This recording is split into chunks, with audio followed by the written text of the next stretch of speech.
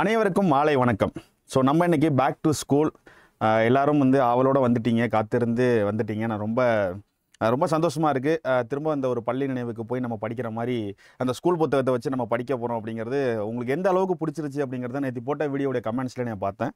So இனிமேல் இது தொடர்ந்து நம்மக்கிட்ட பயணிக்கும் இந்த மாதிரி ஒரு கான்செப்ட் ஸோ ஒரு வாரத்துக்கு ஒரு முறை அல்லது இருமுறை வந்து இது மாதிரி நம்ம பேக் டு ஸ்கூல் வந்து நம்ம இனிமேல் நடத்த போகிறோம் அதோடைய ஒரு ஆரம்ப கட்டம் தான் நம்ம இன்றைக்கி பார்க்க போகிற இந்த இந்திய அரசியலமைப்பு அப்படின்னு சொல்லக்கூடிய ஒரு லெசன் ஓகேவா எல்லாருக்கும் குட் ஈவினிங் எல்லாருக்கும் மாலை வணக்கம். நிறைய பேர் வந்து குட் ஈவினிங் அனுப்பிச்சிருக்கீங்க. ஸோ நிறைய பேர் அனுப்பிச்சதுனால ரிப்ளை பண்ண முடியல. ஸோ எல்லாருக்கும் ஒரு மாலை வணக்கம். Good evening to all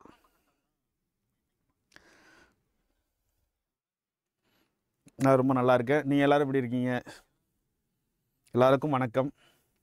so இன்றைக்கி நம்ம பேக் டு ஸ்கூல் பத்தாம் வகுப்பு இந்திய அரசியலமைப்பு அப்படின்னு சொல்லக்கூடிய இந்த லெசனை தான் நம்ம இன்றைக்கி பார்க்க போகிறோம் வரிகள் விடாமல் பார்க்க போகிறோம் ஒரு லெசனை நம்ம கம்ப்ளீட் பண்ண போகிறோம் இதே மாதிரி நம்ம வருஷலாம் இனிமேல் ஒரு ஒரு லெசனாக நம்ம கம்ப்ளீட் பண்ண போகிறோம்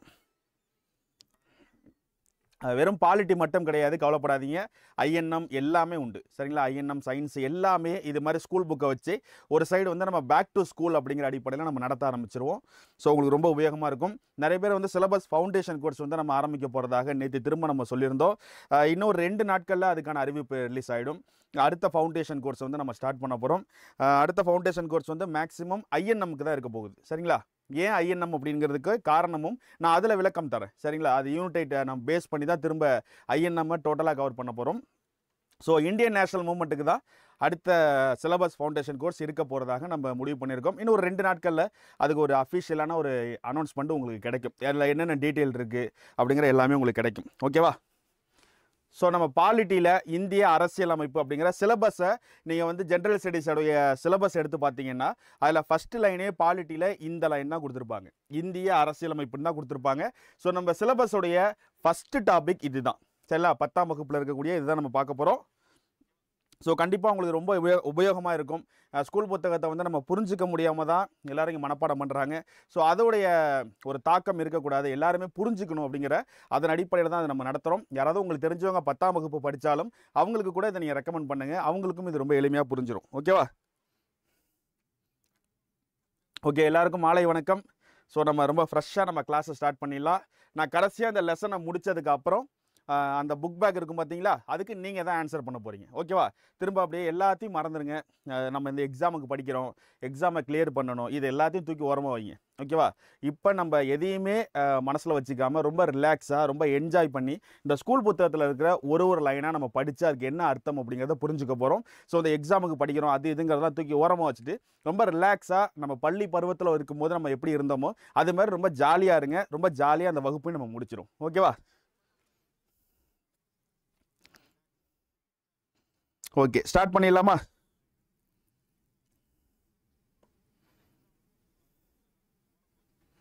ஓகே நம்ம ஸ்டார்ட் பண்ணிடலாம். கவனிங்க. ஸோ நம்ம ஃபஸ்ட்டு என்ன பார்க்க போகிறோம் அப்படின்னு பார்த்தீங்கன்னா இந்திய அரசியலமைப்பு. சரிங்களா? ஏன் இதை நம்ம ஃபஸ்ட்டு பார்க்குறோம்? அப்படின்னு பார்த்தீங்கன்னா ஓகேவா? இந்திய அரசியலமைப்பு. பத்தாம் வகுப்பில் இந்தியன் பாலிட்டி லெசன் எடுத்து பார்த்தீங்கன்னா இதுதான் மொத்தமே அஞ்சு லெசன் தான் இருக்கும்.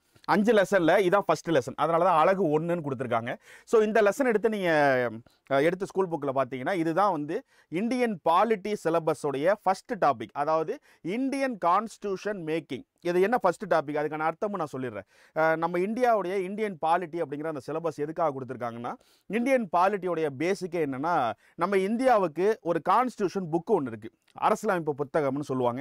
இதை நீங்கள் எக்ஸாமில் படிச்சிருந்திருப்பீங்க புக்குக்கு படிக்கும்போது கூட நீங்கள் ஏதோ இடத்துக்கு படிச்சிருந்திருப்பீங்க. அதுக்கு என்ன அர்த்தம் அப்படின்னா நமது இந்தியா என்பது ஒரு மக்களாட்சி கொண்ட ஒரு நாடு. அதாவது மக்களால் ஓட்டு போட்டு தேர்ந்தெடுக்கப்படக்கூடிய பிரதிநிதிகள் தான் நம்மளை ஆட்சி செய்கிறாங்க ஸோ மக்களாட்சி கொண்ட நாடு தான் நமது இந்தியா. மக்களாட்சி கொண்ட நாடுக்கு ஒரு ரூல்ஸ் ஒன்று இருக்குது என்ன ரூல்ஸ் அப்படின்னு பார்த்தீங்கன்னா அந்த நாட்டுக்கு என்று ஒரு பொதுவான ஒரு புத்தகம் ஒன்று அரசியலமைப்பு புத்தகம் ஒன்று எழுதப்பட வேண்டும். அந்த புத்தகத்தில் உள்ள விதிகளின் அடிப்படையில் தான் அந்த நாடு செயல்பட வேண்டும் அப்படிங்கிறது ரூல்ஸ் இருக்கு. அதனால் ஆயிரத்தி தொள்ளாயிரத்தி நாற்பத்தேழு ஆகஸ்ட் பதினஞ்சில் நமக்கு சுதந்திரம் கிடைச்சோன்னே நம்ம சுதந்திரம் பெற்ற ஒரு நாடாக நம்ம இந்தியா மாறிட்டோம். சுதந்திரம் பெற்ற நாடு இந்தியா மாறிட்டோம் அப்படின்னா அப்போ யார் வேணாலும் இஷ்டத்துக்கு எப்படி வேணாலும் இருந்துட முடியுமா? முடியாது. எல்லாரும் இப்ப இப்படி தான் சுதந்திரம் பெற்ற ஒரு இந்தியாவில் இப்படித்தான் வாழ வேண்டும் என்று சில விதிமுறைகளும் இருக்கணும். அப்போ தானே எல்லாரும் ஒழுங்காக இருப்பாங்க. எல்லாம் சுதந்திரம் சுதந்திரம் வாங்கியாச்சுப்பா இந்தியாவில் எல்லாம் இஷ்டத்துக்கு ஜாலியாக இருங்க. அப்படின்னு சொல்லிட்டு அதுக்குன்னு ஆள்கால் அவங்களுக்கு பிடிச்சதை பண்ணிட்டு போயிட மாட்டாங்களா? அப்படி இருக்கக்கூடாது. இங்கே எல்லாமே ஒரு ரூல்ஸ் இருக்கணும். இப்போ நீங்கள் ஒரு ஸ்கூலில் போய் சேர்றீங்க. ஒரு ஸ்கூலில் போய் நீங்கள் ஒரு அட்மிஷன் போட்டு நீங்கள் ஒரு பத்தாவது இப்போ பதினொன்றாம் வகுப்பு சேர்றீங்கன்னா பத்தாவது முடிச்சுட்டு நீங்கள் இன்னொரு ஸ்கூலில் போய் லெவன்த்து சேர்றீங்கன்னா அந்த ஸ்கூலில் நீங்கள் காசு கட்டி சேர்ந்துட்டீங்கிறதுனால உங்கள் இஷ்டத்துக்கு அங்கே இருக்க முடியுமா? முடியாது. அந்த ஸ்கூலில் என்ன ரூல்ஸ் சொல்கிறாங்களோ அந்த ரூல்ஸை தான் நீங்கள் ஃபாலோ பண்ணி ஆகணும். சரிங்களா?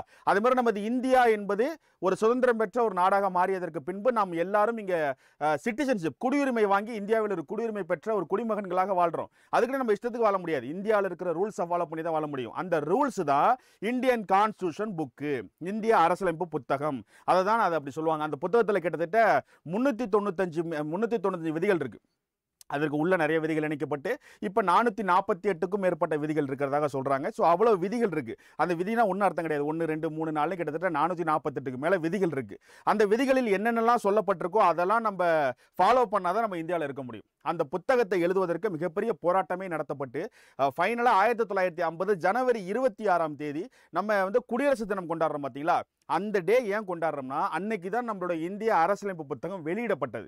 ஸோ அதனுடைய நினைவாகத்தான் அந்த ஒரு நாளைத்தான் நம்ம வந்து குடியரசு தினம் அப்படின்னு சொல்லி நம்ம கொண்டாடுறோம். அப்போ ஆயிரத்தி தொள்ளாயிரத்தி நாற்பத்தேழு ஆகஸ்ட் பதினஞ்சு என்பது ஆங்கிலேயர்களிடமிருந்து இந்தியா சுதந்திரம் பெற்று வாழ்வதை குறிப்பது தான் அந்த சுதந்திர தினம்.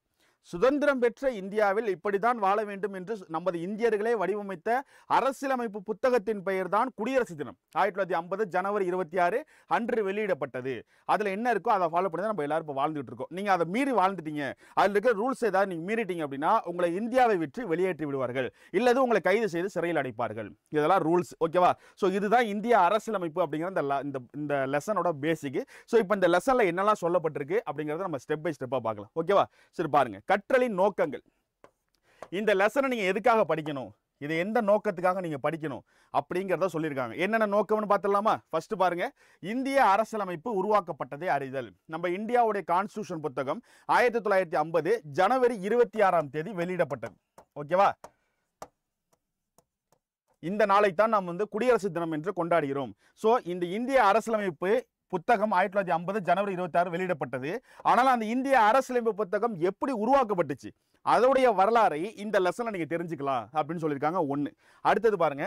இந்திய அரசியலமைப்பின் சிறப்பு கூறுகளை அறிதல். அப்படி உருவாக்கப்பட்ட இந்தியன் கான்ஸ்டியூஷன் புத்தகத்தில் என்னெல்லாம் சிறப்புகள் இருக்கு? அதையும் நீங்கள் தெரிஞ்சுக்கலாம். ரெண்டு. ஓகேவா? அடுத்து.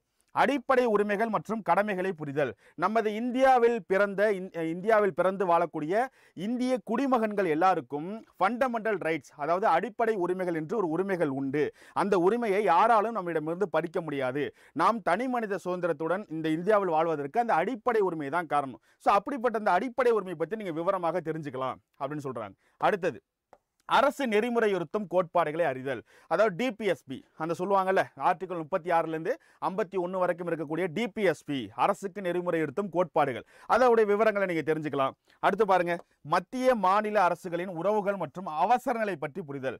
நம்மளுடைய இந்தியாவுடைய மத்திய அரசுக்கும் மாநில அரசுக்கும் என்னென்ன மாதிரியான உறவுகள் இருக்குது அப்படிங்கிறத அந்த பேசிக்கு நாங்கள் இந்த லெசனில் கொடுத்துருக்கோம். மத்திய அரசுனா நம்ம இந்தியா. சரிங்களா? மாநில அரசு என்றால் நமது இந்தியாவில் இருபத்தெட்டு மாநிலங்கள் உள்ளது. அப்ப அந்த மாநில அரசுக்கும் மத்திய அரசுக்கும் என்ன மாதிரியான உறவுகள் உண்டு? அவங்க எப்படி வந்து அந்த ஒரு மாநிலத்தையும் இந்தியாவுடைய மத்திய அரசும் வழி நடத்துறாங்க ரெண்டு பேரும் தனித்தனியாக நின்று அப்படிங்கிற அந்த உறவுகளை பற்றி நாங்கள் வந்து தெளிவாக கொடுத்துருக்கோம் அப்படிங்கிறத விஷயத்த சொல்லியிருக்காங்க. அப்போ இந்த லெசனை நீங்கள் படிச்சிட்டிங்கன்னா இந்திய அரசியலமைப்பு புத்தகம் எப்படி உருவானுச்சு?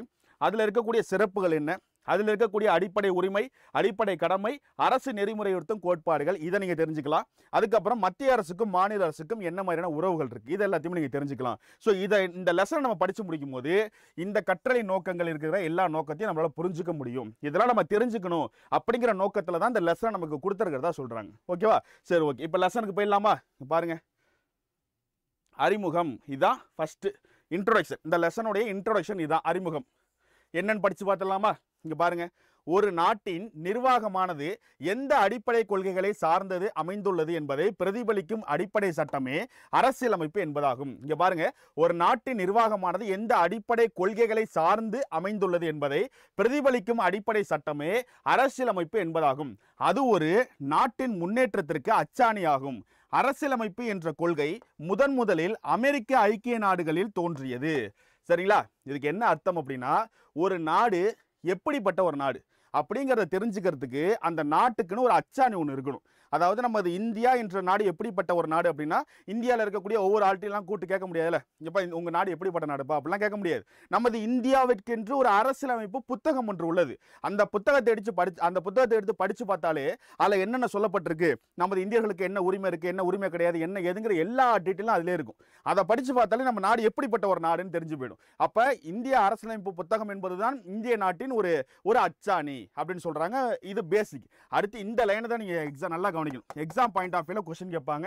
நான் அதை தான் படிக்கும்போது எக்ஸாம் பாயிண்ட் ஆஃப் வியூவில் கொஸ்டின் கேட்குறதே நான் சொல்கிறேன் இங்க பாருங்க. அரசியலமைப்பு என்ற கொள்கை முதன் முதலில் அமெரிக்க ஐக்கிய நாடுகளில் தோன்றியது. அமெரிக்க ஐக்கிய நாடுகள்னா யூஎஸ்ஏ சரிங்களா? இந்த அரசியலமைப்பு புத்தகம் நமது இந்தியா வந்து ஆயிரத்தி தொள்ளாயிரத்தி ஐம்பது ஜனவரி இருபத்தி ஆறில் வெளியிட்டோம். ஆனால் இதை முத முதல்ல இந்த கொள்கை இந்த அரசியலமைப்புங்கிற இந்த கொள்கையை ஃபஸ்ட்டு ஃபஸ்ட்டு எந்த நாடு யூஸ் பண்ணாங்க அப்படிங்கிறத இங்கே கொடுத்துருக்காங்க. யார் யூஸ் பண்ணதா சொல்லியிருக்காங்க? அமெரிக்கா யூஎஸ்ஏ தான் இதை முத முதல்ல இந்த மாதிரி ஒரு அரசியலமைப்புங்கிற ஒரு கான்செப்டை ரிலீஸ் பண்ணாங்க அப்படின்னு சொல்கிறாங்க சரி ஓகே. ஆயிரத்தி தொள்ளாயிரத்தி நாற்பத்தி ஏழு ஆகஸ்ட் பதினஞ்சாம் தேதி தான் நமக்கு சுதந்திரம் கிடைச்சிது. நமது இந்தியாவுக்கு. நம்மளுடைய அரசியலமைப்பு புத்தகத்தை ஆயிரத்தி தொள்ளாயிரத்தி ஐம்பது ஜனவரி இருபத்தாறில் ரிலீஸ் பண்ணோம். அப்போ அரசியலமைப்பு என்ற ஒரு கொள்கையே அமெரிக்காலேருந்து தான் உருவாயிருக்கு நம்ம சொல்கிறோமே அப்போ அவங்களுக்கு எப்போ அந்த குடி அந்த கான்ஸ்டியூஷன் புக்கை அவங்க ரிலீஸ் பண்ணியிருப்பாங்க அப்படிங்கிற கேள்விக்கான ஒரு பதிலாக நான் சொல்கிறேன் ஆயிரத்தி எழுநூற்றி எண்பத்தி ஏழுலேயே அமெரிக்கா சுதந்திரம் பெற்ற ஒரு நாடாக மாறிட்டாங்க. எப்படி நம்ம வந்து பிரிட்டிஷ்காரங்களுடைய ஆட்சிக்கு உட்பட்டு நம்ம நம்ம இந்தியர்கள் இருந்தோமோ அதே மாதிரி பிரிட்டிஷ்காரங்க தான் அமெரிக்காவையும் முதல்ல பிடிச்சி வச்சிருந்தாங்க. ஆனால் அவங்க நேருக்கு நேர் சண்டையிட்டு நிறைய போராட்டங்கள் பண்ணி அவங்க உடனே சுதந்திரம் வாங்கிட்டாங்க. ஆயிரத்தி எழுநூற்றி எண்பத்தி ஏழுலையே அமெரிக்காவுக்கு சுதந்திரம் கிடச்சிட்டு அவங்க கிடச்ச உடனே அவங்களுடைய கான்ஸ்டியூஷன் புக்கை எழுதி ஆயிரத்தி எழுநூற்றி எண்பத்தி ஒம்போதுலேயே அமெரிக்கா அவங்களுடைய கான்ஸ்டியூஷன் புத்தகத்தை ரிலீஸ் பண்ணிட்டாங்க. அப்போ யோசிச்சு பார்க்கணும். ஆயிரத்தி எழுநூற்றி எண்பத்தி ஒம்போதுலேயே அமெரிக்கா கான்ஸ்டியூஷன் புக்கை ரிலீஸ் பண்ணிட்டான். அப்போ நம்ம எப்போ ரிலீஸ் பண்ணுறோம் ஆயிரத்தி தொள்ளாயிரத்தி ஐம்பது ஜனவரி இருபத்தி ஆறு. அப்போ எவ்வளோ டிஃப்ரெண்ட் இருக்குது பாருங்க. ஆயிரத்தி எழுநூற்றி எண்பத்தி ஒம்பது எங்கே இருக்குது ஆயிரத்தி தொள்ளாயிரத்தி ஐம்பது எங்கே இருக்குது அப்போ அமெரிக்கா என்ற ஒரு நாடு தான் முதன் முதலாக இந்த அரசியலமைப்பு என்ற ஒரு புத்தகத்தை ஒரு கொள்கையாக வைத்து அதை வைத்து தான் நாடு செயல்பட வேண்டும் அப்படிங்கிற கான்செப்டை உருவாக்கியிருக்காங்க. அப்படிங்கிறத சொல்லியிருக்காங்கல்ல. அதுக்கு இதுதான் ரீசன் ஏன்னா அவங்க ஆயிரத்தி எழுநூற்றி எண்பத்தி ஒம்போதுலேயே யோசிச்சு ரிலீஸ் பண்ணிட்டாங்க. அப்போ அது நாள் வரைக்கும் ப்ராப்பராக அப்படி ஒரு மெத்தடை யாரும் ஃபாலோ பண்ணலை. அப்போ அமெரிக்காக்காரங்க தான் இந்த அரசியலமைப்பு என்ற கொள்கையை முதல் முதலில் அமெரிக்கா தான் செயல்படுத்தியது. அவங்கள பார்த்து தான் அடுத்தடுத்து எல்லா நாடுகளும் என்ன பண்ணிக்கிட்டாங்க? நம்ம நாட்டுக்கும் இது மாதிரி ஒரு புக்கை எழுதி நம்ம வச்சுட்டோம்னா அதில் இருக்கிறத ஃபாலோ பண்ணி நம்ம நாட்டில் வாழ்ந்துட்டு போயிடலாம். ரொம்ப எளிமையாகிடும் யாரும் எது கேள்வி கேட்க மாட்டாங்க. ரொம்ப ஒரு ப்ராப்பரான ஒரு நாடாக நம்ம இருக்க முடியும். அப்படிங்கிறத முடிவு பண்ணி எல்லாரும் அதை செய்ய ஆரம்பித்தாங்க அதன் அடிப்படையில் நமது இந்தியாவும் ஆயிரத்தி தொள்ளாயிரத்தி ஐம்பதில் அதே போல ஒரு அரசமைப்பு புத்தகத்தை எழுதி வெளியிட்டார்கள். ஓகேவா அதற்கான விளக்கம் இதுதான். புரிஞ்சிருச்சா உங்களுக்கு? அடுத்து போகலாமா இதுதான் இந்த பேராகிராஃபுடைய அர்த்தம். அடுத்து பாருங்க.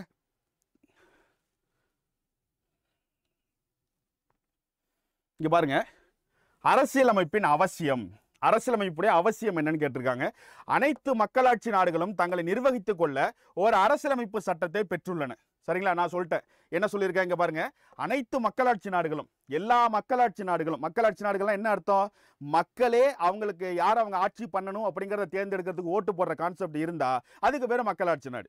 இப்போ நிறைய ஊரில் நிறைய கண்ட்ரியில் பாருங்க அதிபர் கண்ட்ரி அதாவது மன்னர்கள் கான்செப்ட் தான் இருக்காங்க. இப்போ கத்தார் ஓமன்லாம் நீங்கள் போய் பார்த்தீங்கன்னா மன்னர்கள் அதாவது ஒருத்தவங்க இருப்பாங்கன்னா அடுத்தவங்களோட பையன் அவங்க பையன் மன்னர்களாக வருவாங்க. சரிங்களா? ஆனால் மக்களாட்சி நாடு என்றால் என்ன அர்த்தம்? மக்கள் ஓட்டு போடுவாங்க. மக்கள் ஓட்டு போட்டு ஒரு பத்து பதினஞ்சு பேர் எலெக்ஷன் நிற்பாங்க அப்போ மக்கள் ஓட்டு போட்டு யாரை தேர்ந்தெடுக்கிறாங்களோ அவங்களில் ஒரு ஆள் தான் வந்து அந்த நாட்டை நிர்வகிக்கக்கூடிய திறமை உள்ளவங்களாம் வர முடியும். இப்போ பவர் இருக்கிறவங்கள வர முடியும். அப்போ அதற்கு பேர் மக்களாட்சி மக்களாட்சி நாடு. மக்களே ஓட்டு போட்டு மக்களுக்கு யார் தன்னை நிர்வகித்துக்க நிர்வகிக்க வேண்டும் என்று மக்களே முடிவெடுக்கும் ஒரு ஒரு ப்ரொசீஜர் இருந்து அவங்க ஓட்டு போடுற கான்செப்ட் இருந்தால் அதற்கு பெயர் மக்களாட்சி நாடு. அப்போ நமது இந்தியாவில் என்ன? நம்ம பதினெட்டு வயசு கம்ப்ளீட் ஆன எல்லாரும் ஓட்டு போட முடியும்.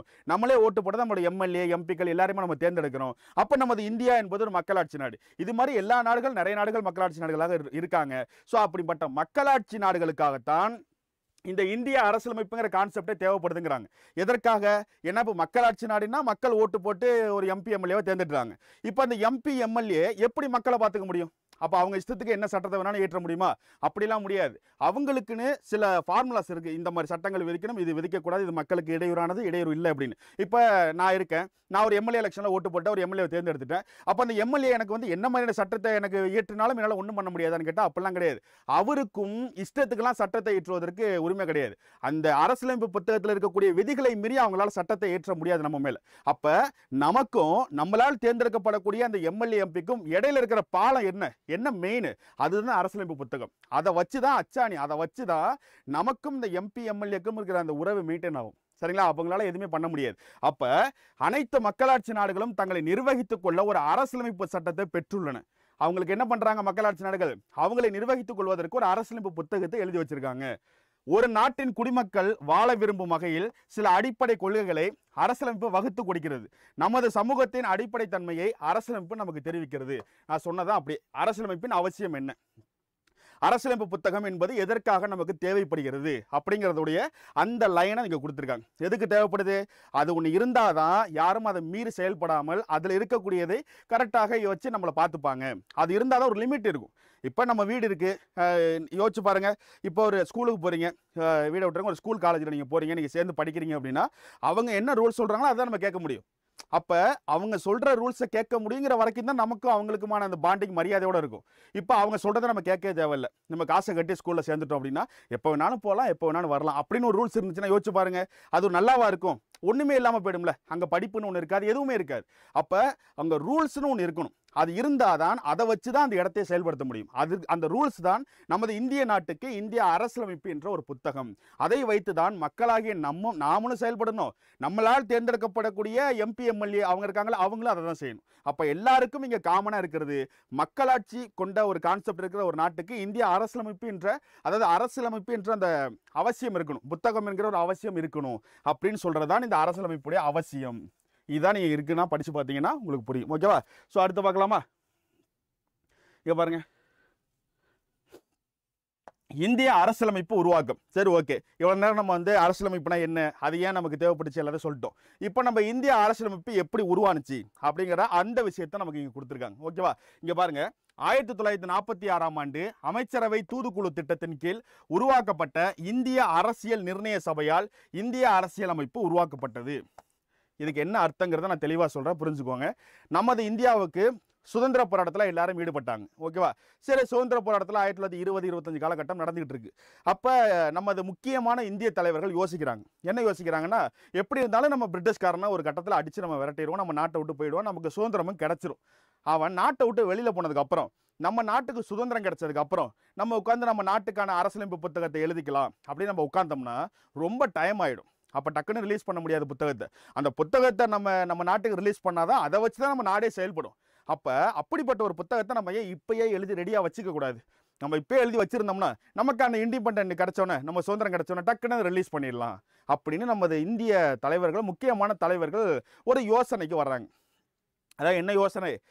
இப்போவே அந்த அரசியலமைப்புங்கிற புக்கை நம்ம எழுதி வச்சிருவோம். எப்போ பிரிட்டிஷ்காரன் நம்ம நாட்டுக்கு சுதந்திரத்தை கொடுத்துட்டு வெளியில் போகிறானோ அப்போ நம்ம புக்கை சடனாக ரிலீஸ் பண்ணி விட்ருவோம் அப்போ நம்ம அந்த நாட்டுக்கு நேரம் விரயமாகிறதுல ரொம்ப ஈஸியாக ரிலீஸ் பண்ணிடலாம் அப்படிங்கிற ஒரு கான்செப்ட்டுக்கு வர்றாங்க. சரி ஓகே முத முதல்ல எங்கள் நாட்டுக்கு இந்திய நாட்டுக்கு அரசியலமைப்பு புத்தகம் வேணும்ப்பா அந்த அரசியலமைப்பு புத்தகத்தை இந்தியர்களான நாங்களே உட்காந்து எழுதிக்கிறோம். ஆனால் அதை எழுதுவதற்கு எங்களுக்கு அரசியல் நிர்ணய சபை அமைப்பதற்கு அரசியல் நிர்ணய சபைனா அர்த்தம் என்னன்னா இப்போ எப்படி சட்டமன்றம்னு ஒன்று இருக்குது நம்மளோட எம்எல்ஏக்கள் இரநூத்தி முப்பத்தி நாலு தொகுதி எம்எல்ஏக்களும் உட்கார்ந்து பேசுறதுக்கு தமிழ்நாட்டில் சட்டமன்றம்னு ஒன்று இருக்கா? அது ஒரு கட்டிடம் அந்த சட்டமன்றம். அது உள்ள உட்காந்து எல்லாரும் பேசுறாங்க.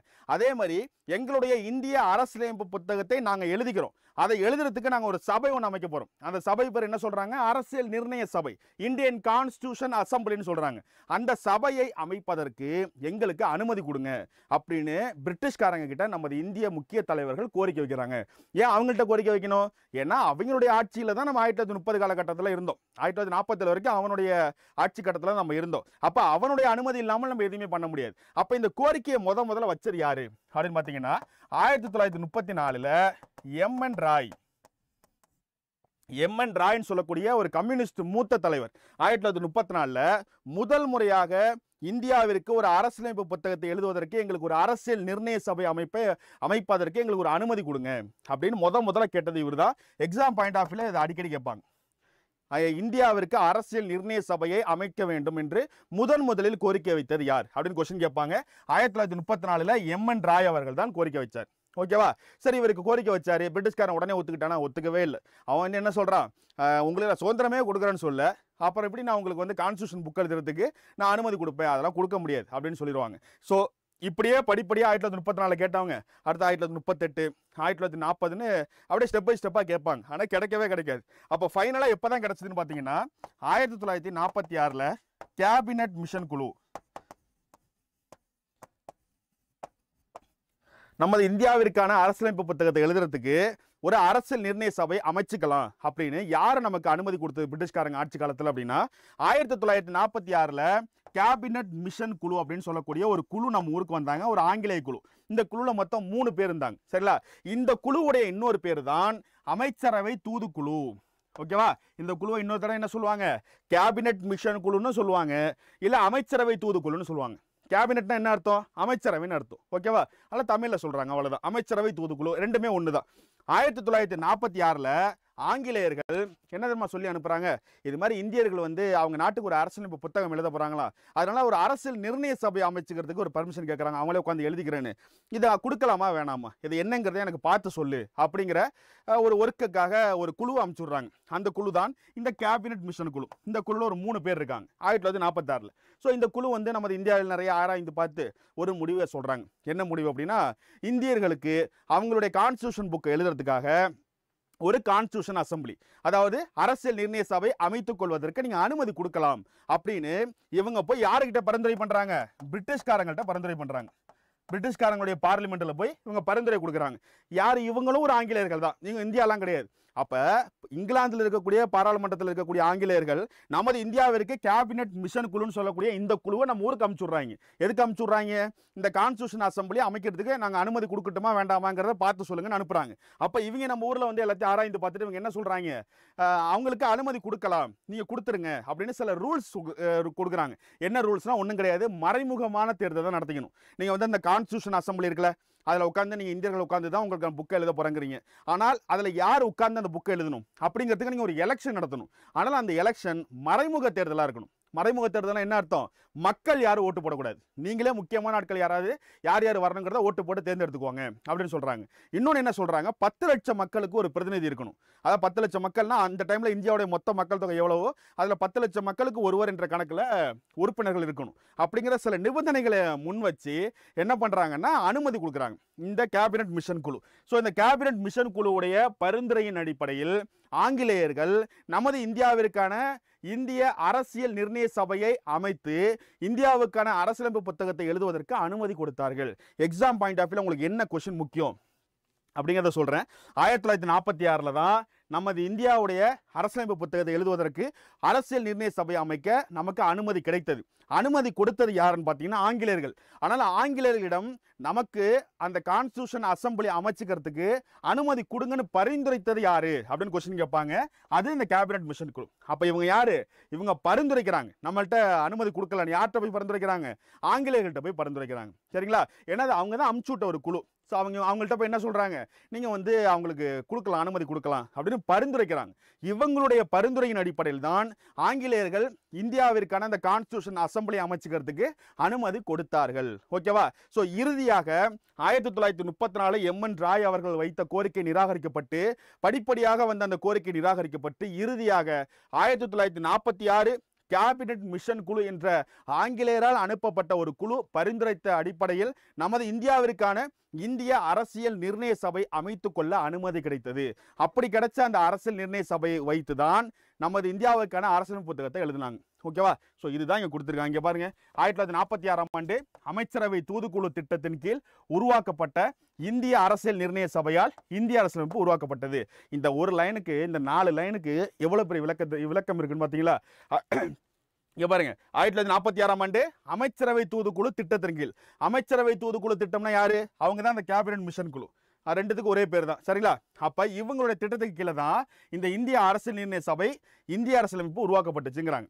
இவங்க கொடுத்த பரிந்துரையின் அடிப்படையில் தான் ஆங்கிலேயர்கள் இந்தியாவுக்கு இந்திய அரசியல் சபை அமைச்சுக்கோங்க அப்படின்னு அனுமதி கொடுத்தாங்க. அப்போ அதை அமைத்து கொண்டு நம்மளுக்கான அந்த புக்கை நம்ம உட்காந்து எழுதணும். சரிங்களா? அது அடுத்த லைனில் இருக்கும். இங்கே பாருங்கள் இச்சபையில் இரநூத்தி தொண்ணூற்றி ரெண்டு மாகாண பிரதிநிதிகள் தொண்ணூத்தி மூணு சுதேச அரசர்களின் நியமன உறுப்பினர்கள் பலுசிஸ்தானில் சார்பில் ஒருவர் மற்றும் மாகாண முதன்மை ஆணையர்கள் சார்பில் மூவர் என மொத்தம் முன்னூத்தி எண்பத்தி ஒம்பது உறுப்பினர்கள் இருந்தார்கள்.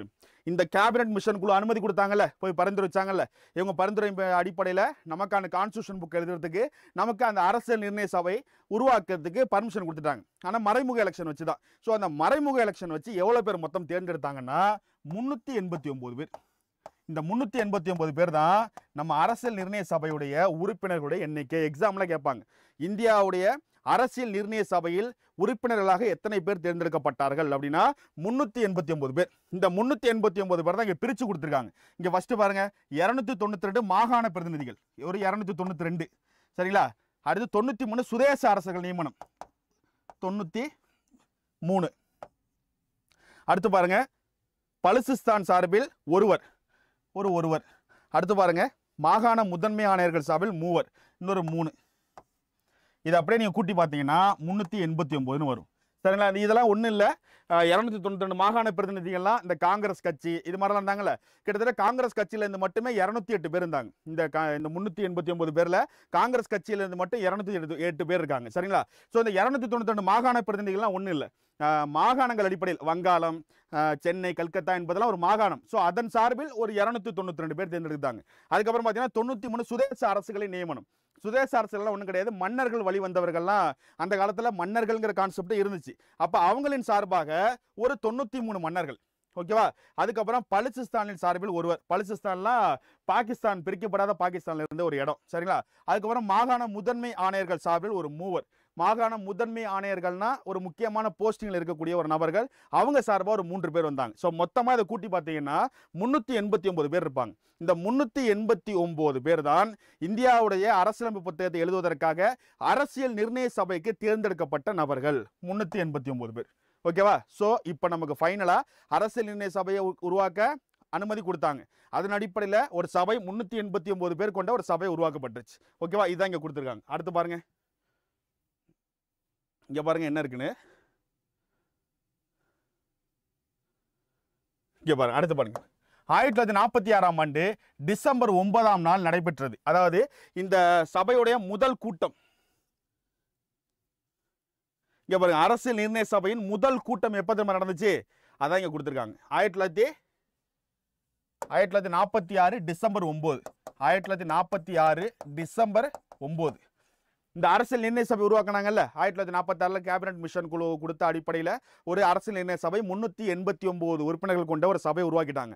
அந்த சபையுடைய முதல் மீட்டிங் எப்போ நடந்துச்சுங்கிறது இங்கே கொடுத்துருக்காங்க. ஆயிரத்தி தொள்ளாயிரத்தி நாற்பத்தி ஆறு டிசம்பர் ஒன்பதாம் நாள் நடைபெற்றது. ஆயிரத்தி தொள்ளாயிரத்தி நாற்பத்தி ஆறு டிசம்பர் ஒம்பது. இதுதான் நம்ம அரசியல் நிர்ணய சபையுடைய முதல் மீட்டிங் நடந்த ஒரு நிகழ்வு. ஸோ இந்த முதல் மீட்டிங்கில் ஒரே ஒரு தற்காலிக தலைவர் ஒருத்தர் இருப்பார். அதான் அந்த அன்னைக்கு ஒரு மீட்டிங் மட்டும் தான் அவர் தலைவர். அதுக்கு பேர் தான் தற்காலிகமான தலைவர்னு அர்த்தம். சரிங்களா? அப்போ இந்த அரசியல் நிர்ணய சபையுடைய தற்காலிக தலைவராக அன்றைக்கு நடந்த அந்த முதல் மீட்டிங்க்கு மட்டும் ஒரு தலைவர் தேர்ந்தெடுக்கப்பட்டார். இது என்னப்பா கான்செப்ட் அப்படின்னு பார்த்தீங்கன்னா ஃப்ரெஞ்சு முறைன்னு சொல்லுவாங்க. ஃப்ரெஞ்சு அடிப்படையில் ஒரு மீட்டிங் ஃபஸ்ட்டு ஒன்று நடக்குதுன்னா ஒரு கூட்டத்துடைய ஒரு அமைப்புடைய முதல் கூட்டம் நடக்குதுன்னா அந்த ஒரு கூட்டத்துக்கு மட்டும் ஒரு தலைவர் தலைவர் இருப்பார். அந்த கூட்டத்துக்கு முடிஞ்சதுக்கு அடுத்த கூட்டம் ஆரம்பிக்கும் போது அந்த அமைப்புடைய நிரந்தரமாக இன்னொரு ஒரு தலைவர் தேர்ந்தெடுக்கப்பட்டு விடுவார். சரிங்களா? அதன் அடிப்படையில் ஆயிரத்தி தொள்ளாயிரத்தி நாற்பத்தி ஆறு டிசம்பர் ஒன்பதாம் தேதி நமது இந்திய அரசியல் இணைய சபையின் முதல் கூட்டம் நடைபெற்றது. அந்த முதல் கூட்டத்துடைய அந்த ஒரு கூட்டத்திற்கு மட்டும் தலைவராக இருக்கக்கூடிய தற்காலிக தலைவரை தேர்ந்தெடுத்தார்கள். யாருங்கிறத பாருங்க. இச்சபையின் தற்காலிக தலைவராக மூத்த உறுப்பினர் டாக்டர் சச்சினானந்த சின்ஹா அவர்கள் தேர்ந்தெடுக்கப்பட்டார். அன்னைக்கு ஒரு நாள் மட்டும் நடக்க போற இந்த மீட்டிங்க்கு தற்காலிக தலைவராக பிரெஞ்சு கான்செப்ட் அடிப்படையில் யார் தேர்ந்தெடுக்கப்பட்டது? சச்சினானந்த சின்ஹா. இங்க பாருங்க டாக்டர் சச்சினானந்த சின்ஹா தான் தேர்ந்தெடுக்கப்பட்டார். சரி அன்னைக்கு ஒரு மீட்டிங் முடிஞ்சு போச்சுல? அன்னைக்கு ஒரு மீட்டிங் முடிஞ்சு போய் அடுத்த மீட்டிங் இந்த அரசியல் நிலைய சபை என்னைக்கு கூடினாங்க அப்படின்னா அடுத்த ஒரு நாள் விட்டு அது ஆயிரத்தி தொள்ளாயிரத்தி நாற்பத்தாறு டிசம்பர் ஒன்பதா ஒரு நாள் கேப் விட்டு டிசம்பர் பதினொன்று கூடினாங்க. அந்த மீட்டிங்கில் தான் இந்த அரசியல் நிர்ணய சபையுடைய நிரந்தரமான தலைவர் யாரு அப்படிங்கிறத தேர்ந்தெடுத்தாங்க. சரிங்களா? இங்க பாருங்க. இந்திய அரசியலமைப்பு உருவாக்க கூட்டத்தொடர் நடந்து கொண்டிருக்கும் போதே அவர் இறந்ததை தொடர்ந்து டாக்டர் ராஜேந்திர பிரசாத் இந்திய அரசியலமைப்பு நிர்ணய சபையின் தலைவராகவும் ஹச்சிசி முகர்ஜி மற்றும் வி. டி. கிருஷ்ணமாச்சாரி இருவரும் துணைத் தலைவர்களாகவும் தேர்ந்தெடுக்கப்பட்டார்கள். ஆயிரத்தி தொள்ளாயிரத்தி நாற்பத்தி ஆறு டிசம்பர் ஒன்பதாம் தேதி நடந்த அந்த ஒரு மீட்டிங்க்கு மட்டும்தான் சச்சினானந்த சின்ஹா தலைவர். ஏன்னா தற்காலிக தலைவராக இருந்தார். ஏன்னா ஒரு மீட்டிங் மட்டும் தான் அவர் தலைவராக இருந்தார். அது பிரெஞ்சு கான்செப்ட் அடிப்படையில். ஆனால் பின்னால் அவர் இறந்துட்டாரு. அது நமக்கு வேறு. ஆனால் பிரெஞ்சு அடிப்படையில் ஒரு மீட்டிங் மட்டும் தலைவராக தேர்ந்தெடுக்கப்படுவார் ஒருவர். அதுக்கு பேர் தான் தற்காலிக தலைவர். அப்போ இந்திய அரசு நிர்ணய சபையின் தற்காலிக தலைவராக டாக்டர் சச்சினாந்த சின்ஹா ஆயிரத்தி தொள்ளாயிரத்தி நாற்பத்தாறு டிசம்பர் ஒன்பதாம் தேதி இருந்தார். அடுத்த ஒரு நாள் கேப் விட்டு ஆயிரத்தி தொள்ளாயிரத்தி நாற்பத்தாறு டிசம்பர் பதினொன்றாம் தேதி இரண்டாவது மீட்டிங் அந்த அரசு நிர்ணய சபைக்கு நடந்துச்சு. அந்த மீட்டிங்கில் தான் இனிமே இந்த அரசு நிர்ணய சபைக்கு இந்த அரசியலமைப்பு புத்தகத்தை எழுதி முடிக்கிற வரைக்கும் நிரந்தரமாக யார் தலைவர்? அப்படிங்கிறத தேர்ந்தெடுத்தாங்க. யாரை தேர்ந்தெடுக்கிறாங்க அப்படின்னா டாக்டர் ராஜேந்திர பிரசாத். அப்போ நீங்கள் ரெண்டு விஷயத்தை புரிஞ்சுக்கணும். இந்திய அரசியல் நிர்ணய சபையின் தற்காலிக தலைவராக இருந்தவர் யார்? அப்படின்னு உங்கள்கிட்ட கொஸ்டின் கேட்டால் அதுக்கு ஆன்சர் என்ன? சச்சினானந்த சின்ஹா. ஏன்னா அன்றைக்கி ஒரு மீட்டிங் மட்டும் தான் அவர் தலைவர். தற்காலிக தலைவர். நிரந்தரமான தலைவர் யாரு? அன்னைக்கு ஒரு மீட்டிங் அடுத்து நடந்த மீட்டிங் எப்போ நடந்துச்சு? ஒரு நாள் கேப் விட்டு ஆயிரத்தி தொள்ளாயிரத்தி நாற்பத்தாறு டிசம்பர் பதினொன்றாம் தேதி நடந்துச்சு. அந்த மீட்டிங்ல தான் அந்த அமைப்புடைய நிரந்தர தலைவரை தேர்ந்தெடுத்தாங்க. நிரந்தர தலைவர் யாரு? டாக்டர் ராஜேந்திர பிரசாத். சரிங்களா? அப்ப தற்காலிக தலைவர் சச்சினானந்த சின்ஹா நிரந்தர தலைவர் ராஜேந்திர பிரசாத். முடிஞ்சு போச்சா? இந்த ராஜேந்திர பிரசாத் அவர்களுக்கு இரண்டு துணை தலைவர்கள். டெபுட்டி சேர்மன் ரெண்டு பேர் கொடுத்தாங்க. யார் யாருன்னு பாருங்க. இந்திய அரசியலமைப்பு நிர்ணய சபையின் தலைவராகவும் ஹச்சிசி முகர்ஜி மற்றும் வி. டி. கிருஷ்ணமாச்சாரி. இந்த இவங்க ரெண்டு பேர் தான் துணைத் தலைவர். சரிங்களா? தலைவர் டாக்டர் ராஜேந்திர பிரசாத். அவருக்கு கீழே ரெண்டு துணைத் தலைவர்கள். யார் யார்? ஹச்சிசி முகர்ஜி மற்றும் வி. டி. கிருஷ்ணமாச்சாரி. இவங்க ரெண்டு பேரும் துணைத் தலைவராக தேர்ந்தெடுக்கப்பட்டாங்க. இந்த பதினொன்றாம் தேதி நடந்த மீட்டிங்கில் ஆயிரத்தி தொள்ளாயிரத்தி நாற்பத்தாறு டிசம்பர் பதினொன்று நடந்த மாநாட்டில். ஓகேவா அடுத்து பாருங்கள் இக்கூட்டத்தொடர் பதினோரு அமர்வுகளாக நூற்றி அறுபத்தி ஆறு நாட்கள் நடைபெற்றுச்சு. இவங்க இருக்காங்க பார்த்தீங்களா இந்த இந்த புக்கை எழுதுறதுக்காக ரெடி ஆனாங்களே. இவங்க கிட்டத்தட்ட நூற்றி அறுபத்தி ஆறு நாட்கள் ஒரு பதினோரு அமர்வுகளாக இந்த புத்தகத்தை எழுதுவதற்கு ஒரு அமர்வு கூட்டம் நடத்தினாங்க. இந்த நூற்றி அறுபத்தாறு நாள் அப்படிங்கிறது நீங்கள் உடனே இந்த ஆயிரத்தி தொள்ளாயிரத்தி நாற்பத்தாறு டிசம்பர் ஒன்பதாம் தேதியிலேருந்து கண்டினியூவாக நூற்றி அறுபத்தாறு நாள் நினைக்கக்கூடாது இது என்னென்னைக்கெல்லாம் நடந்துச்சோ அந்த மீட்டிங் கவுண்டோட சேர்த்து மொத்தம் நூற்றி அறுபத்தாறு நாட்கள். ஸோ இந்த இந்த இந்திய அரசியல் சபையின் புக்கு எழுதுறதுக்கு மொத்தம் எத்தனை தொகுதிகளாக மீட்டிங் நடந்துச்சுன்னு கேட்டால் பன்னெண்டு தொகுதிகள்னு சொல்லும். எத்தனை அமர்வுகள்னு கேட்டால் பதினோரு அமர்வுகள்னு சொல்லணும் இந்த ரெண்டுத்தையும் குழப்பிடக்கூடாது. தொகுதிகள் எத்தனை தொகுதிகளாக மீட்டிங் நடந்துச்சு? பன்னெண்டு. எத்தனை அமர்வுகள் நடந்துச்சு? பதினோரு அமர்வு. மொத்தம் நூற்றி அறுபத்தாறு நாளுக்கு நடைபெற்றுச்சு. இக்கூட்டத்தின் போது ரெண்டாயிரத்தி நானூற்றி எழுபத்தி மூன்று திருத்தங்கள் முன்வைக்கப்பட்டன. அவற்றுள் சில விவாதிக்கப்பட்டன. இங்கே பாருங்க. அவற்றுள் சில ஏற்கப்பட்டன. அரசியல் நிர்ணய சபை பல்வேறு குழுக்களின் மூலம் இந்திய அரசமைப்பு சட்டத்தை உருவாக்கும் பணியை மேற்கொண்டது. அதாவது இந்திய அரசியல் சபை முன்னூற்றி எண்பத்தி ஒம்பது பேர் கொண்டவங்க இருந்தாங்களா? அவங்க என்ன பண்ணுறாங்க யார் யார் என்னெல்லாம் புக் எழுதணுங்கிற கான்செப்டில் எல்லாம் எல்லோரும் பிரிச்சுக்கிட்டு எழுதுறாங்க. அப்படி எழுதின அந்த புக்கில் கிட்டத்தட்ட ரெண்டாயிரத்தி நானூற்றி எழுபத்தி மூணு திருத்தங்கள் செய்வதற்கு விவாதிக்கப்பட்டுச்சு. எத்தனை திருத்தங்கள் செஞ்சாங்கன்னு கேட்பாங்க. ரெண்டாயிரத்தி நானூற்றி எழுபத்தி மூன்று திருத்தங்கள் அந்த இந்திய அரசியலமைப்பு புத்தகத்தில் ஃபைனலாக அதாவது அந்த புக்கை எல்லாரும் சேர்ந்து எழுதுறாங்க. இங்கே இங்கே எங்கே வந்து அம்பேத்கர் மிஸ் ஆகிட்டாரு எல்லாம் யோசிச்சிட்டே இருப்பேன் இந்திய அரசின் புத்தகத்தை எழுதினதே முக்கியமான ஒரு தலைவராக அவர் தான் அப்படின்னா அதுக்கு நான் வர்றேன். என்ன அப்படின்னு பார்த்தீங்கன்னா நமது இந்திய அரசியலமைப்பு புத்தகத்தை எல்லாரும் உட்காந்து அந்த முந்நூற்றி எண்பத்தி ஒன்பது பேர் எழுதினாங்க நம்ம படித்தோம்ல ஆனால் ஒரு சின்ன சேஞ்ச் இருக்குது என்ன சேஞ்ச் அப்படின்னா ஆயிரத்தி தொள்ளாயிரத்தி நாற்பத்தி ஏழு ஆகஸ்ட் பதினஞ்சாம் தேதி நமக்கு சுதந்திரம் கிடைச்சோன்னே நமக்கு மட்டுமா சுதந்திரம் கிடைச்சது? இந்தியாவிலிருந்து பாகிஸ்தான் என்ற ஒரு தனி நாடு பிரிக்கப்பட்டு பாகிஸ்தான் ஆயிரத்தி தொள்ளாயிரத்தி நாற்பத்தி ஏழு ஆகஸ்ட் பதினாலாம் தேதி சுதந்திரம் கொடுத்தாங்க. அவங்களுக்கு ஆகஸ்ட் பதினாலு சுதந்திரம் கொடுத்துட்டு தான் நமக்கு ஆகஸ்ட் பதினஞ்சு சுதந்திரம் கொடுத்தாங்க. அப்போ இந்தியாவிலிருந்து பாகிஸ்தான் என்ற ஒரு நாடு பிரிக்கப்பட்டுருச்சு. அப்போ முந்நூற்றி எண்பத்தி ஒம்பது பேர் கொண்ட அந்த அரசு நிர்ணய சபை இருக்குல்ல பாகிஸ்தான் நாடு சுதந்திரம் முடிச்சு தனியாக போனோன்னே அந்த பாகிஸ்தானுக்கு இந்த முந்நூற்றி எண்பத்தி ஒம்பது பேரில் ஒரு தொண்ணூறு பேர் போயிட்டாங்க. நீ யோசிச்சு பார்க்கணும். முந்நூற்றி எண்பத்தி ஒம்பது பேர் இருந்தாங்க அரசியல் நிலை சபையில். அந்த முந்நூற்றி எண்பத்தி ஒம்பது பேரில் பாகிஸ்தான் நாடு பிரிஞ்சு போனோன்னு நாங்கள் பாகிஸ்தானுக்கு போகிறோம்னு சொல்லி அவங்க ஒரு தொண்ணூறு பேர் போயிட்டாங்க. அப்போ பேலன்ஸ் எவ்வளோ பேர் இருப்பாங்க? இரநூத்தி தொண்ணூத்தொம்பது பேர் தான். அப்போ இந்தியா சுதந்திரம் கிடச்சதுக்கு அப்புறம் இந்த இரநூத்தி தொண்ணூத்தொம்பது பேர் உட்காந்து தான் நம்ம கான்ஸ்டியூஷன் புக்கை எழுதினாங்க. ஓகேவா?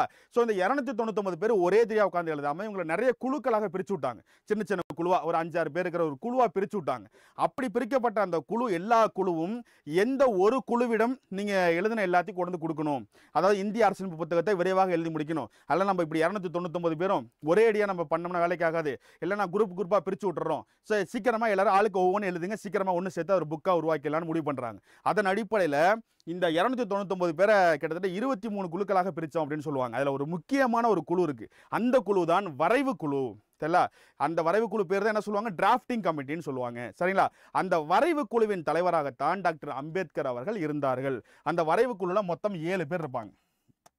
ஆயிரத்தி தொள்ளாயிரத்தி நாற்பத்தி ஏழு ஆகஸ்ட் இருபத்தி ஒன்பதாம் தேதி உருவாக்கப்பட்டது தான் அந்த வரைவு குழு. சரிங்களா? அப்போ தொண்ணூறு பேர் வந்து பாகிஸ்தானுக்கு போனதுக்கப்புறம் இரநூத்தி தொண்ணூத்தொம்பது பேரை நிறைய குழுக்களாக பிரிச்சாங்க. அங்கே அந்த குழுவில் ஒரு குழு தான் வரைவு குழு. ஆனால் என்ன ரூல்ஸ்னால் அந்த வரைவு குழுவை தவிர்த்து மற்ற எல்லா குழுவும் இருப்பாங்கல்ல அவங்க எல்லாரும் இந்த வரைவு குழுட்டு தான் போய் எல்லாரும் அவங்க எழுதுனதெல்லாம் கொடுக்கணும். அதை ஃபைனல் பண்ணி எது கரெக்டு எது தப்புங்கிறத கரெக்டாக ஆர்டர் பண்ணி ஒரு சட்டமாக உருவாக்குனது யாருன்னு பார்த்தீங்கன்னா அவங்க தான் இந்த வரைவு குழு. ஆயிரத்தி தொள்ளாயிரத்தி நாற்பத்தேழு ஆகஸ்ட் இருபத்தி ஒம்போதில் உருவாக்க உருவாக்கப்பட்ட இந்த வரைவு குழு சரிங்களா? இதோடைய தலைவராகத்தான் டாக்டர் அம்பேத்கர் அவர்கள் இருந்தாங்க. ஸோ இப்படி எல்லாரும் இந்த புக்கை இறுதியாக முடிவு பண்ணி அதில் ரெண்டாயிரத்தி நானூற்றி எழுபத்தி மூன்று திருத்தங்களும் முன்வைக்கப்பட்டு இறுதியாக நம்ம புத்தகம் ரெடியானுச்சு இங்கே பாருங்க. இந்திய அரசியலமைப்பு சட்ட வரைவு குழு தலைவர் டாக்டர் பி ஆர் அம்பேத்கர் தலைமையின் கீழ் இந்திய அரசியலமைப்பு சட்டம் உருவாக்கப்பட்டது. எனவே அவர் இந்திய அரசியலமைப்பின் தந்தை என அறிய அறியப்படுகிறார். இப்போ புரியுதா? இங்கே பாருங்க என்ன சொல்லியிருக்காங்க? இந்திய அரசியலமைப்பு சட்ட வரைவு குழு தலைவர் டாக்டர் அம்பேத்கர் தலைமையின் கீழ் இந்திய அரசமைப்பு சட்டம் உருவாக்கப்பட்டது. அப்போ மற்ற எல்லாரும் செஞ்ச இந்த இரநூத்தி தொண்ணூத்தொம்பது பேரில் மற்ற எல்லாரும் எழுதுறத கரெக்டாக வெரிஃபிகேஷன் பண்ணி அதெல்லாம் என்ன சட்டம் என்ன சட்டம் கிடையாதுங்கிறத கரெக்டாக லா அடிப்படையில் அது ஒரு சட்டமாக ஒருங்கிணைத்து உருவாக்கினவர் அம்பேத்கர் அவர்கள். அவர் யார்? எந்த குழுவுடைய தலைவர்?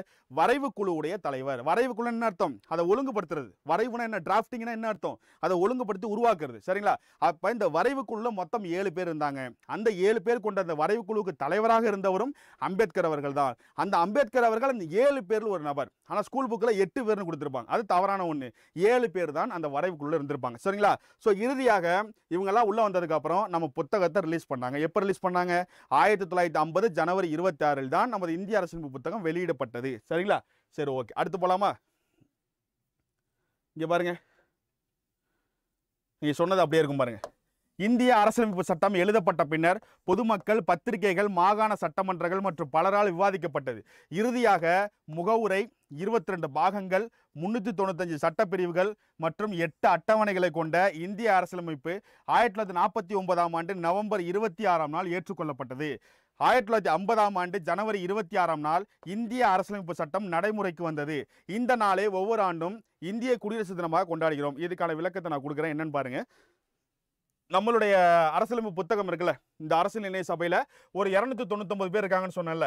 இந்த இரநூத்தி தொண்ணூத்தொம்பது பேரில் எத்தனை பேர் நம்மளுடைய அரசியலமைப்பு புத்தகத்தை ஏற்றுக்கிட்டு சைன் பண்ணாங்க அப்படிங்கிறத நான் சொல்கிறேன் அதாவது நம்ம இந்தியாவுக்கான அரசியலமைப்பு புத்தகம் இதுதான் அப்படின்னு ஃபைனலாக அந்த ரெண்டாயிரத்தி நானூற்றி எழுபத்தி மூணு திருத்தங்கள்லாம் முன்வைக்கப்பட்டு ஒரு புக்கை ரெடி பண்ணிட்டாங்க. ஒரு புக்கை ரெடி ஆகிட்டு அந்த புக்கை ரெடி ஆகி இந்த இதுதான்ப்பா இந்திய நாட்டுடைய அரசியலமைப்பு புத்தகம் அப்படிங்கிறத அந்த அரசியல் சபையில் ஒரு மீட்டிங் போட்டு அதை ஃபைனலைஸ் பண்ணுறாங்க என்னைக்குன்னு பார்த்தீங்கன்னா ஆயிரத்தி தொள்ளாயிரத்தி நாற்பத்தி ஒம்பது நவம்பர் இருபத்தி ஆறாம் தேதி. ஓகேவா இந்த ஆயிரத்தி தொள்ளாயிரத்தி நாற்பத்தி ஒம்பது நவம்பர் இருபத்தி ஆறாம் தேதி என்ன சொல்கிறாங்க அதாவது இந்த ஆயிரத்தி தொள்ளாயிரத்தி நாற்பத்தி ஒன்பது நவம்பர் இருபத்தி ஆறாம் தேதி இந்திய அரசியலின சபை ஒரு கூட்டம் நடத்துறாங்க. அந்த கூட்டத்தில் என்ன சொல்கிறாங்கன்னா ஒரு தெரியா ஃபைனலாக நம்ம இந்தியாவுக்கான ஒரு அரசியல் புத்தகத்தை நாங்கள் ரெடி பண்ணிட்டோம். ஸோ இதுதான் அரசியலமைப்பு புத்தகம் இந்தியாவுக்குன்னு சொல்லிட்டு ஏற்றுக்கிட்டு இந்த இரநூத்தி தொண்ணூத்தொம்பது பேர் சைன் பண்ணிட்டீங்கன்னா நம்ம இந்தியாவுக்கான புத்தகமாக இது அங்கீகரித்து நம்ம ரிலீஸ் பண்ணிடலாம். அப்படிங்கிறதுக்காக நடத்தப்படுறதான் இந்த மீட்டிங் சரிங்களா? அப்போ இந்த மீட்டிங்கில் அந்த புத்தகத்தை ஏற்றுக்கொண்டார்கள். ஆயிரத்தி தொள்ளாயிரத்தி நாற்பத்தி ஒம்பது நவம்பர் இருபத்தி ஆறாம் தேதி நடந்த இந்த மீட்டிங்கில் இரநூத்தி தொண்ணூத்தொம்பது பேரில் இரநூத்தி எண்பத்தி நாலு பேர் சைன் பண்ணுறாங்க இதுதான் இந்தியாவுக்கான அரசியல் நிர்ணய சபை அரசியலமைப்பு புத்தகம். எங்க எல்லாருக்கும் இது ஓகே அப்படின்னு இந்த இரநூத்தி தொண்ணூத்தொன்பது பேர்ல இரநூத்தி எண்பத்தி நாலு பேர் தான் கையெழுத்து போட்டாங்க. சரிங்களா? அப்ப இதே எக்ஸாம்ல கேட்பாங்க. என்ன கேட்பாங்க? இந்திய அரசியலமைப்பு புத்தகம் அரசியல் நிர்ணய சபையால் என்னைக்கு ஏற்றுக்கொள்ளப்பட்டுச்சு?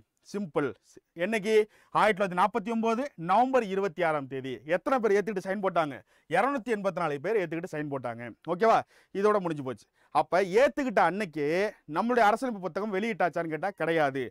ஏற்றுக்கிட்ட அன்னைக்கு அந்த புத்தகத்தில் இருக்கக்கூடிய சில விதிகளை மட்டும் ரிலீஸ் பண்ணாங்க. இதை நீங்கள் புரிஞ்சுக்கணும். இந்த புத்தகத்தில் மொத்தம் முந்நூற்றி தொண்ணூத்தஞ்சு விதிகள்.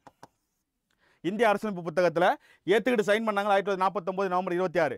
அப்படி ஏற்றுக்கிட்டு சைன் பண்ணும்போது நம்ம புத்தகத்துடைய விதிகள் மொத்தம் எத்தனை எண்ணிக்கைன்னு பார்த்தீங்கன்னா முந்நூற்றி தொண்ணூத்தஞ்சு விதிகள் இருந்துச்சு. இந்த முந்நூற்றி தொண்ணூத்தஞ்சு விதிகளில் சில விதிகளை மற்றும் ஏற்றுக்கிட்ட அன்னைக்கே ரிலீஸ் பண்ணிட்டாங்க. ஆனால் ப்ராப்பராக அந்த புக்கை ரிலீஸ் பண்ணல. சில விதிகளை மட்டும் ரிலீஸ் பண்ணிட்டாங்க. அப்போ என்னைக்குப்பா நம்ம புக்கை ரிலீஸ் பண்ணாங்க அப்படின்னா அதுதான் ஆயிரத்தி தொள்ளாயிரத்தி ஐம்பது ஜனவரி இருபத்தி ஆறு. அன்னைக்கு தான் ப்ராப்பராக இந்த முழு புத்தகமும் அரசியலமைப்பு புத்தகம் வெளிவந்தது. ஆனால் அதை ஏற்றுக்கொண்டு ஆயிரத்தி தொள்ளாயிரத்தி நாற்பத்தி ஒன்பது நவம்பர் இருபத்தி ஆறாம் தேதியே அதில் இருக்கக்கூடிய சில விதிகளை மட்டும் வெளியிட்டார்கள். ஆனால் அந்த புத்தகத்தை வெளியிடவில்லை. சில விதிகள் மட்டும்தான் தனியாக வெளியில் வந்துச்சு. அப்போ அந்த புத்தகம் எப்போ வெளியில் வந்துச்சு? ஆயிரத்தி தொள்ளாயிரத்தி ஐம்பது ஜனவரி இருபத்தி ஆறு. ஓகேவா?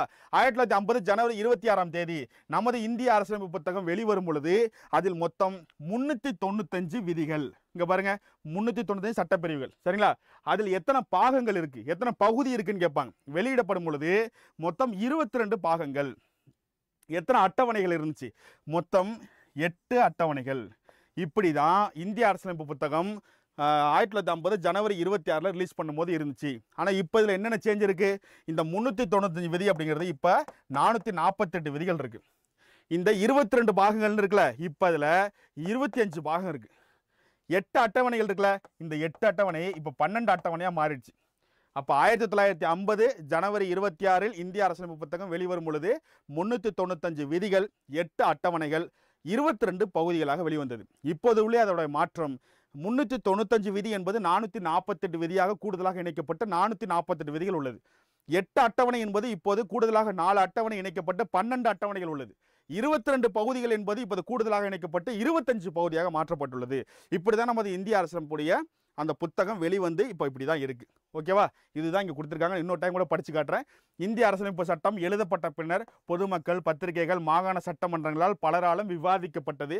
இறுதியாக முகவுரை இருபத்தி ரெண்டு பாகங்கள் முன்னூற்றி தொண்ணூற்றி சட்டப்பிரிவுகள் மற்றும் எட்டு அட்டவணைகளை கொண்ட இந்திய அரசியலமைப்பு ஆயிரத்தி தொள்ளாயிரத்தி நாற்பத்தி ஒன்பதாம் ஆண்டு நவம்பர் இருபத்தி ஆறாம் நாள் ஏற்றுக்கொள்ளப்பட்டது. என்னைக்கு ஏற்றுக்கிட்டாங்க ஆயிரத்தி தொள்ளாயிரத்தி நாற்பத்தி ஒம்பது நவம்பர் இருபத்தி ஆறு. எத்தனை பேர் ஏற்றுட்டு சைன் பண்ணாங்க? இரநூத்தி எண்பத்தி நாலு பேர். ஓகேவா? ஏற்றுக்கொள்ளப்பட்டது அன்னைக்கு. ஆனால் ரிலீஸ் பண்ணது என்னைக்கு? ஆயிரத்தி தொள்ளாயிரத்தி ஐம்பது ஜனவரி இருபத்தி ஆறாம் நாள் இந்திய அரசியலமைப்பு சட்டம் நடைமுறைக்கு வந்தது. இந்த நாளையே நாம் ஒவ்வொரு ஆண்டும் இந்திய குடியரசு தினமாக கொண்டாடுகிறோம். அந்த புக்கை வெளியிட்ட அந்த நாளை தான் நம்ம எல்லாரும் என்னென்னு கொண்டாடுறோம்? நம்ம இந்திய குடியரசு தினம்னு கொண்டாடுறோம். ஓகேவா?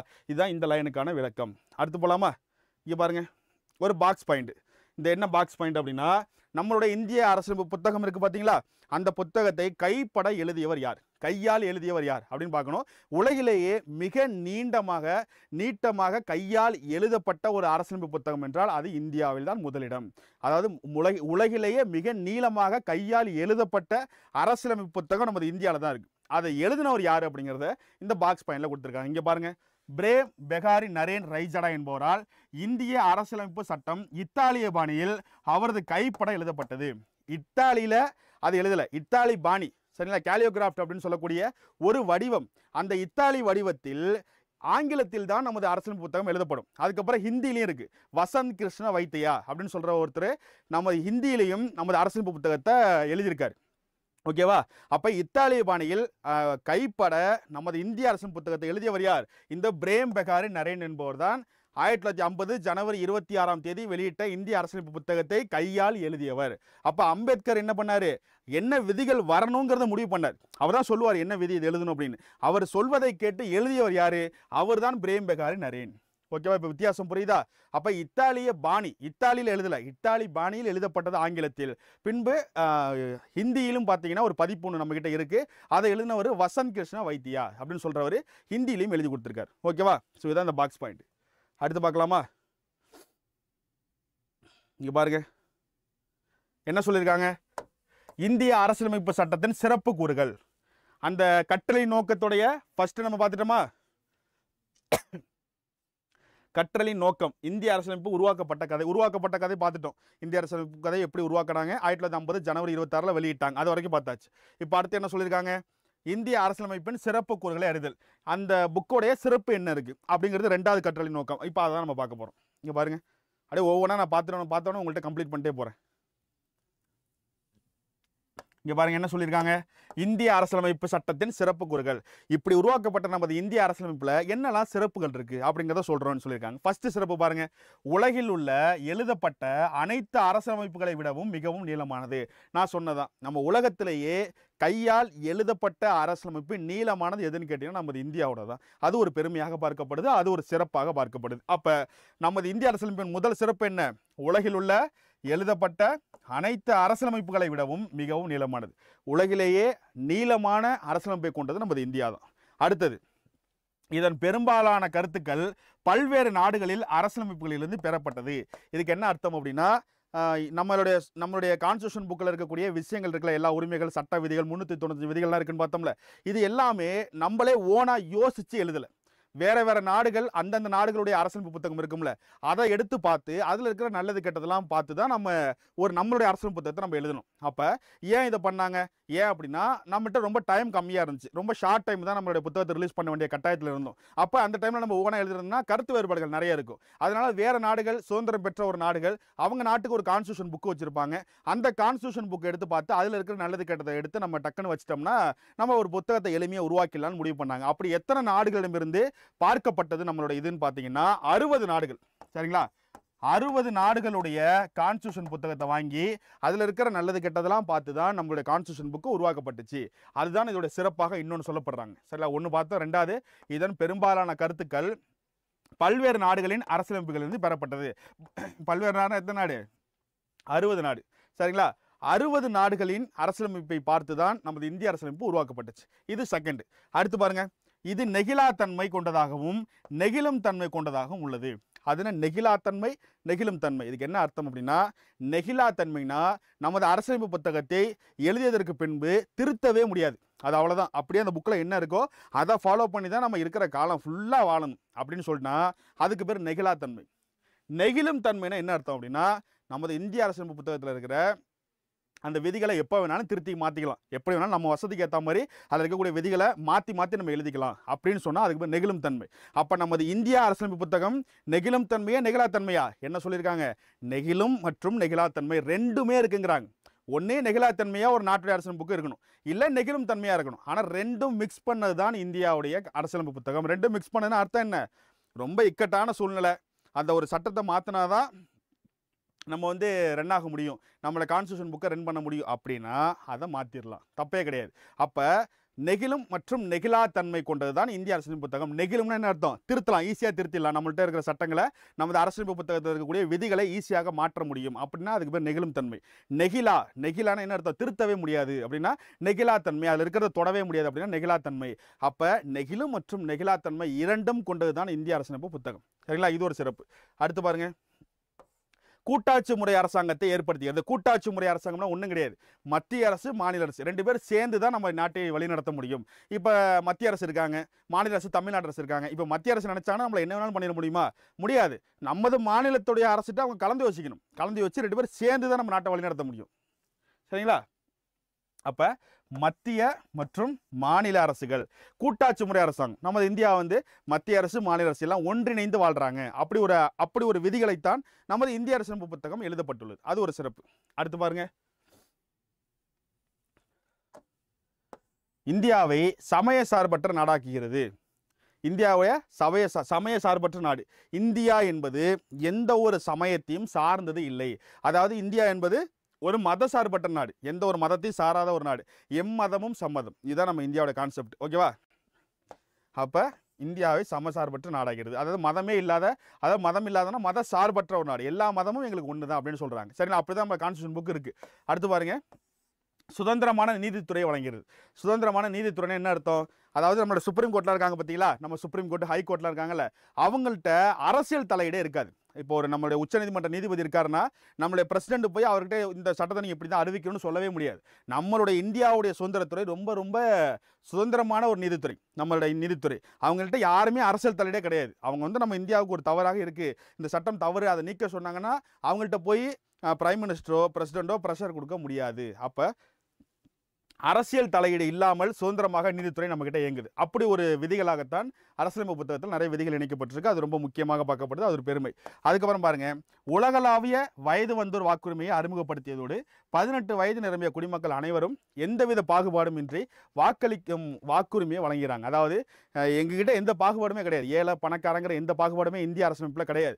பதினெட்டு வயசு கம்ப்ளீட் ஆயிருந்துச்சுன்னா எல்லாருமே ஓட்டு போடுறதுக்கு தகுதி உடையவர்கள். எங்ககிட்ட எந்த பாகுபாடும் கிடையாது அப்படிங்கிற அந்த கான்செப்டும் பார்த்தீங்கன்னா கொடுத்துருக்காங்க. ஓகேவா ஸோ இதுதான் இந்திய அரசியலமைப்பு சட்டத்துடைய சிறப்பு கூறுகள். ஓகேவா சரி ஓகே அடுத்து பார்க்கலாமா? முகவுரை. அடுத்தது முகவுரைன்னு ஒன்று கொடுத்துருக்காங்க. அது என்ன அப்படிங்கிறத நம்ம பார்க்கலாம்.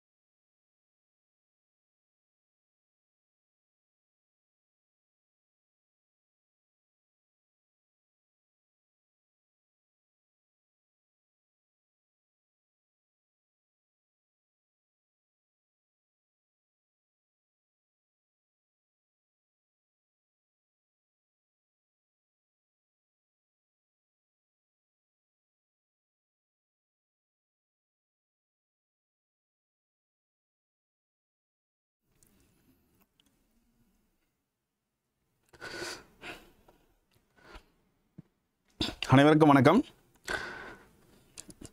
சார் ஒரு சின்ன ஒரு ஹெல்த் இஷ்யூ ஸோ டக்குன்னு அதனால தான் ஒரு ஃபைவ் மினிட்ஸ் பிரேக் விட்டோம். ஸோ இப்போ கொஞ்சம் பரவாயில்ல. ஸோ நம்ம கிளாஸ் ஸ்டார்ட் பண்ணிடலாமா? தாமதத்துக்கு மன்னிக்கணும். ஸோ நம்ம அடுத்தது போயிடலாம். சரிங்களா? ஆல்மோஸ்ட் நமக்கு டைம் ஆயிடுச்சு. ஸோ நம்ம அடுத்து பார்க்கலாம். ஸோ கவனிங்க. கவனிங்க. ஸோ அடுத்து நம்ம பார்க்க போகிறது முகவுரைன்னு ஒன்று இருக்கும். சரிங்களா? முகவுரைனா என்ன? அப்படின்னு பார்த்தீங்கன்னா நமது இந்திய அரசமைப்பு புக் புக்கு ஒன்று இருக்குல்ல இதான் இந்திய அரசமைப்பு புத்தகம் அப்படின்னா அந்த புத்தகத்துடைய முதல் பக்கம் ஃபஸ்ட்டு பேஜ் இருக்குல்ல அந்த ஃபஸ்ட்டு பேஜோட பேர் தான் முகவுரைன்னு சொல்லுவாங்க. இங்கிலீஷில் ப்ரியாம்பிள்னு சொல்லுவாங்க.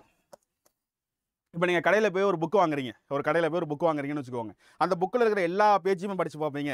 அந்த புக்கை திருப்பினோடனே ஃபஸ்ட்டு பேஜ் இண்டெக்ஸ் பேஜ்னு ஒன்று இருக்கும். அந்த பேஜில் அந்த புக்குக்குள்ளே என்னெல்லாம் இருக்க போகுதுங்கிறத சுருக்கமாக கொடுத்துருப்பாங்க.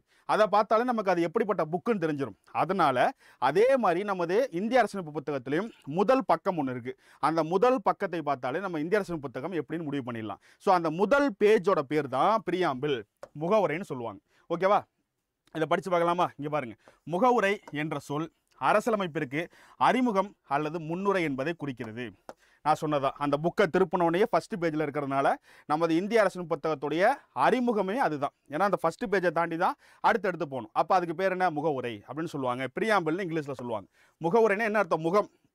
நம்மளோட முகம் இருக்குல்ல நம்ம முகத்தை வச்சு தான் நம்ம யாருன்னு சொல்கிறாங்க அதே மாதிரி இந்திய அரசமைப்பு புத்தகத்துடைய அந்த முதல் பேஜை வச்சு தான் அந்த புக்கை எப்படின்னு சொல்லுவாங்க. அந்த ஒரு பேஜுக்கு மட்டும் பேர் என்ன? முக உரைன்னு பேர். பிரியாம்பிள்னு சொல்லுவாங்க. அந்த ஒரு புக் அந்த ஒரு பேஜ் இருக்குல்ல இந்த ஒரு பேஜ் இப்படி வைக்கணும் அதுக்கு அப்படிங்கிற ஒரு கான்செப்டை யார் கொண்டு வந்ததுன்னு பார்த்தீங்கன்னா நேரு அவர்கள் தான் கொண்டு வந்தார். அவர் எங்கேருந்து கொண்டு வந்தார்? அமெரிக்காவுடைய அரசமைப்பு புத்தகத்தில் அவங்க இது மாதிரி முதல் பேஜில் இந்த ஒரு பேஜ் மட்டும் அஹ், திருப்புறோனே பேஜ் இருக்கும். அந்த பேஜில் அந்த புக்கு எப்படிப்பட்ட பேஜுங்கிறத சுருக்கமாக ஒரு வடிவமாக கொடுத்துருப்பாங்க. அப்படியே அமெரிக்கா வச்சுருந்தாங்க. அந்த கான்செப்டை பார்த்துட்டு நேரு தான் அங்கிருந்து எடுத்துகிட்டு வந்து நமது இந்திய அரசியலமைப்பு புத்தகத்தில் இதை வைக்கலாம் அப்படின்னு பரிந்துரைச்சார்.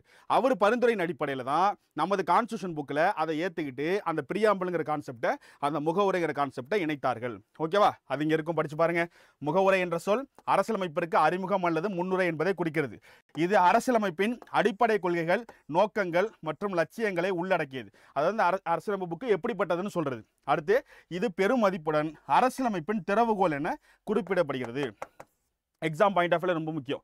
அரசியலமைப்பின் திறவுகோல் என்று குறிப்பிடப்படுவது எது அப்படின்னு கொஸ்டின் கேட்பாங்க.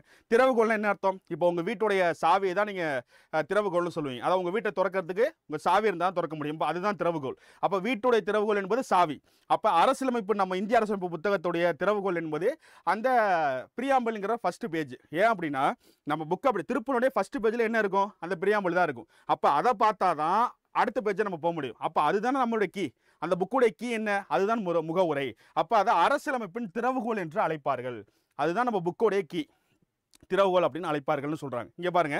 ஆயிரத்தி தொள்ளாயிரத்தி நாற்பத்தி ஏழாம் ஆண்டு ஜனவரி இருபத்தி ரெண்டாம் நாள் இந்திய அரசியல் நிர்ணய சபையால் ஏற்றுக்கொள்ளப்பட்ட அதாவது இதற்கு என்ன விளக்கம் அப்படிங்கிறத நான் எளிமையாக சொல்கிறேன் இந்த லைனுக்கு என்ன விளக்கம் அப்படிங்கிறத நேரு இருக்கார்ல நேரு வந்து அமெரிக்காவிலிருந்து இப்படி ஒரு கான்செப்ட் அதாவது முகவுரை நம்ம இந்தியன் கான்ஸ்டியூஷன் புக்கில் அந்த ஃபர்ஸ்ட் பேஜ் கான்செப்டை அமெரிக்காவில் ஃபாலோ பண்ணப்பார் நம்மளும் ஃபாலோ பண்ண அவர் எடுத்துகிட்டு வந்தார். அப்படி அவர் எடுத்துகிட்டு வந்த அந்த கான்செப்டை உடனே வந்து ஏற்றுக்கல யார்? அரசியல் நிர்ணய சபை உடனே ஏற்றுக்கல அவங்கள்ட்ட அரசியல் நிர்ணய சபைக்கிட்ட நேரு அங்கேருந்து எடுத்துகிட்டு வந்து எப்போ பரிந்துரைச்சாருன்னு பார்த்தீங்கன்னா ஆயிரத்தி தொள்ளாயிரத்தி நாற்பத்தி ஆறு டிசம்பர் பதிமூணாம் தேதி. இதுதான் நேரு பரிந்துரைச்ச ரேட் அதாவது நேரு அமெரிக்காவிலேருந்து எடுத்துகிட்டு வந்து நமது இந்திய அரசியல் நிர்ணய சபையிட்ட கொடுக்குறாரு. இந்த மாதிரி நான் அமெரிக்காவில் பார்த்தேன். இந்த ஃபஸ்ட்டு பேஜ் கான்செப்ட் நல்லா இருக்குது இதை நம்மளுடைய புக்கிலையும் வைக்கலாமா? அப்படின்னு நேரு என்னைக்கு நம்ம இந்திய அரசியல் நிர்ணய சபைக்கிட்ட என்னைக்கு வந்து இந்த கான்செப்டை கொடுத்தாரு அப்படின்னு கேட்பாங்க. அது வந்து ஆயிரத்தி தொள்ளாயிரத்தி நாற்பத்தி ஆறு டிசம்பர் பதிமூணு. இந்த டிசம்பர் பதிமூணுன்னே உங்களுக்கு இன்னொன்று ஞாபகத்துக்கு வந்துடும் என்ன அப்படின்னு பார்த்தீங்கன்னா ஃபஸ்ட்டு மீட்டிங் எப்போ நடந்துச்சு? டிசம்பர் ஒம்பது. அடுத்த மீட்டிங் டிசம்பர் பதினொன்று அப்போ மூணாவது மீட்டிங் டிசம்பர் பதிமூணு. அப்போ மூணாவது இந்திய அரசியல் சபையுடைய மீட்டிங்கில் தான் நேரு அவர்கள் அமெரிக்காவிலேருந்து எடுத்துகிட்டு வந்து அந்த முகவரை கான்செப்டை பரிந்துரைத்தார். அவர் பரிந்துரைச்ச அன்னைக்கே ஏற்றுக்கிட்டாங்களா அரசியல் இணைய சபை வந்து இந்த கான்செப்ட் நல்லா இருக்குன்னு ஏற்றுக்கிட்டாங்களான்னு கேட்டால் கிடையாது. என்னைக்கு ஏற்றுக்கிட்டாங்க ஆயிரத்தி தொள்ளாயிரத்தி நாற்பத்தி ஏழு ஜனவரி இருபத்தி ரெண்டாம் நாள் தான் ஏற்றுக்கிட்டாங்க அப்போ இந்த முகவரைன்னு சொல்லிட்டா ரெண்டு விஷயம் உங்களுக்கு வேணும். ஒன்று இதை பரிந்துரைச்ச டேட் நேரு வந்து இதை என்னைக்கு வந்து அரசியல் சபையிட்ட கொடுத்தாரு? அமெரிக்காவில் வந்து எடுத்துகிட்டு வந்துன்னு கேட்டால் ஆயிரத்தி தொள்ளாயிரத்தி நாற்பத்தி ஆறு டிசம்பர் பதிமூணு. அவர் கொடுத்ததை அரண் அரசியல் இணைய சபை என்னைக்கு ஏற்றுக்கிட்டாங்க இது ஓகே அப்படின்னு சொல்லிட்டா ஆயிரத்தி தொள்ளாயிரத்தி நாற்பத்தி ஏழு ஜனவரி இருபத்தி ரெண்டு ஓகேவா இந்த ரெண்டு டேட் இந்த முகவரியில் ரொம்ப ரொம்ப முக்கியம். நான் இதை நடத்தி முடிச்சதுக்கப்புறம் உங்கள்கிட்ட கடைசியாக நான் கொஸ்டின் கேட்பேன். ஓகேவா சரி ஓகே ஆயிரத்தி தொள்ளாயிரத்தி நாற்பத்தேழு ஜனவரி இருபத்தி ரெண்டு இதை ஏற்றுக்கிட்டாங்க அடுத்து பாருங்க. என்ன இருக்குன்னு பாருங்க. ஜவஹர்லால் நேருவின் குறிக்கோள் தீர்மானத்தின் அடிப்படையில் இந்திய அரசியலமைப்பின் முகவுரை அமைந்துள்ளது. அது ஒன்றும் அது இல்லை. நேரு தான் கொண்டு வந்தாருங்கிறத தான் சொல்லியிருக்காங்க ஓகேவா முகவுரையானது ஆயிரத்தி தொள்ளாயிரத்தி எழுபத்தி ஆறாம் ஆண்டு நாற்பத்தி ரெண்டாவது அரசமைப்பு சட்ட திருத்தத்தின்படி திருத்தப்பட்டது. இந்த முகவுரை இருக்குல்ல இந்த முகவுரை இது வரைக்கும் ஒரே ஒரு முறை தான் திருத்திருக்காங்க. இந்த முகவுரைன்னு அந்த ஒரு பேஜ் இருக்குல்ல அந்த ஒரு பேஜை ஒரே ஒரு முறை தான் திருத்திருக்காங்க. அது யார் திருத்தினதுன்னு பார்த்தீங்கன்னா இந்திரா காந்தி அவர்கள் பிரதமராக இருக்கும் பொழுது. அவங்க திருத்தம் பண்ணி என்ன பண்ணாங்கன்னா ஒரு மூணு வார்த்தையை உள்ள சேர்த்தாங்க. என்னென்ன வார்த்தை அப்படின்னா சமதர்மம் மத சார்பற்ற ஒருமைப்பாடு. அப்படிங்கிற ஒரு மூணு வார்த்தையை அந்த ஃபர்ஸ்ட் பேஜில் சேர்த்தாங்க. அதற்கு அந்த முகவுரை என்ற அந்த ஒரு பேஜ் ஒரே ஒரு முட்டை ஒரு முறை மட்டும் திருத்தப்பட்டுச்சு. அது எப்பன்னா இங்க பாருங்க ஆயிரத்தி தொள்ளாயிரத்தி எழுபத்தி ஆறு நாற்பத்தி ரெண்டாவது சட்ட திருத்தம். ஆயிரத்தி தொள்ளாயிரத்தி எழுபத்தாறில் நாற்பத்தி ரெண்டாவதாக ஒரு சட்ட திருத்தம் பண்ணாங்க.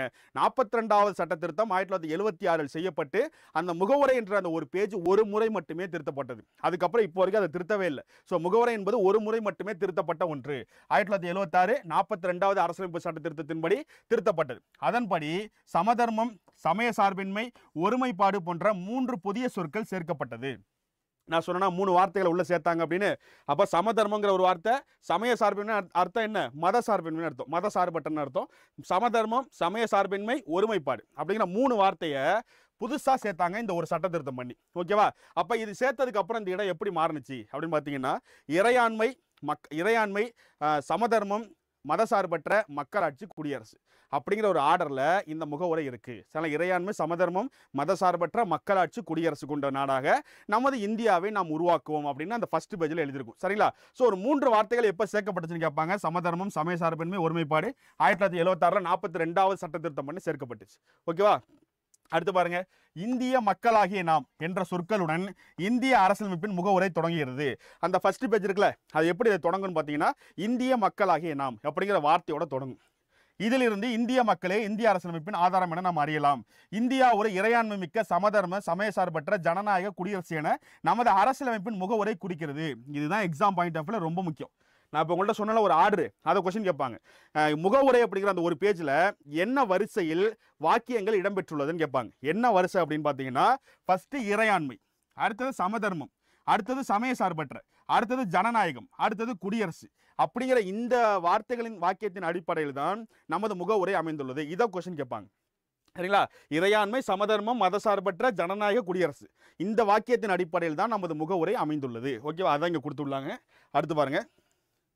நமது முகவுரை இருக்குல்ல? அந்த ஃபர்ஸ்ட் பேஜ் முகவுரை அதில் ஒரு மூன்று நீதிகள் குறிப்பிட குறிப்பிடப்பட்டிருக்கு. என்னென்ன நீதின்னு பார்த்தீங்கன்னா சமூக நீதி பொருளாதார நீதி அரசியல் நீதி. அதாவது சமூக நீதினா நமது இந்தியாவில் இங்கே எல்லாருக்குமே சமூகத்தில் எல்லாருக்குமே நீதி கிடைக்கும். ஏழை பணக்காரங்கிற வித்தியாசம்லாம் கிடையாது. அப்படிங்கிறதுக்கு பேர் சமூக நீதி. பொருளாதார நீதினா இங்கே பணத்தின் அடிப்படையில் அந்த ஏழை பணக்காரன் வித்தியாசம்லாம் நாங்கள் இந்தியாவில் பார்க்க மாட்டோம். அது பொருளாதார நீதி. அடுத்து அரசியல் நீதி. இங்கே எல்லாருக்குமே பதினெட்டு வயசு கம்ப்ளீட் ஆனால் ஓட்டு போட முடியும். அதுக்கு பேர் அரசியல் நீதி. இந்த மூன்று நீதியும் எங்கள் இந்தியாவில் வழங்கப்படுகிறது என்பதை அந்த முகவுரையில் குறிப்பிடப்பட்டிருக்கும். அதை இங்கே பாருங்கள் சொல்லியிருக்கோம். இந்திய குடிமக்கள் அனைவருக்கும் சமூக பொருளாதார அரசியல் நீதி என அனைத்திலும் பாதுகாப்பு வழங்குவதே இது நோக்கமாகும். இங்க பாருங்க சமூக நீதி பொருளாதார நீதி அரசியல் நீதி அப்படிங்கிற ஒரு மூன்று நீதிகள் முகவுரையில் குறிப்பிடப்பட்டுள்ளது. இதை கொஸ்டின் கேட்பாங்க. முகவுரையில் முகவுரையில் குறிப்பிடப்பட்டுள்ள மூன்று நீதிகள் என்னென்ன அப்படின்னு கேட்பாங்க. சமூக நீதி பொருளாதார நீதி அரசியல் நீதி. ஓகேவா கிளியர் அடுத்து பாருங்க.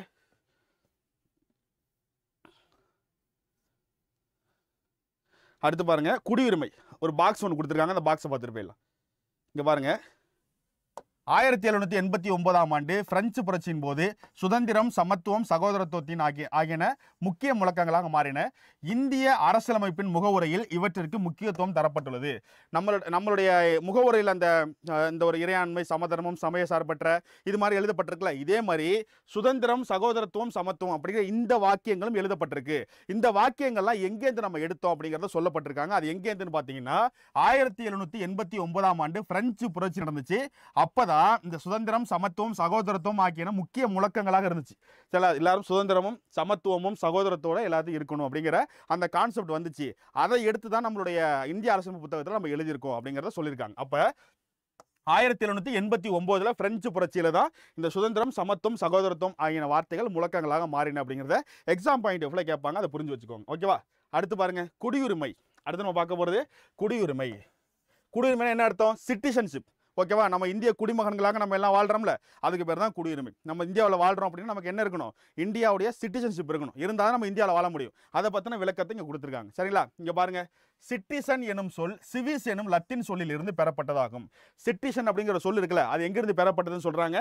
சிவிஸ் என்னும் லத்தீன் சொல்லிலிருந்து பெறப்பட்டது தான் சிட்டிசன்ஷிப் சிட்டிசன்ஷிப்பை தமிழ்ல சொன்னா என்ன சொல்லுவாங்க? குடிமகன். ஓகேவா குடிமகள் குடிமகன் அப்படின்னு சொல்லுவாங்க. ஸோ சிட்டிசன்ஷிப் அப்படிங்கிற வார்த்தை சிட்டிசன் அப்படிங்கிற ஒரு சொல் சிவிசன் அப்படின்னு சொல்லக்கூடிய ஒரு லத்தீன் மொழியிலிருந்து பெறப்பட்டது. இது ஒரு எக்ஸாம் பாயிண்ட் ஆஃப் ரொம்ப முக்கியம். ஓகேவா அடுத்து பாருங்க. இதன் பொருள் ஒரு நகர அரசில் வசிப்பவர் என்பதாகும். இதோட அர்த்தம் என்ன? சிட்டிசன்ஷிப்னா என்ன அர்த்தம்? அவங்க வந்து ஒரு ஒரு நாட்டுக்கு சொந்தமாக அந்த நாட்டில் வாழ்கிறாங்கன்னு அர்த்தம் அப்படின்னு சொல்கிறாங்க அதுதான் அதோடைய அர்த்தம்.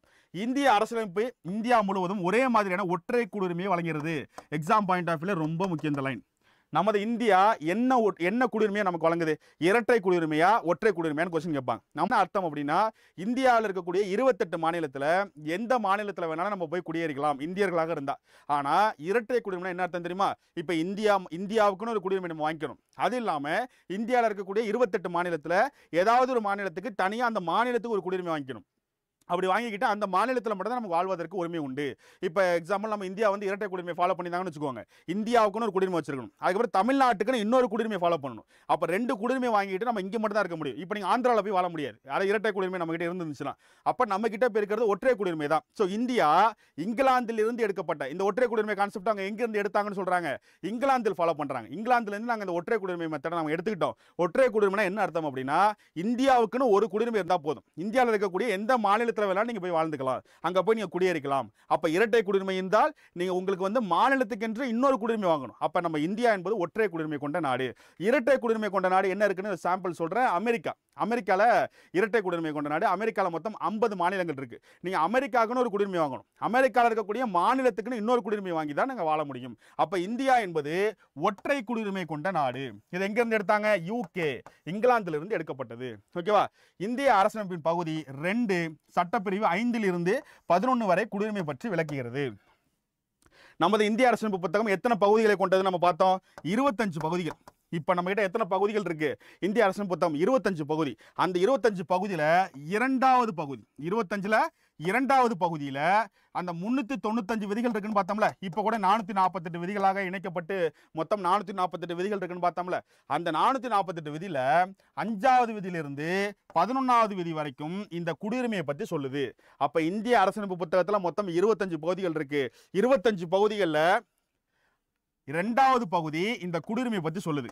ரெண்டாவது பகுதியில் இந்த நானூற்றி நாற்பத்தெட்டு விதியில் அஞ்சாவது விதியிலிருந்து பதினொன்றாவது விதி வரை இந்த குடியுரிமை பற்றி சொல்லுது. ஓகேவா அப்போ எக்ஸாம் பாயிண்ட் ஆஃப் வியூவில் இதில் கொஸ்டின் என்ன தெரியுமா கேட்பாங்க? எந்தெந்த விதிகள் குடியுரிமை பற்றி சொல்லுது. ஐந்தில் இருந்து பதினொன்று வரை உள்ள குடியுரிமைகள் விதிகள் குடியுரிமை பற்றி சொல்லுது. எந்த பகுதியில் குடியுரிமை இடம்பெற்றுள்ளது? பகுதி இரண்டு. மொத்தம் இருபத்தஞ்சு பகுதியில் இரண்டாவது பகுதி இந்த குடியுரிமை பற்றி சொல்கிறது. ஓகேவா கிளியரா சரி ஓகே அடுத்து பாருங்கள் இது ஒரு முக்கியமான விஷயம். இது ஒரு முக்கியமான விஷயம். நிறைய பேருக்கு தெரிஞ்சிருக்குமான்னு தெரியல நான் சொல்கிறேங்க பாருங்கள் பாருங்க. குடியுரிமை சட்டம் ஆயிரத்தி தொள்ளாயிரத்தி ஐம்பத்தஞ்சு. இதுக்கு முன்னாடி நம்ம குடியுரிமை விதிகள் ஐந்துல இருந்து பதினொன்று வரைக்கும் விதிகள் பார்த்தோம். ஆனால் இங்கே பார்த்தீங்கன்னா குடியுரிமை சட்டம் ஆயிரத்தி தொள்ளாயிரத்தி ஐம்பத்தஞ்சுன்னு கொடுத்துருக்காங்க. இடத்துக்குள்ள வித்தியாசம் என்ன? அப்படிங்கிறத சொல்கிறேன் குடியுரிமை விதிகள் அஞ்சில் இருந்து பதினொன்று வரைக்கும் இருக்கக்கூடிய விதிகள் ஆயிரத்தி தொள்ளாயிரத்தி ஐம்பது ஜனவரி இருபத்தி ஆறாம் தேதி நமக்கு குடியரசு தினம் வெளியிடப்பட்டு அதாவது இந்திய அரசு வெளியிடப்படும் பொழுது அன்னைக்கு யார் யாரெல்லாம் இந்தியர்கள்? யார் இந்தியர்கள் இல்லை? யாருக்கெல்லாம் இந்திய குடியுரிமை குடிமகன்கள் உண்டு?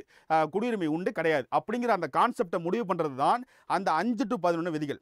ஆனால் ஆயிரத்தி தொள்ளாயிரத்தி ஐம்பது ஜனவரி ஆறு இருபத்தி ஆறுக்கு அப்புறம் யார் யாருக்கெல்லாம் இந்திய கு- குடியுரிமை கொடுக்கணும் கொடுக்கக்கூடாதுங்கிறத முடிவு பண்ணுறதுக்கு ஒரு சட்டம் ஒன்று கொண்டு வந்தாங்க. அந்த சட்டம் தான் இந்த குடியுரிமை சட்டம். இன்னும் கிளியராக உங்களுக்கு சொல்லணும் அப்படின்னா இந்திய அரசியலமைப்பு புத்தகத்தை அந்த முன் முந்நூற்றி எண்பத்தி ஒன்பது பேர் கொண்டு எழுதுனாங்கல்ல அவங்க எழுதும் போது என்ன சொல்லி எழுதுனாங்கன்னா நாங்கள் வந்து குடியுரிமை விதிகளை நாங்கள் இணைச்சிட்டோம். அஞ்சு டு பதினொன்றுங்கிற விதிகளை நாங்கள் இணைச்சிருக்கோம். இந்த விதியில் அஞ்சு டு பதினொன்றுங்கிற விதியில் பதினொன்றாவது விதியில் நாங்கள் என்ன எழுதியிருக்கோம் அப்படின்னு அவங்க சொல்கிறாங்க என்ன சொல்கிறாங்கன்னா பதினொன்றாவது விதியில் நாங்கள் என்ன எழுதியிருக்கோம் அப்படின்னா இந்திய அரசியல் புத்தகம் வெளியிடப்பட்டதற்கு பின்பு இந்திய பாராளுமன்றமே இந்த குடியுரிமைக்காக ஒரு சட்டத்தை ஏற்றி அந்த சட்டம் மூலமாக நீங்கள் வந்து குடியுரிமை கொடுங்க. இல்லை குடியுரிமை இலக்க என்ன வேணாலும் பண்ணிக்கோங்க. ஆனால் குடியுரிமை கொடுக்குற அந்த கான்செப்டை ஆயிரத்தி தொள்ளாயிரத்தி ஐம்பது ஜனவரி இருபத்தாறுக்கு அப்புறம் நீங்களே ஒரு சட்டமாக கொண்டு வந்து கொண்டு வந்துருங்க. ஒரு சட்டத்தை கொண்டு வந்துருங்க அப்படின்னு சொல்லிட்டாங்க. அதன் அடிப்படையில் ஆயிரத்தி தொள்ளாயிரத்தி ஐம்பது ஜனவரி இருபத்தி ஆறுக்கு பின்பு யார் யாருக்கெல்லாம் குடியுரிமை கொடுக்கணும் அப்படிங்கிறதுக்கு இந்திய பாராளுமன்றம் ஒரு சட்டத்தை கொண்டு வந்தாங்க. அந்த சட்டம் தான் இந்திய குடியுரிமை சட்டம் ஆயிரத்தி தொள்ளாயிரத்தி ஐம்பத்தி அஞ்சு. இந்த சட்டம் இதுவரை ஒன்பது முறை திருத்தப்பட்டுள்ளது. இந்த ஆயிரத்தி தொள்ளாயிரத்தி ஐம்பத்தஞ்சு குடியுரிமை சட்டம் இதுவரை ஒன்பது முறை திருத்தப்பட்டுள்ளது. ஆனால் பள்ளி புத்தகத்தில் உங்களுக்கு எட்டு முறைன்னு கொடுத்துருப்பாங்க. கடைசியாக ரெண்டாயிரத்தி பத்தொம்போதில் ஒரு திருத்தம் பண்ணியிருப்பாங்க இந்த ரெண்டாயிரத்தி பத்தொம்போது திருத்தம் உங்களுக்கு பள்ளி புத்தகத்தில் சேர்க்கப்பட்டிருக்காது. ரெண்டாயிரத்தி பதினஞ்சு அப்படிங்கிற அந்த திருத்தம் வரைக்கும் தான் உங்கள் பள்ளி புத்தகத்தில் இருக்கும். ஸோ ரெண்டாயிரத்தி பத்தொம்போதில் பண்ண பள்ளி திருத்தம் வந்து பள்ளி புத்தகத்தில் இடம் பெறலை. ஸோ மொத்தம் ஒன்பது முறை இந்த குடியுரிமை சட்டம் திருத்தப்பட்டுள்ளது. எக்ஸாம் பாயிண்ட் ஆஃப் ரொம்ப முக்கியம். சரிங்களா? இங்கே பாருங்க. இந்திய அரசியலமைப்பு சட்டம் நடைமுறைக்கு வந்த பின்பு ஆயிரத்தி தொள்ளாயிரத்தி ஐம்பத்தஞ்சில் இயற்றப்பட்ட குடியுரிமை சட்டம் குடியுரிமை பெறுதல் மற்றும் குடியுரிமை இழத்தல் ஆகியன பற்றி விளக்குகிறது. இச்சட்டம் அரசியலமைப்பு சட்ட திருத்தம் எட்டு முறை திருத்தப்பட்டுள்ளது. இங்க பாத்தீங்களா? எட்டு முறைன்னு கொடுத்துருக்காங்க. அப்போ தப்பு. எட்டு முறை கிடையாது இல்லை சரிங்களா? ஸோ எட்டு முறை கிடையாது. மொத்தம் ஒம்பது முறை. சரிங்களா? கடைசி ரெண்டாயிரத்தி பத்தொம்போதில் ஒரு திருத்தம் பண்ணியிருக்காங்க அது என்னென்ன முறையில் வந்து குடியுரிமை பெறலாம்? மொத்தம் எத்தனை முறையில் நம்ம குடியுரிமை பெற முடியும்? அப்படின்னு பார்த்தீங்கன்னா ஐந்து வழிகளில் இந்திய குடியுரிமை சட்டம் ஆயிரத்தி தொள்ளாயிரத்தி ஐம்பத்தஞ்சின் படி இந்தியாவில் வந்து நம்ம ஐந்து முறைகளில் நம்மளால் குடியுரிமை பெற முடியும். எத்தனை முறைகளில் நம்ம பெற்ற அந்த குடியுரிமையை நம்ம இழக்க முடியும்னு பார்த்தீங்கன்னா மூன்று முறை. அப்போ எக்ஸாம் பாயிண்ட் ஆஃப் வியூ இது ரொம்ப முக்கியம். சரிங்களா? ஐந்து வழிகள் பெறுவதற்கு உண்டு. மூன்று வழிகளில் நம்ம தான் அதை இழந்துருவோம். ஓகேவா? இதை எக்ஸாம் பாயிண்ட் ஆஃப் கேட்பாங்க. இந்திய குடியுரிமை சட்டம் ஆயிரத்தி தொள்ளாயிரத்தி ஐம்பத்தி அஞ்சு என்பது எத்தனை வகையில் நாம் வந்து இந்திய குடியுரிமை பெறலாம்? அப்படின்னு பார்த்தா அஞ்சு வழிகளில் பெறலாம். நாம் பெற்ற அந்த குடியுரிமையை எத்தனை வழிகளில் நம்ம இழந்து விட முடியும்? அப்படின்னா மொத்தம் மூன்று வழிகளில் இழந்து விட முடியும். அந்த முறைகளை ஒவ்வொன்றா கொடுத்துருப்பாங்க. இங்கே பாருங்கள் குடியுரிமை பெறுதல். குடியுரிமை சட்டம் ஆயிரத்தி தொள்ளாயிரத்தி ஐம்பத்தஞ்சின் படி ஒருவர் கீழ்காணும் ஏதேனும் ஒரு முறையில் குடியுரிமை பெற முடியும். எத்தனை வழிகளில்? அஞ்சு வழிகளில். ஃபஸ்ட்டு என்ன சொல்லியிருக்காங்க? பிறப்பின் மூலம். நம்ம இங்கே பிறந்துட்டோம்னாலே நம்ம இங்கே பிறந்தாலே அது நமக்கு கொடுத்துருவாங்க. சரிங்களா? நம்ம வந்து ஒரு இந்திய குடிமகன் அப்படின்னு நம்ம இந்தியாவில் இப்போ நம்ம யாராவது இங்கே இன்றைக்கி பிறக்கிறாங்கன்னா அவங்களுக்கு கொடுத்துருவாங்க. ஆனால் அவங்க அப்பா அம்மா ரெண்டு பேருமே இந்தியராக இருக்கணும். அது ரொம்ப முக்கியம். சரிங்களா? அடுத்து பாருங்க வம்சாவளி மூலம். இதெல்லாம் சும்மா எக்ஸாம் பாயிண்ட் நமக்கு தெரிஞ்சுக்கணும்னு பெரிய அவசியம் இல்லை. வம்சாவளி மூலம். வம்சாவளி அப்படின்னா யாராவது வெளிநாடுகளில் ஒருத்தங்க இருப்பாங்க.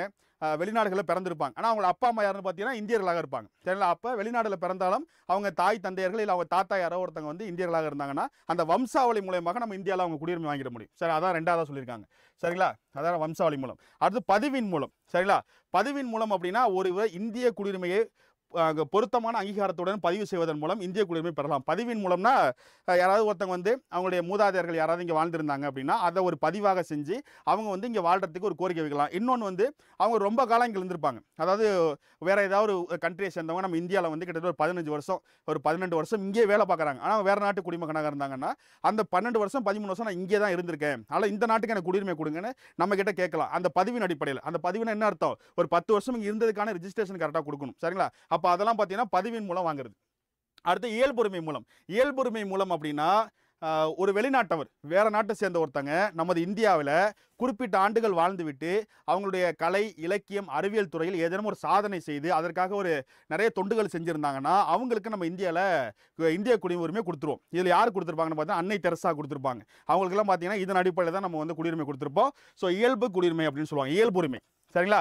ஒரு வெளிநாட்டவர் அவங்க வந்து வெளிநாட்டுக்காரங்களா இருப்பாங்க. அவங்க நம்ம இந்தியாவுக்கு வர விருப்பப்படுவாங்க. அவங்க கலை இலக்கியம் ஏதாவது துறையில் சிறந்து அவங்க தொண்டாட்டி இருந்தாங்கன்னா அவங்களுக்கு நம்ம இந்திய குடியுரிமை இதன் அடிப்படையில் கொடுக்கலாம். சரிங்களா? அடுத்து பாருங்க பிரதேச நாடுகள் இணைவின் மூலம். பிரதேச நாடுகள் இணைவின் மூலம்னா என்ன அர்த்தம் அப்படின்னா இப்போ பாண்டிச்சேரி ஆயிரத்தி தொள்ளாயிரத்தி அறுபத்தி ரெண்டுக்கு முன்னாடி வரைக்கும் வேற ஒரு நாட்டில் இருந்துச்சு. அதாவது பிரெஞ்சு நாடு. அது இந்தியாவிலே கிடையாது. அப்போ ஆயிரத்தி தொள்ளாயிரத்தி அறுபத்தி ரெண்டில் பாண்டிச்சேரி என்பது இந்தியாவுடன் இணைக்கப்பட்டுச்சு. அப்போ வேற ஒரு பிரதேசம் தெரிஞ்சு இந்தியாவுடன் இணைக்கப்பட்டால் அந்த பிரதேசத்தில் இருக்கக்கூடிய மக்களும் இந்திய மக்களாக மாறிவிடுவார்கள். அவங்களுக்கு இந்திய குடியுரிமை உண்டு. அப்போ வேற நாடுகள் ஏதாவது இந்தியாவில் இணைக்கப்பட்டுச்சுன்னா அவங்களோட சேர்த்து அவங்க மக்களுக்கும் உண்டு. அடுத்து குடியுரிமை இழத்தல். குடியுரிமை இழத்தல் எந்தெந்த முறை? மொத்தம் மூணே முறை தான் சொன்னாங்க. மூணு என்னென்னு சொல்கிறேன் பாருங்க. ஒரு குடிமகன் தாமாக முன் வந்து தனது குடியுரிமையை துரத்தல்.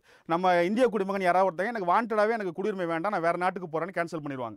இன்னொன்று பாருங்கள் வேறு ஒரு நாட்டில் குடியுரிமை பெறும்பொழுது தாமாகவே இந்திய குடியுரிமை முடிவுக்கு வந்துடும் அதாவது நான் இப்போ அமெரிக்காவில் போய் ஒரு இந்தியர் வாழ்றாரு. அங்கேயே ஒரு பத்து பதினஞ்சு வருஷம் செட்டில் ஆகிட்டார் அவர் வந்து இப்போ இனிமேல் நான் இந்தியாவுக்கு வர விருப்பப்படல நான் இங்கே செட்டில் ஆகிட்டேன்னு சொல்லிட்டா அவருக்கு இந்திய குடியுரிமை கேன்சல் பண்ணிடுவாங்க. அடுத்து இயல்புரிமையின் மூலம் குடியுரிமை பெற்ற ஒரு குடிமகன் மோசடி செய்து குடியுரிமை பெற்றால் அவருடைய குடியுரிமை கேன்சல் பண்ணுவாங்க. இதுக்கு என்ன அர்த்தம் அப்படின்னா இயல்புரிமைனா என்ன அர்த்தம்? ஒரு வெளிநாட்டவர். ஒரு வெளிநாட்டவர் யாராவது வந்து நம்ம கிட்ட குடியுரிமை கேட்டு ஒரு பத்து வருஷம் இங்கேயே இருந்து நம்மள்ட்ட ரிஜிஸ்ட்ரேஷன் பண்ணி உள்ளே வந்திருப்பாங்க. ஆனால் அவங்க வந்து உள்ளே வந்துட்டு ஏதாவது இந்தியாவுக்கு எதிராக ஏதாவது ஒன்று பண்ணிடுவாங்க அப்படி பண்ணாங்கன்னா அவங்களை குடியுரிமை நீக்கிடுவாங்க சரிங்களா? அதுதான் இங்கே கொடுத்துருக்காங்க. ஓகேவா சரி ஓகே இதோட குடியுரிமை முடிஞ்சிச்சு. அடுத்து அடிப்படை உரிமை. அடுத்தது அடிப்படை உரிமை. இப்போ குடியுரிமைங்கிறது நம்ம என்ன பார்த்தோம்? பகுதி இரண்டு. சரிங்களா? விதிகள் எது என்ன இருந்து பதினொன்று வரைக்கும் உள்ள விதிகள். இதான் குடியுரிமை. அடுத்த அடிப்படை உரிமை என்ன தெரியுமா? பகுதி மூணு. விதிகள் இதில் விட்டதுலேருந்து கண்டினியூ ஆகும். பன்னெண்டுலேருந்து முப்பத்தஞ்சு வரைக்கும். சரிங்களா? பகுதி மூன்று பன்னெண்டுலேருந்து முப்பத்தஞ்சு வரைக்கும் உள்ள விதிகள் அடிப்படை உரிமை பற்றி பேசும் இங்கே பாருங்கள் இந்திய அரசியலமைப்பு சட்டம் பகுதி மூன்று பன்னெண்டிலிருந்து முப்பத்தஞ்சு வரை உள்ள சட்டப்பிரிவுகள் அடிப்படை உரிமைகள் பற்றி கூறுகின்றன. அரசியலமைப்பை உருவாக்கியவர்கள் இந்த அடிப்படை உரிமைகளை அமெரிக்க ஐக்கிய நாடுகளிலிருந்து எடுத்தார்கள். இந்த அடிப்படை உரிமைன்னு ஒரு கான்செப்ட் இருக்குல்ல? இதை நம்ம எங்கேருந்து எடுத்தோம் அப்படின்னா அமெரிக்காலேருந்து எடுத்துக்கிட்டோம். அமெரிக்காவுடைய கான்ஸ்டியூஷன்லேருந்து எடுத்துக்கிட்டோம். ஓகேவா இது எக்ஸாம் பாயிண்ட் ஆஃப் வியூவில் ரொம்ப முக்கியம். குடியுரிமைங்கிறது நம்ம எங்கேருந்து எடுத்துக்கிட்டோம்? இங்கிலாந்துலேருந்து எடுத்துக்கிட்டோம். அடிப்படை உரிமை நம்ம எங்கேருந்து எடுத்துக்கிட்டோம்? அமெரிக்காலேருந்து எடுத்துக்கிட்டோம். அடிப்படை உரிமையுடைய பகுதி என்ன? பகுதி மூன்று மொத்தம் இருபத்தஞ்சில். பன்னெண்டிலிருந்து முப்பத்தஞ்சு வரைக்கும் உள்ள விதிகள். சில இதுதான் அடிப்படை உரிமை பற்றி சொல்லப்படுது. ஓகேவா அடிப்படை உரிமையில் என்னென்ன சொல்லப்பட்டிருக்குன்னு பார்க்கலாமா?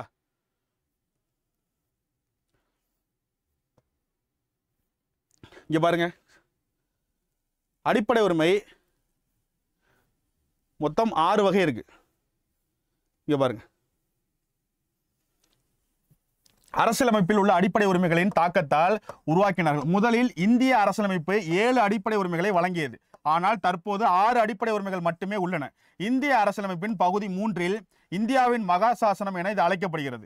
இந்தியாவில் வசிக்கும் மக்கள் அனைவருக்கும் அடிப்படை உரிமைகள் பொதுவானது. ஆனால் இந்திய குடிமக்களுக்கு மட்டுமே ஆன சில அடிப்படை உரிமைகளும் உள்ளன. இதுக்கு என்ன விளக்கம் அப்படிங்கிறத சொல்கிறேன் நம்ம ஆயிரத்தி தொள்ளாயிரத்தி ஐம்பது ஜனவரி இருபத்தி ஆறில் நம்மளுடைய கான்ஸ்டியூஷன் புக்கு ரிலீஸ் ஆகும்போது நம்மக்கிட்ட மொத்தம் ஏழு வகையான அடிப்படை உரிமை இருந்துச்சு. ஏழு வகை. ஏழு இல்லை ஏழு வகையான அடிப்படை உரிமை. சமத்துவ உரிமை சுதந்திர உரிமை இது மாதிரி ஏழு வகையான உரிமைகள் இருந்துச்சு. அதாவது இந்த பன்னெண்டிலிருந்து முப்பத்தஞ்சு வரைக்கும் இருக்கக்கூடிய இந்த அடிப்படை உரிமை பிரிக்கப்பட்டு மொத்தம் ஏழு வகையாக பிரித்து வச்சுருந்தாங்க. சரிங்களா? இந்த ஏழு வகையில் ஒரே ஒரு வகையான உரிமையை கேன்சல் பண்ணிட்டாங்க நீக்கிட்டாங்க அடிப்படை உரிமையிலிருந்து எப்பன்னு பார்த்தீங்கன்னா ஆயிரத்தி தொள்ளாயிரத்தி எழுபத்தி எட்டில் நாற்பத்தி நாலாவது சட்ட திருத்தம் பண்ணி இந்த பன்னெண்டு டு முப்பத்தஞ்சுங்கிற ஆர்டிக்கலில் முப்பத்தி ஒன்னாவது விதியாக இருக்கக்கூடிய சொத்துரிமை. சொத்துரிமை அப்படிங்கிற ஒரு விதியை இந்த அடிப்படை உரிமையிலேருந்து எடுத்துட்டாங்க. சரிங்களா? அப்போ மொத்தம் ஏழு வகையான உரிமை ஆயிரத்தி தொள்ளாயிரத்தி ஐம்பது ஜனவரி இருபத்தாறில் இருந்துச்சு. அந்த ஏழு வகையான உரிமையில் ஒரு உரிமை தான் சொத்துரிமை என்ற முப்பத்தி ஒன்றாவது விதி. அந்த சொத்துரிமையை ஆயிரத்தி தொள்ளாயிரத்தி எழுபத்தெட்டு நாற்பத்தி நான்காவது சட்ட திருத்தம் செய்து நீக்கிவிட்டார்கள். ஓகேவா? அது அதிலிருந்து எடுத்து நீக்கல. அதுலேருந்து எடுத்து என்ன பண்ணாங்க? அடிப்படை உரிமையிலேருந்து தூக்கிட்டு முன்னூறு ஏ அப்படின்னு சொல்லக்கூடிய ஒரு சாதாரண உரிமையாக மாற்றிட்டாங்க அப்போ அடிப்படை உரிமையிலிருந்து சொத்துரிமை என்ற ஒரு விதி நீக்கப்பட்டது. ஓகேவா? கிளியராக புரியுதா? அப்போ அதுதான் ஏழு அடிப்படை உரிமை வழங்கியது ஆயிரத்தி தொள்ளாயிரத்தி ஐம்பதுல நான் சொன்னா ஏழு. அந்த ஏழில் ஒன்றே ஒன்று நீக்கினாங்க. அது என்ன? இந்த சொத்துரிமை. முப்பத்தி ஒன்றாவது விதி. அதை நீக்கினதுக்கு அப்புறம் இப்போ நம்மக்கிட்ட இருக்கிறது மொத்தம் ஆறு விதி தான். சரிங்களா? அது ஆறு வகையான விதி மட்டும் தான் நம்மக்கிட்ட இருக்குது ஆறு வகை என்னென்ன அப்படிங்கிறத நம்ம பார்க்கலாம். ஓகேவா? அடுத்து பாருங்கள் இதை பார்த்துட்டு இதை பார்த்தா உங்களுக்கு புரியும். சரிங்களா? இங்கே வாங்க இதை பார்த்தலாம் ஃபஸ்ட்டு அந்த ஆறு வகையான உரிமை என்னென்னு பார்த்தலாமா ஃபஸ்ட்டு பாருங்க.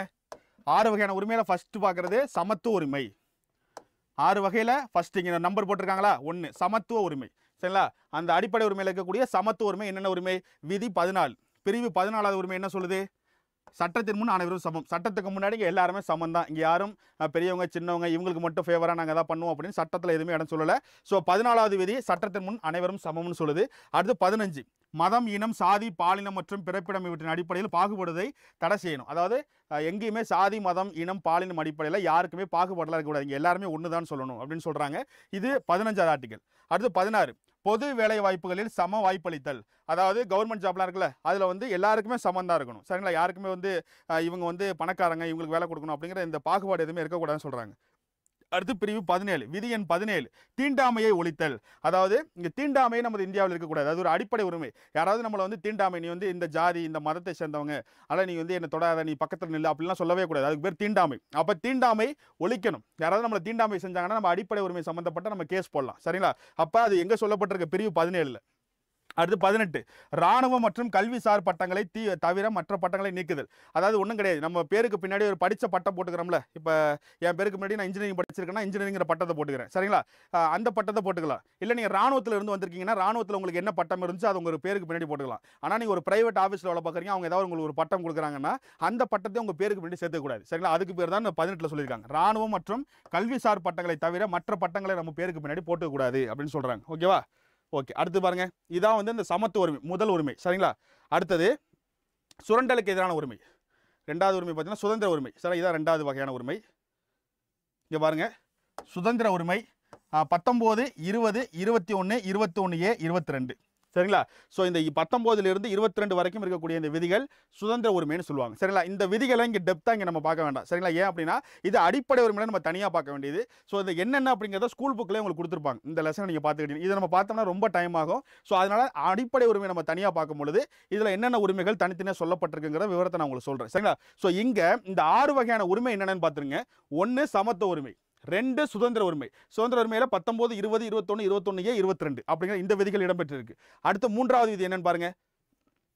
மூன்றாவது விதி சுரண்டலுக்கு எதிரான உரிமை. சரிங்களா? மொத்தம் ஆறு வகையான உரிமைகள் இப்போ நம்ம கிட்ட இருக்கு. அதில் மூன்றாவது உரிமை சுரண்டலுக்கு எதிரான உரிமை விதி என்ன இருபத்தி மூணு இருபத்தி நாலு. அடுத்து நாலாவது சமய சார்பு உரிமை. சமய சார்பு உரிமைனா என்ன அர்த்தம்? மத சார்பு. அதாவது உங்களுக்கு மதம் சம்பந்தப்பட்ட உரிமை அடிப்படை உரிமையாக வழங்கப்பட்டிருக்கு. அதை தான் வந்து என்ன சொல்றாங்க? சமய சார்பு உரிமைன்னு சொல்றாங்க. சரிங்களா? அது ஐந்தாவதாக கொடுக்கப்பட்டு சார் நான்காவதாக கொடுக்கப்பட்டிருக்கு. இருபத்தஞ்சு இருபத்தாறு இருபத்தேழு இருபத்தி எட்டு. இந்த விதிகள் எல்லாமே உங்களுக்கு மதம் சம்பந்தப்பட்ட உரிமைகள் தருது. அடுத்து பாருங்க கல்வி கலாச்சார உரிமை. கல்வி கலாச்சார உரிமை என்றால் சிறுபான்மையினர்கள் வந்து கல்வி நிறுவனங்களை நிர்வகித்துக் கொள்ளலாம். இன்னொரு விஷயத்தை நான் தெளிவாக சொல்றேன்.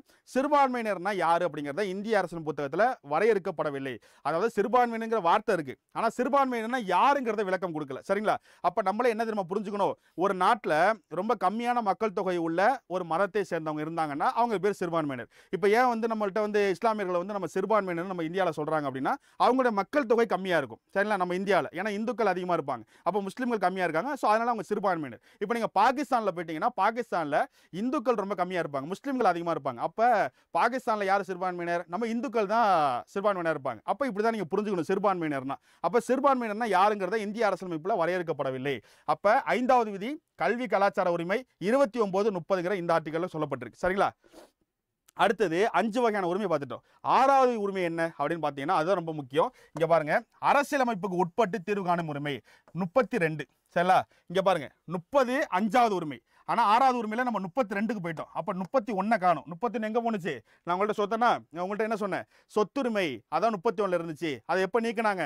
ஆயிரத்தி தொள்ளாயிரத்தி எழுபத்தெட்டு நாற்பத்தி நாலாவது சட்ட திருத்தம் பண்ணி நீக்கிட்டாங்க. இங்கே கொடுத்துருக்காங்க பாருங்க பாக்ஸில் ஆயிரத்தி தொள்ளாயிரத்தி எழுபத்தெட்டு நாற்பத்தி நாலாவது அரசியலமைப்பு சட்ட திருத்தப்படி அடிப்படை உரிமைகள் பட்டியலிலிருந்து சொத்துரிமை பிரிவு முப்பத்தி ஒன்று நீக்கப்பட்டது. அதை நீக்கிட்டு எங்கே கொண்டு சேர்த்தாங்க? இந்திய அரசியலமைப்பு. எங்கே கொண்டு சேர்த்தாங்க? இங்கே பாருங்கள் இந்திய அரசியலமைப்பு சட்டம் பகுதி பன்னெண்டு சரிங்களா? பகுதி பன்னெண்டு. இது வந்து பகுதி பன்னெண்டு. மொத்தம் இருபத்தஞ்சு பகுதி இருக்குல்ல? இருபத்தஞ்சில் பன்னெண்டாவது பகுதி. இதுக்கு முன்னாடி எந்த பகுதியில் இருந்துச்சு? பகுதி மூணு. ஏன்னா அங்கே தானே அடிப்படை உரிமை இருந்துச்சு. ஸோ இந்த பன்னெண்டாவது பகுதியில் பிரிவு முந்நூறு ஏ முப்பத்தி ஒன்றுங்கிற அடிப்படை உரிமையில் இருந்த அந்த சொத்துரிமையை ஆயிரத்தி தொள்ளாயிரத்தி எழுபத்தெட்டு நாற்பத்தி நாலாம் சட்டத்தை பண்ணி நீக்கிவிட்டு அதை கொண்டு போய் சாதாரண ஒரு உரிமையாக முந்நூறு ஏ அப்படின்னு ஒரு ஆர்டிக்கலாக மாற்றிட்டாங்க சரிங்களா? அதுதான் இந்த பாக்ஸில் கொடுத்துருக்காங்க. அப்போ சொத்துரிமை என்பது ஆயிரத்தி தொள்ளாயிரத்தி ஐம்பது ஜனவரி இருபத்தி ஆறில் இந்திய அரசமைப்பு வெளியிடப்படும் பொழுது அது நமது அடிப்படை உரிமையில் மொத்தம் ஏழு வகையான உரிமையில் ஒரு உரிமையாக இருந்துச்சு. அப்போ அது ஆயிரத்தி தொள்ளாயிரத்தி எழுபத்தெட்டு நாற்பத்தி நாலாம் சட்ட திருத்தம் செய்து அந்த முப்பத்தி ஒன்றுன்ற அந்த சொத்துரிமையை அதிலிருந்து நீக்கிறாங்க. அப்போ அந்த ஏழு உரிமையில் ஒரு உரிமை குறையுது. ஆறு உரிமையாக அடிப்படை உரிமை மாறுது. ஓகேவா?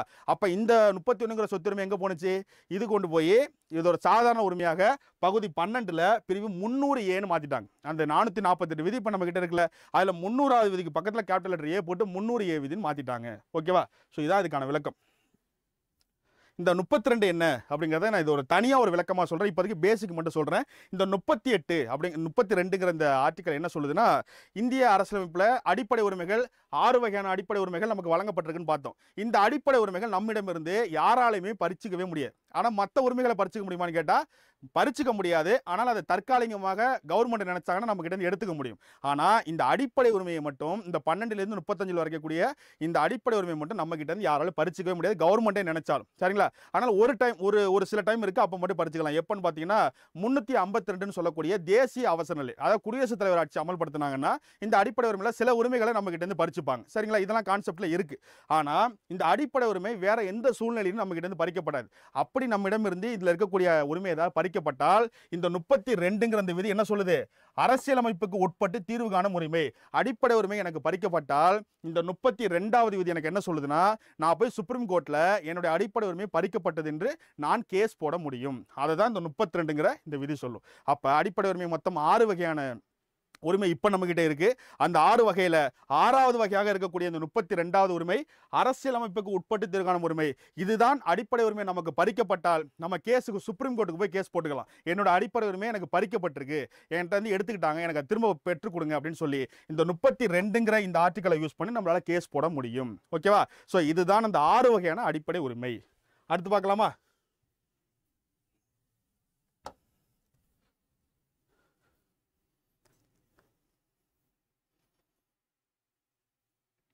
இங்கே பாருங்க. அடுத்து என்ன சொல்லியிருக்காங்க? அடுத்து என்ன உரிமைன்னு பாருங்க. அரசு நெறிமுறையுறுத்தும் கோட்பாடுகள். அரசு நெறிமுறையுறுத்தும் கோட்பாடுகள்லாம் என்ன? ஒன்றும் கிடையாது. டிபிஎஸ்பி இதுக்கு பேர் என்ன சொல்லுவாங்க? டிபிஎஸ்பின்னு சொல்லுவாங்க. சரிங்களா? என்ன எழுதியிருக்கேங்கிறத நான் படிச்சிடறேன் அதுக்கப்புறம் விளக்கம் சொல்கிறேன் அரசு நெறிமுறையுறுத்தும் கோட்பாடுகள் இந்திய அரசியலமைப்பு சட்டம் பகுதி நாளில் சட்டப்பிரிவு முப்பத்தி ஆறிலிருந்து ஐம்பத்தொன்று வரை தரப்பட்டுள்ளது. அரசியலமைப்பு சட்டம் வழிகாட்டும் நெறிமுறைகளுக்காக தனியாக வகைப்பாட்டினையும் கொண்டிருக்கவில்லை. அதாவது இதுக்கான விளக்கம் நான் சொல்கிறேன் இந்த டிபிஎஸ்பின்னு சொல்லக்கூடிய அரசு நெறிமுறை கோட்பாடுகள் இருக்குல்ல இது எந்த பகுதியில் வரும்? இது பார்த்தீங்கன்னா பகுதி நாலு. இருபத்தஞ்சு பகுதி இருக்கா மொத்தம்? அதில் நாலாவது பகுதி. சரிங்களா? இந்த நாலாவது பகுதியில் என்னென்ன ஆற்றுகள் அப்படின்னு பார்த்தீங்கன்னா முப்பத்தி ஆறுலேருந்து ஐம்பத்தி ஒன்று அப்படியே அடிப்படை உரிமையுடைய கண்டினியூஷன் தான் இது. அடுத்து முப்பத்தஞ்சோட அடிப்படை உரிமை முடிஞ்சிருக்கும். அதுக்கு அடுத்தது முப்பத்தி ஆறிலிருந்து ஐம்பத்தொன்று வரைக்கும் இருக்கக்கூடிய விதிகள் என்னென்னு பார்த்தீங்கன்னா இந்த டிபிஎஸ்பியில் கவர் ஆகும். இந்த டிபிஎஸ்பி பற்றி நான் ரொம்ப பேசிக்காக சொல்லிடுறேன். இது ரொம்ப காம்ப்ளிகேட்டட் பண்ணிக்காது ரொம்ப ஈஸியாக சொல்கிறேன் இந்த டிபிஎஸ்பினா என்ன அர்த்தம் அப்படின்னா இந்த முப்பத்தி ஆறுலேருந்து ஐம்பத்தொன்று வரைக்கும் இருக்கக்கூடிய விதிகள் இருக்குல்ல இந்த விதிகள் எதுவுமே நேரடியாக நம்ம மக்களுக்கான விதிகள் கிடையாது. இந்த முப்பத்தி ஆறு டு ஐம்பத்தி ஒன்றில் இருக்கக்கூடிய இந்த விதிகள் இந்திய அரசியல் நிர்ணய சபை யாருக்காக எழுதுனாங்கன்னா கவர்மெண்ட்டுக்காக எழுதுனாங்க. கவர்மெண்ட்னா யார்? அரசுக்காக எழுதுனாங்க. அதனால தான் இந்த பேரில் படிச்சு பாருங்க. அரசு நெறிமுறையுறுத்தும் கோட்பாடுகள். இது அரசுக்கான ஒரு அறிவுறுத்தல் கருவி. அதாவது இந்த முப்பத்தி ஆறு டு ஐம்பத்தி ஒன்றில் இருக்கக்கூடிய விதிகளை நீங்கள் எடுத்து படித்து பார்த்தீங்கன்னா எல்லாமே ரொம்ப பயங்கரமான விதிகளாக இருக்கும். நம்ம மக்களுக்கு செயல்படுத்தினா மக்களுக்கு எல்லாருக்கும் ரொம்ப சந்தோஷப்படுவாங்க. அந்த மாதிரி ஒரு பயங்கரமான விதிகளாக இருக்கும். ஆனால் மக்களுக்கு அதை செயல்படுத்துவதில் நிறைய கடினமான விஷயங்கள் இருக்கும். அப்போ அப்போ இருக்கிற அந்த இந்திய அரசியல் சபை என்ன பண்ணியிருக்காங்க இந்த முப்பத்தி ஆறு டு ஐம்பத்தி ஒன்று வரைக்கும் இருக்கக்கூடிய விதிகளில் இந்த பகுதி நாளில் எழுதி என்ன சொல்லியிருக்காங்கன்னா இது மாதிரி இப்போ மக்களுக்கு நாங்கள் பண்ணக்கூடிய ரொம்ப நல்ல நல்ல விஷயங்களை இதில் எழுதியிருக்கோம். இதை இது யாருக்கு சொல்கிறாங்க கவர்மெண்ட்டிட்ட சொல்கிறாங்க இது மாதிரி நாங்கள் என்ன பண்ணுறோம் மக்களுக்கு ரொம்ப உபயோகப்படுற மாதிரி நிறைய சட்டங்களை இந்த முப்பத்தி ஆறு ஐம்பத்தொன்னு எழுதியிருக்கோம். இதை இப்போதைக்கு மக்களுக்கு நீங்கள் செயல்படுத்திக்க முடியாது. ஏன்னா இப்போ நம்ம கிட்ட அதுக்கிட்ட பணம் கிடையாது எதுவுமே கிடையாது. ஆனால் பிற்காலத்தில் நம்ம கவர்மெண்ட் நல்லா செயல்பட்டுச்சுன்னா நீங்கள் என்ன பண்ணுறீங்க இந்த மக்களுக்கு இதெல்லாம் செயல்படுத்துங்க. அப்படின்னு இந்திய அரசியல் நிர்ணய சபை நமது அரசுக்கு ஒரு அறிவுறுத்து அறிவுறுத்தல் ஒரு அட்வைசபிள் சரிங்களா? அறிவுறுத்துறாங்க. இதெல்லாம் நீங்கள் பண்ணால் நல்லா இருக்குன்னு சொல்லி அவங்க கிட்ட சொல்லிட்டு போன விஷயம் தான் இது. அப்போ டிபிஎஸ்பின்னு சொல்லக்கூடிய இந்த அரசுக்கு நெறிமுறை எடுத்தும் கோட்பாடுகள் இருக்கக்கூடிய முப்பத்தி ஆறு டு ஐம்பத்தி ஒன்றில் இருக்கக்கூடிய எந்த ஒரு விதிகளும் நேரடியாக மக்களுக்கான விதி இல்லை. அந்த விதிகள் கவர்மெண்ட்டுக்கு கான்ஸ்டியூஷன் அசம்பிளி சொன்னது. அவங்களுக்கு சொன்ன ஒரு அட்வைஸ் அவ்வளோதான் இந்த முப்பத்தி ஆறு டு ஐம்பத்தொன்னு இருக்கக்கூடிய ஆர்டிக்கலை ஏன்ப்பா எங்களுக்கு நிறைவேற்றலன்னு சொல்லி நம்மளால கேஸ் போட முடியாது. ஏன் அப்படின்னா இதில் இருக்கக்கூடிய விதிகள் எல்லாமே கவர்மெண்ட்டுக்கு கான்ஸ்டியூஷன் அசம்பிளி சொன்ன ஒரு அட்வைஸ் அவ்வளோதான் இதெல்லாம் நீங்கள் நிறைவேற்றினீங்கன்னா நல்லாயிருக்கும் அப்படின்னு சொல்லிட்டு போயிருக்காங்க. அப்போ அவங்களுக்கே அது ஒரு விருப்ப உரிமை மட்டும்தான். அவங்களுக்கே என்ன? அது ஒரு விருப்ப உரிமை யாருக்கு? கவர்மெண்ட்டுக்கு. அப்போ கவர்மெண்ட்டுக்கே கான்ஸ்டியூஷன் அசம்பிளி ஒரு விருப்ப உரிமையாக கொடுத்துட்டு போயிட்டாங்க. உங்களால் முடிஞ்சா நிறைவேற்றுங்கன்னு சொல்லிட்டு போயிட்டாங்க. அப்போ இந்த முப்பத்தி ஆறு டு ஐம்பத்தி ஒன்று கவர்மெண்ட்டுக்கான உரிமைகள். அவங்க இதை நம்மக்கிட்ட கண்டிப்பாக நிறைவேற்றணுமான்னு கேட்டால் கிடையாது. அவங்களுக்கே அது ஒரு விருப்ப உரிமை தான் அப்போ இதை ஏன் நீங்கள் செயல்படுத்தணும் நம்மளால கேஸ் போட முடியாது. சரிங்களா? இதுதான் இந்த அரசுக்கு நெறிமுறைப்படுத்தும் கோட்பாடுகள். சரிங்களா? இதை நீங்கள் படித்து பார்த்தீங்கன்னா நான் சொன்னதை அப்படியே சொல்லியிருப்பாங்க. இந்த அரசுக்கும் நெறிமுறை கோட்பாடு இந்த முப்பத்தி ஆறு ஐம்பத்தி ஒன்று இருக்குல்ல. இதில் இருக்கக்கூடிய இந்த விதிகளை நம்ம எளிமையாக புரிஞ்சுக்கணும்னு நமக்கு மூணு விதியாக பிரித்து கொடுக்குறாங்க. அதாவது மூணு கான்செப்டா ஒன்று என்னன்னு பார்த்தீங்கன்னா சமதர்மம். இன்னொன்று காந்திய. இன்னொன்று தாராள அறிவு சார்ந்தவை. தாராள அறிவு. இது எங்கே இருக்குன்னு பார்த்தீங்கன்னா இங்கே படித்து பார்த்தீங்கன்னா இதில் இருக்கும். சரிங்களா? இது மூணு வகையாக பிரித்து கொடுத்துருப்பாங்க. நம்ம ஈஸியாக புரிஞ்சுக்கணும் அப்படிங்கிறதுக்காக. சரிங்களா? இந்த பாருங்கள் இந்த இருக்கு பாருங்கள் அதாவது சமதர்ம காந்திய மற்றும் தாராள அறிவு சார்ந்தவை என்று பிரிக்கப்பட்டுள்ளன. அது என்ன? சமதர்ம காந்திய தாராளம் மற்றும் அறிவு சார்ந்தவை. சமதர்மம் அப்படின்னா இந்த முப்பத்தி ஆறு ஐம்பத்தொன்னு இருக்கிற ஆர்டிகல் எல்லாரும் சமம் அப்படிங்கிற மாதிரி என்னென்ன ஆர்டிகல்லாம் சொல்லுதோ அது வந்து இந்த சமதர்மத்தில் சொல்லுவாங்க. அடுத்தது காந்திய. காந்தியுடைய சிந்தனைகளோட எந்தெந்த முப்பத்தி ஆறு ஐம்பத்தொன்னு இருக்கக்கூடிய விதிகள்லாம் ஒத்து போகுதோ அதை எல்லாத்தையும் அவர் காந்திய சிந்தனைகள்னு சேர்த்து சொல்லுவாங்க. தாராளம் மற்றும் அறிவு சார்ந்தவை. ரொம்ப அறிவு சார்ந்திருக்கக்கூடிய விதிகள்.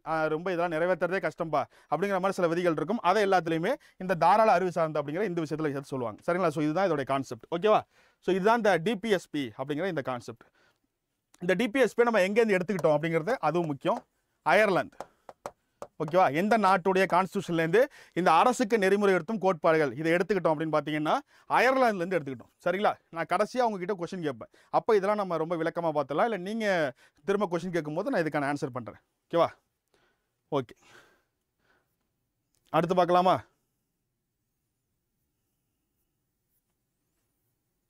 இங்கே பாருங்கள் அடிப்படை உரிமைகளுக்கும் அரசு நெறிமுறை எடுத்த கோட்பாடுகளுக்கும் இடையான வேறுபாடுகள். இந்த ஃபண்டமெண்டல் ரைட்ஸுக்கும் இந்த டிபிஎஸ்பிக்கும் இருக்கிற வேறுபாடுகள் என்னென்ன? அப்படிங்கிறத சொல்லியிருக்காங்க. சரிங்களா? அது என்னென்னங்கிறத பார்த்தலாமா ரொம்ப எக்ஸாம் பாயிண்ட் ஆஃப் வியூ இது ரொம்ப முக்கியம். அடிப்படை உரிமைகள் அரசுக்கு நெறிமுறை எடுத்தும் கோட்பாடுகள். சரிங்களா? சரி ஓகே. இப்போ வரைக்கும் நடத்துனது உங்களுக்கு ஓரளவு கம்ஃபர்டபுளாக இருக்கான்னு சொல்லுங்கள் ஒரு டூ மினிட்ஸ் நம்ம பேசிட்டு நம்ம கிளாஸ் ஆரம்பிப்போம். நம்ம அப்படியே கண்டினியூவாக கிளாஸ் பார்த்துட்ருக்கோம் ஸோ ஒரு ஃபைவ் மினிட்ஸ் ஒரு டூ மினிட்ஸ் ஃபைவ் மினிட்ஸ் கூட வேண்டாம். உங்களுக்கு இது வரைக்கும் நடத்துனதில் உங்களுக்கு நல்லா கம்ஃபர்டபுளாக ஸ்கூல் புக்கு போதா? எப்படி போகுது? இல்லை அடுத்து என்ன பண்ணலாங்கிறது உங்களுக்கு தெரிஞ்சதாக சொல்லுங்கள் நம்ம அடுத்தடுத்து டக்குன்னு மூவ் பண்ணிடலாம். அடுத்து இருக்கிறது இந்த அடிப்படை கடமை ஒன்று இருக்கும். அதை முடிச்சிட்டோம்னா அடுத்து ஒரு ரெண்டு மூணு பாயிண்ட் தான் முடிச்சிடலாம். சரிங்களா?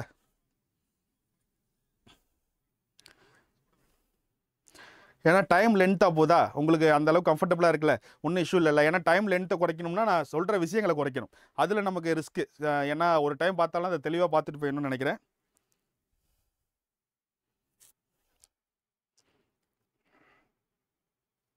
ஓகேவா இது வரைக்கும் நடத்துனதெல்லாம் உங்களுக்கு கம்ஃபர்டபுளாக புரியுதா? ஒரு ஸ்கூல் புக்கை படித்த ஒரு ஒரு ஃபீல் வருதா உங்களுக்கு?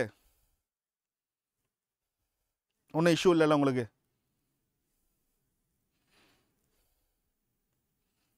ஓகே ஓகே இது ஒரு ஃபஸ்ட்டு கிளாஸுங்கிறதுனால நம்ம ஸ்பீடாக போகிறோம் ஸோ அடுத்தடுத்து நம்ம இன்னும் கொஞ்சம் நல்லா பிளான்லாம் கரெக்டாக பர்ஃபெக்டாக பண்ணி அடுத்த லெசன் நடத்தும் போகலாம். ஏன்னா நல்லா யோசிச்சு பாருங்களேன். இந்த ஸ்கூல் புக் இருக்குது பார்த்தீங்களா ஒரு லெசன் நம்ம படித்தோம்னா ஒரு கண்டினியூஷனே இருக்காது. என்னென்னத்தையும் எடுத்துருந்து வந்து அப்படி அப்படியே கொடுத்துருப்பாங்க அப்போ அதெல்லாம் நான் சொல்லி விளக்கம் சொல்கிறதுக்குள்ளே எனக்கு பிரச்சனை இல்லை நான் எவ்வளோ நேரம் நான் எடுத்துருவேன். சரிங்களா? அது விளக்கமாக எடுக்கிறேன்ட்டு. ஆனால் உங்களுக்கு அந்த லென்த்தை நீங்கள் ஃபீல் பண்ணிடக்கூடாது. சரிங்களா? ஆனால் உண்மையாலுமே அந்த லென்த்து தேவை. ஏன்னா நீங்கள் ஸ்கூல் புக்குங்கிறது ஒரு எல்லாத்தையும் பிச்சு போட்டு ஒன்று சேர்த்தது. அப்போ ஒவ்வொன்றுத்துக்குமே கண்டினியூஷனே இருக்காது. நம்ம தான் புரிஞ்சுக்கணும்.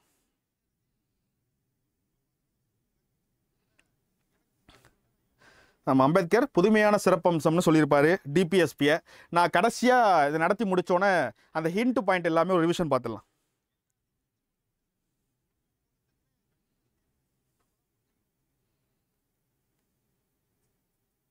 ஓகே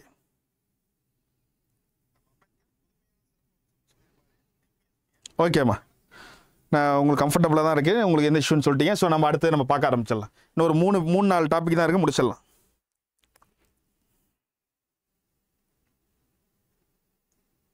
ஓகே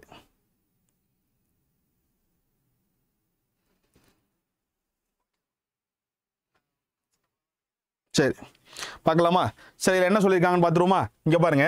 அடிப்படை உரிமையையும் இந்த அரசுக்கு நெறிமுறை எடுத்த கோட்பாடுகளை டிபிஎஸ்பி இது டிபிஎஸ்பி இது அடிப்படை உரிமை ஃபண்டமெண்டல் ரைட்ஸ் இந்த ஃபண்டமெண்டல் ரைட்ஸு பகுதி மூணில் இருக்குது சரிங்களா? பகுதி மூணு.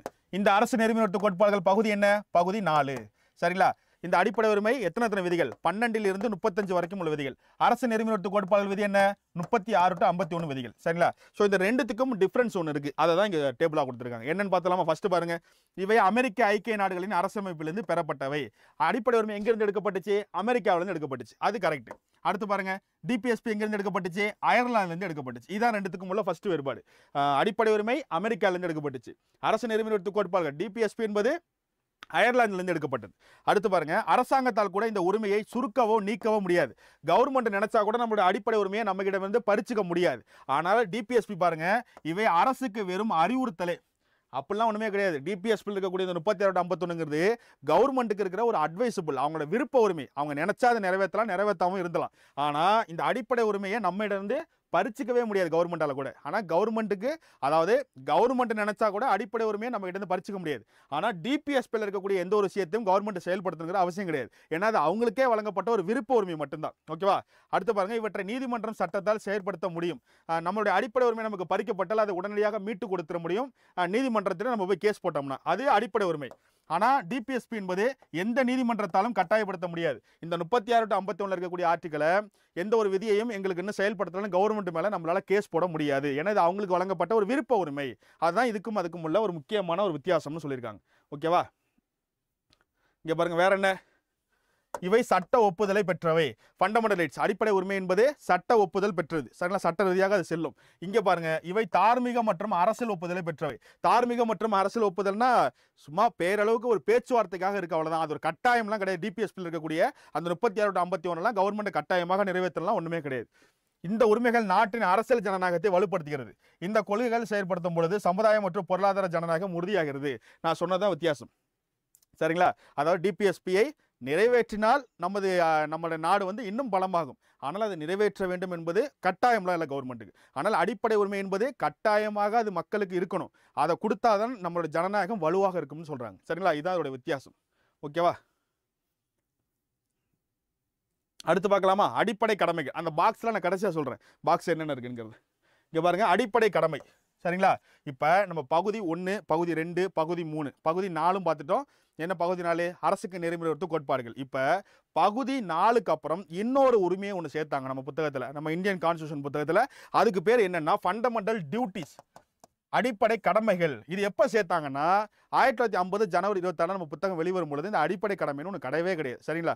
அப்போ இதை எப்போ தான் சேர்த்தாங்க? அப்படின்னு பார்த்தீங்கன்னா ஆயிரத்தி தொள்ளாயிரத்தி எழுபத்தஞ்சில் நமது இந்தியாவில் குடியரசுத் தலைவர் ஆட்சி அமல்படுத்தினாங்க. ஒரு பெரிய ஒரு இஷ்யூ ஒன்று வந்துச்சு.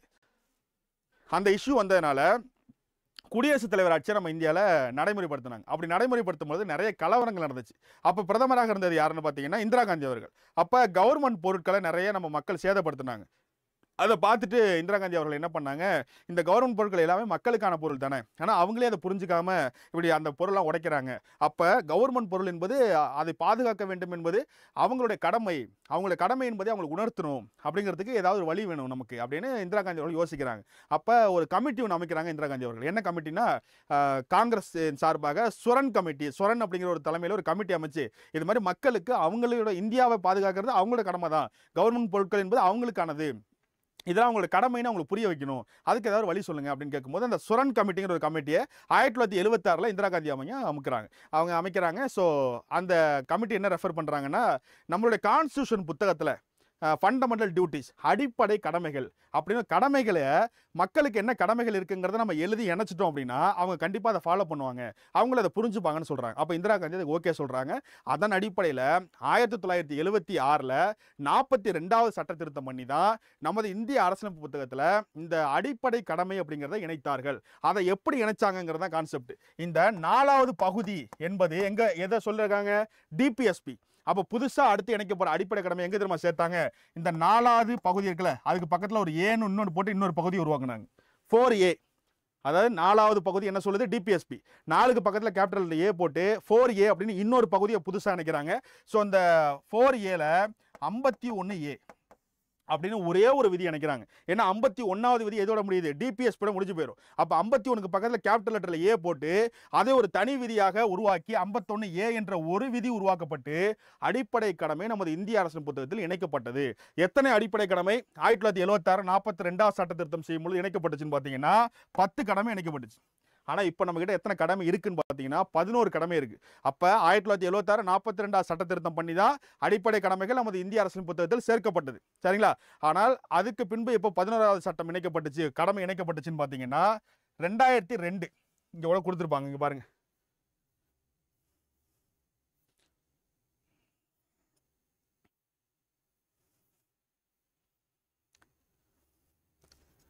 இங்க வரைக்கும் நான் சொல்கிறேன் பாருங்க. ரெண்டாயிரத்தி ரெண்டு எண்பத்தி ஆறாவது சட்ட திருத்தம் சரிங்களா? இதில் தான் எக்ஸ்ட்ரா இன்னொரு கடமை பதினோராவது கடமை இணைப்பாங்க. ஸோ மொத்தம் நம்மகிட்ட பதினோரு கடமை இருக்குது அப்போ கிளியராக புரிஞ்சுக்கணும். ஆயிரத்தி தொள்ளாயிரத்தி எழுபத்தி ஆறு நாற்பத்தி ரெண்டாவது சட்ட திருத்தம் பண்ணி தான் இந்திய அரசியலமைப்பு புத்தகத்தில் அடிப்படை கடமை என்று ஒரு பகுதி ஃபோர் ஏவில் இணைக்கப்பட்டது. பகுதி ஃபோர் ஏங்கிறது அப்போல்லாம் புதுசாக இணைக்கப்பட்டது ஐம்பத்தி ஒன்று ஏங்கிற ஒரே ஒரு ஆர்டிக்கல் இணைக்கப்பட்டு பத்து கடமைகள் பத்து வகையான கடமைகள் இணைக்கப்பட்டுச்சு நமது இந்திய அரசின் புத்தகத்தில். பதினோராவது கடமையாக இன்னொரு ஒரு ஒரு கடமை மட்டும் ஆட் பண்ணுறாங்க எப்போன்னு பார்த்தீங்கன்னா ரெண்டாயிரத்தி ரெண்டு எண்பத்தி ஆறாவது சட்ட திருத்தம் பண்ணி எக்ஸ்ட்ரா இன்னொரு ஒரு கடமை ஜாயின் பண்ணுறாங்க ஸோ மொத்தம் நம்மளுடைய அடிப்படை கடமையில் நம்மகிட்ட இப்போ இப்போ எத்தனை கடமைகள் இருக்குன்னு பார்த்தீங்கன்னா பதினோரு கடமைகள் நம்மகிட்ட மொத்தம் இருக்குது சரிங்களா? அப்போ அடிப்படை கடமை கடமை என்பது முதல் முதல் இணைக்கப்பட்டது ஆயிரத்தி தொள்ளாயிரத்தி எழுபத்தாறில் தான். நாற்பத்தி ரெண்டாவது சட்ட திருத்தம் பண்ணி தான். சரிங்களா? ஓகே. அதற்கு பின்பு ரெண்டாயிரத்தி ரெண்டு எண்பத்தாறு சட்டத்தில் எக்ஸ்ட்ரா ஒரே ஒரு கடமை இணைச்சாங்க. மொத்தம் பதினோரு கடமை நம்மகிட்ட இருக்குது சரிங்களா? இங்கே படித்து பார்த்தீங்கன்னா நான் சொன்னது அப்படியே இருக்கும். இங்கே இருக்கு பாருங்க. ஆயிரத்தி தொள்ளாயிரத்தி எழுபத்தாறாம் ஆண்டு அமைக்கப்பட்ட சர்தார் சுரன் சிங் கமிட்டி அரசியலமைப்பு சட்ட திருத்தம் செய்ய பரிந்துரைத்தது அதன்படி ஆயிரத்தி தொள்ளாயிரத்தி எழுபத்தாறாம் ஆண்டு மேற்கொள்ளப்பட்ட நாற்பத்தி ரெண்டாவது அரசியலமைப்பு சட்ட திருத்தம் நமது அரசியலமைப்பில் குடிமக்களின் பொறுப்புகள் சிலவற்றை சேர்த்தது. இவ்வாறு சேர்க்கப்பட்ட பொறுப்புகளே குடிமக்களின் கடமைகள் என்று அழைக்கப்பட்டன. பகுதி ஃபோர் ஏ இருக்கா? பகுதி ஃபோர் ஏ ஒரு புதிய பகுதியை சேர்ந்தது. இந்த புதிய பகுதி 51 ஏ என்ற ஒரே ஒரு பிரிவு மட்டும் கொண்டது. இது குடிமக்களுக்கு பத்து அடிப்படை கடமைகளை விளக்கும் குறிப்பிடப்பட்ட சட்ட தொகுப்பாக இருக்கு. இன்னொரு விஷயத்தையும் புரிஞ்சுக்கணும். இந்த பதினோரு அடிப்படை கடமை இருக்குல்ல இந்த பதினோரு அடிப்படை கடமையும் நம்ம கண்டிப்பாக ஃபாலோ பண்ணணும்னு கேட்டால் கிடையாது. நமக்கு வழங்கப்பட்ட விருப்ப உரிமை. இந்த பகுதி ஃபோர் ஏல இருக்கக்கூடிய 51 ஏங்கிற ஒரு விதியில் இணைக்கப்பட்டுள்ள பதினோரு அடிப்படை கடமைகள் இந்திய குடிமகன்களுக்கு மட்டுமே பொருந்தும். வேற வெளிநாட்டுக்காரங்க நம்ம ஊருக்கு வந்தால் அவங்களுக்கு அடிப்படை கடமை பொருந்தாது. சரிங்களா? அந்த பதினோரு கடமை அவங்களுக்கு கிடையாது நம்ம இந்தியர்களுக்கு மட்டுமே. நமது இந்திய குடிமகன்கள் எல்லாருமே அந்த பதினோரு குடிம குடி அந்த அடிப்படை கடமைகளை கண்டிப்பாக ஃபாலோ பண்ணணும்னு கேட்டால் அதுவும் கிடையாது. நமக்கு வழங்கப்பட்டது அது ஒரு விருப்ப உரிமை தான் நம்ம ஏதாவது ஒரு அடிப்படை கடமையை ஃபாலோ பண்ணல அப்படின்னா நம்ம மேலே கேஸ் போட்டு நம்மளை அரெஸ்ட் பண்ண முடியுமான்னு கேட்டால் கிடையவே கிடையாது. நமக்கு வழங்கப்பட்ட ஒரு விருப்ப உரிமை தான் இந்த அடிப்படை கடமை. ஓகேவா சரி ஓகே அடுத்து போயிடலாமா? இந்த பதினோரு கடமைகள் என்னென்னங்கிறது இங்கே பாருங்க. ஆ ஆ இ அப்படியே வரிசலாக கொடுத்துருப்பாங்க. சரிங்களா? இது சும்மா நீங்கள் ஃப்ரீயாக இருக்கும்போது படிச்சுக்கோங்க. இங்கே பாருங்கள் அடுத்தது. மத்திய மாநில உறவுகள். இப்போ நம்ம அந்த பகுதியை எல்லாமே முடிச்சிட்டோம். இப்போ அடுத்து என்ன சொல்லியிருக்காங்க அப்படின்னு பார்த்தீங்கன்னா மத்திய மாநில உறவுகள் மத்திய அரசுக்கும் மாநில அரசுக்கும் என்ன மாதிரியான உறவுகள் இருக்குங்கிறத ரொம்ப ஷார்ட்டாக கொடுத்துருக்காங்க. மத்திய அரசுனா இந்தியா மாநில அரசுனா நம்மளோட தமிழ்நாடு மாதிரி நம்மகிட்ட மொத்தம் இருபத்தெட்டு மாநிலங்கள் இருக்குது சரி நம்ம மத்திய அரசுக்கும் மாநில அரசுக்கும் என்ன மாதிரியான உறவுகள் இருக்குது ஃபஸ்ட்டு என்ன உறவு சொல்லியிருக்காங்க? சட்டமன்ற உறவுகள். சட்டமன்ற உறவுனா என்ன அர்த்தம்? நம்மக்கிட்ட நம்ம தமிழ்நாட்டுக்குன்னு ஒரு சட்டமன்றம் இருக்குது சரிங்களா? அதே மாதிரி மத்திய அரசுக்குன்னு ஒரு சட்டமன்றம் பார்லிமெண்ட்னு ஒன்று இருக்குது ஸோ அவங்களுக்கு என்ன மாதிரியான உறவுகள் இருக்குன்னு சொல்கிறாங்க இங்கே பாருங்கள் மத்திய நாடாளுமன்றம் இந்தியா முழுவதற்கும் அல்லது இந்தியாவின் எந்த பகுதிக்கும் சட்டம் அதிகாரம் பெற்றுள்ளது. இது இந்தியாவின் மாநிலங்களுக்கு மட்டுமின்றி யூனியன் பிரதேசங்களுக்கும் பொருந்தும். அதாவது மத்திய அரசு அப்படிங்கிறது இந்தியாவில் இருக்கக்கூடிய எல்லா மாநிலம் எல்லா யூனியன் பிரதேசம் சேர்ந்து தான் அவங்க சட்டத்தை ஏற்றுவாங்க. அவங்க ஒரு சட்டத்தை கொண்டு வந்தாங்கன்னா அது இருக்கிற எல்லா ஸ்டேட்டுக்கும் பொருந்தும். ஆனால் மாநில அரசு என்பது அந்த மாநிலத்தில் உள்ள மக்களுக்கு மட்டுமே தான் அந்த மாநிலம் சட்டம் இயற்றுவது பொருந்தும். அப்போ இப்போ நம்ம தமிழ்நாடு அரசு ஒரு சட்டம் கொண்டு வந்தாங்கன்னா நம்ம தமிழ்நாடு மக்களுக்கு மட்டும்தான் பொருந்தும். ஆந்திரா மக்களுக்கு பொருந்தாது. ஏன்னா அது ஒரு மாநில அரசு. நம்ம மாநிலத்துக்கு மட்டும்தான் ஆனால் நம்ம இந்திய மத்திய அரசு ஒரு சட்டம் கொண்டு வந்தாங்கன்னா அது நம்ம இந்தியாவில் இருக்கக்கூடிய அனைத்து மாநிலங்களுக்கும் பொருந்தும். ஏன்னா அது மத்திய அரசு. சில இதுதான் அதுக்கான வித்தியாசம். அதோட விளக்கத்தை இங்கே கொடுத்துருக்காங்க. இதான் சட்டமன்ற உறவுன்னு சொல்கிறாங்க அது சட்டமன்ற உறவுனா அவங்க என்ன சொல்ல வராங்க? மத்திய சட்டமன்றம் என்ற பாராளுமன்றம் ஒரு சட்டத்தை கொண்டு வந்தாங்கன்னா அது இந்தியா முழுவதும் செல்லும். ஆனால் நமது மாநில சட்டமன்றம் ஒரு சட்டம் கொண்டு வந்தாங்கன்னா அது அந்த மாநிலத்தில் மட்டுமே செல்லும். இது இந்த மாநிலத்துக்கும் மத்திய அரசுக்கும் உள்ள ஒரு முக்கியமான ஒரு சட்டமன்ற உருவாக சொல்லப்படுது. சரிங்களா? அதுக்கப்புறம் இன்னொன்று பாருங்க.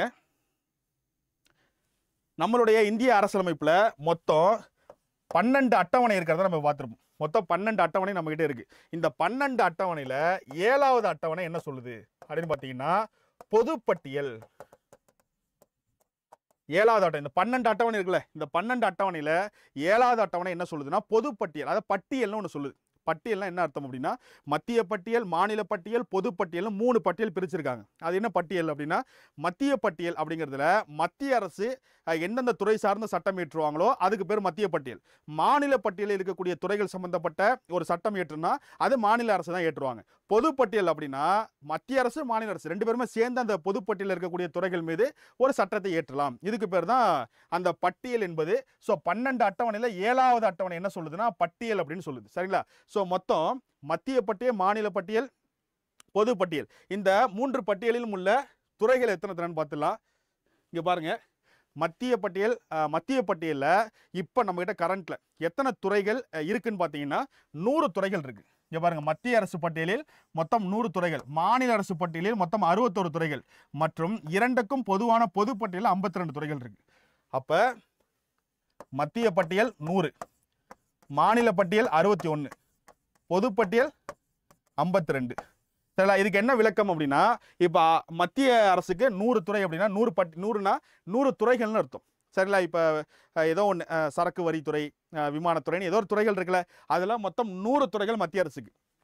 மாநில அரசுக்கு அறுபத்தொரு துறைகள். பொதுப்பட்டியல்னா ஐம்பத்தி ரெண்டு துறைகள் இருக்கு. அப்போ இந்த நூறு துறைகள் சம்பந்தப்பட்ட ஒரு சட்டத்தை ஏற்றணும்னா மத்திய அரசு மட்டும் தான் ஏற்ற முடியும். மாநில அரசில் இருக்கக்கூடிய இந்த அறுபத்தோரு துறைகள் சம்பந்தப்பட்ட ஒரு சட்டம் ஏற்றணும்னா மாநில அரசு மட்டும் தான் ஏற்ற முடியும். இந்த பொதுப்பட்டியலில் இருக்கக்கூடிய ஐம்பத்தி ரெண்டு துறைகள் சம்பந்தப்பட்ட ஒரு சட்டம் ஏற்றணும்னா மத்திய அரசும் ஏற்றலாம் மாநில அரசும் ஏற்றலாம். இதுதான் இந்த இந்த பட்டியல் என்பதற்கான விளக்கம். சரிங்களா?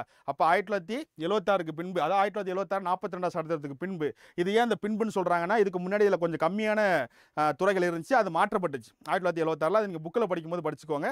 நான் இப்போ இருக்கிற அப்டேட் மட்டும் சொல்கிறேன் ஸோ நம்மகிட்ட இப்போ மொத்தம் மத்திய பட்டியலில் நூறு துறைகள் இருக்குது அந்த நூறு துறைகள் சம்பந்தப்பட்ட ஒரு சட்டம் இயற்ற வேண்டும் என்றால் மத்திய அரசு தான் பண்ண முடியும். மாநில அரசு அறுபத்தோரு துறைகள் மீது சட்டம் இயற்றலாம். பொது பட்டியலில் 52 துறைகள் மீது மத்திய அரசும் சட்டம் இயற்றலாம் மாநில அரசும் சட்டம் இயற்றலாம். இதில் இன்னொரு கன்ஃபியூஷன் ஒன்று வரும். இந்த பொது பட்டியலில் 52 துறைகள் இருக்குது இதில் ரெண்டு பேரில் யாருப்பா சட்டம் ஏற்றுவோம் அப்படின்னா இப்போ ரெண்டு பேருக்கும் கருத்து வேறுபாடு இருக்குது மத்திய அரசு ஒன்று சொல்கிறாங்க மாநில அரசு ஒன்று சொல்கிறாங்க இப்போ மாநில அரசு சட்டம் கொண்டு வரலான்னு சொல்கிறாங்க மத்திய அரசு கொண்டு வரக்கூடாதுன்னு சொல்கிறாங்க இப்போ ரெண்டுத்தில் எது நடக்கும்? ரெண்டுத்தில் எது நடக்கும் அப்படின்னா மத்திய அரசு சொல்கிறது தான் நடக்கும். அதையும் அதில் குறிப்பிட்டுட்டாங்க. பொதுப்பட்டியலில் இருக்கக்கூடிய துறைகள் மீது ஏதேனும் ஒரு சட்டத்தை ஏற்றும் பொழுது மத்திய அரசுக்கும் மாநில அரசுக்கும் முரண்பாடு இருந்தால் மத்திய அரசு சொல்வதே செல்லும் அப்படின்னு சொல்லிட்டாங்க. ஓகேவா? முடிஞ்சிச்சு. இதுதான் ஃபஸ்ட்டு இருக்கிறது. அடுத்து பாருங்க. மத்திய மாநில உறவில் சட்டமன்ற உறவு ஃபஸ்ட்டு பார்த்தாச்சு. அடுத்து நிர்வாக உறவு. இங்க பாருங்க. நிர்வாக உறவுகள். நிர்வாக உறவு அப்படின்னா அவங்களுடைய நிர்வாகத்துக்கும் நம்ம மாநிலத்தோட நிர்வாகத்துக்கும் என்ன மாதிரியான உறவுகள் இருக்குன்னு சொல்கிறாங்க இங்கே பாருங்கள் ஒரு மாநில அரசு நிர்வாக அதிகாரம் அதன் சொந்த மாநிலத்தில் மட்டுமே உள்ளது. மற்றும் அம்மாநிலத்தில் மட்டுமே தனக்கான சட்டமேற்றும் தகுதியையும் பெற்றுள்ளது.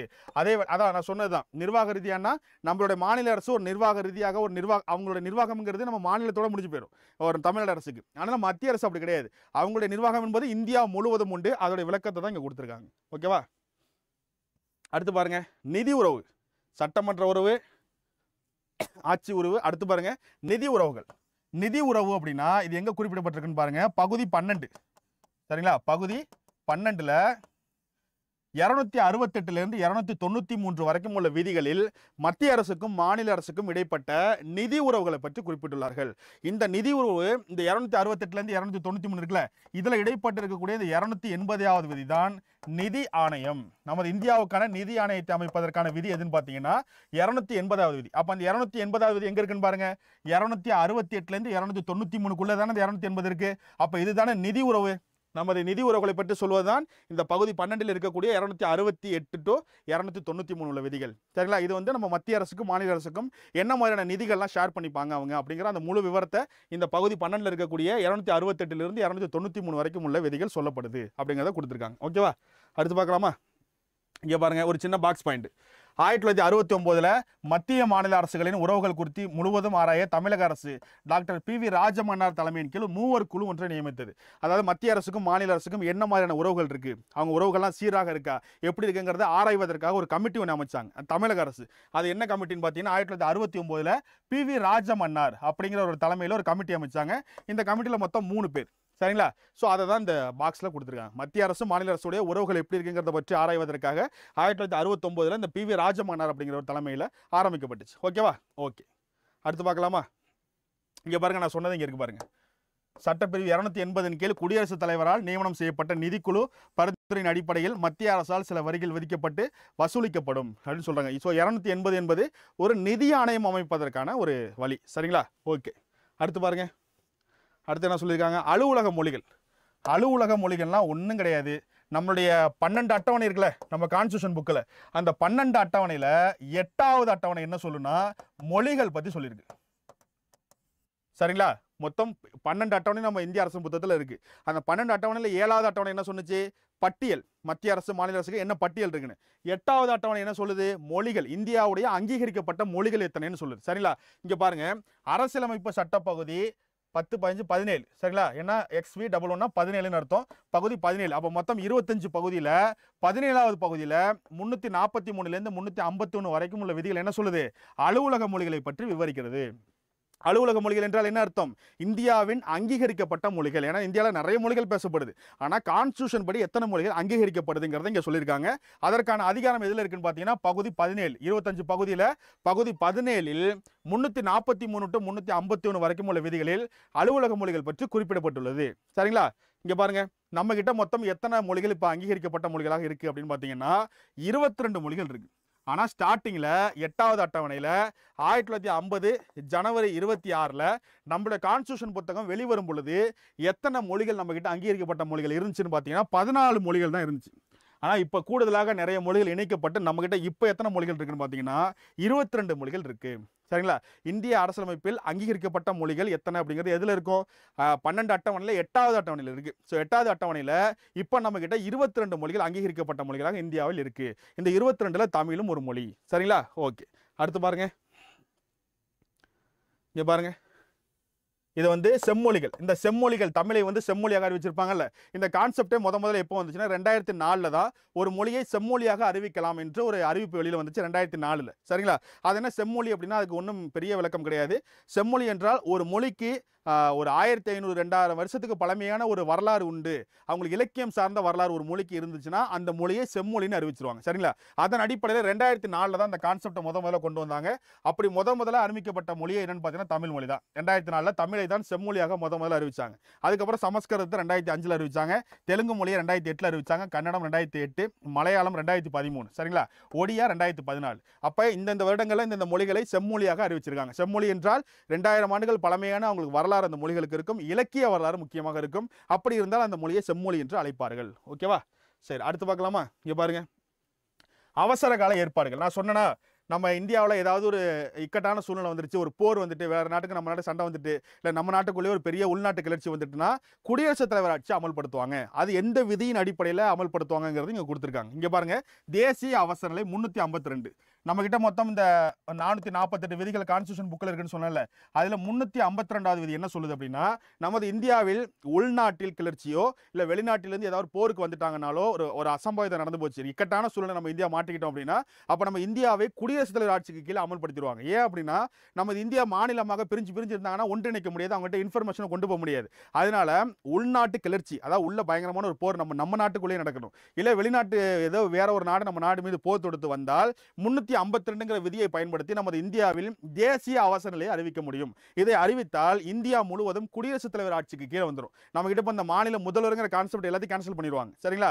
எல்லாத்தையும் கேன்சல் பண்ணி குடியரசுத் தலைவர் கீழே நம்ம வந்துருவோம். ஸோ தேசிய அவசர நிலை என்பது முன்னூற்றி ஐம்பத்தி ரெண்டுங்கிற ஆர்டிகளில் குறிப்பிடப்பட்டுள்ளது. இதை நீங்கள் படித்து பார்த்தீங்கன்னா நான் சொன்னது அப்படியே இருக்கும். இதை யார் இம்ப்ளிமெண்ட் பண்ணுவா? குடியரசுத் தலைவர் தான் பண்ண முடியும். நம்ம நாட்டுடைய குடியரசுத் தலைவர் நினைச்சாருன்னா முன்னூற்றி ஐம்பத்தி ரெண்டுங்கிற விதியை பயன்படுத்தி தேசிய அவசர நிலையை அறிவிக்க முடியும். ஆனால் அவர் டைரெக்டாக பண்ண முடியாது. அவர்கிட்ட அந்த டைமில் யார் பிரதமராக இருக்காங்களோ அவங்க போய் பரிந்துரைக்கணும். ஏன்னா அவங்க பரிந்துரைச்சாதான் இவங்களால பண்ண முடியும். சரிங்களா? அது ஒரு நிறைய ப்ரொசீஜர் இருக்குது ஸோ முந்நூற்றி ஐம்பத்தி ரெண்டுங்கிற தேசிய அவசர நிலை அப்படிங்கிற சட்டத்தை மட்டும் நீங்கள் தெரிஞ்சுக்கிட்டா போதுமானது. சரிங்களா? சரி தேசிய அவசர நிலை ஓகே இது முந்நூற்றி ஐம்பத்தி ரெண்டுங்கிறது இந்தியா முழுவதும் இந்தியா முழுவதும் சேர்த்து குடியரசு தலைவர் ஆட்சியை ரன் பண்ணுறது ஆனால் ஏதாவது பர்டிகுலராக ஏதாவது ஒரு மாநிலத்துக்கு மட்டும் இந்த குடியரசு தலைவர் ஆட்சியை ரன் பண்ணணும் அப்படின்னா அது எங்க அது என்ன மாதிரி விதி அப்படின்னு பார்த்தீங்கன்னா முந்நூற்றி ஐம்பத்தி ஆறுங்கிற விதி. மாநில அவசர நிலை அப்போ முந்நூற்றி ஐம்பத்தி ரெண்டு அப்படிங்கிறது இந்தியா முழுவதும் அமல்படுத்தக்கூடிய குடியரசுத் ஆட்சி. தேசிய அவசர நிலை. அதாவது நேஷனல் நேஷனல் எமர்ஜென்சிங்கிறது முந்நூற்றி ஐம்பத்தி ரெண்டாவது விதி.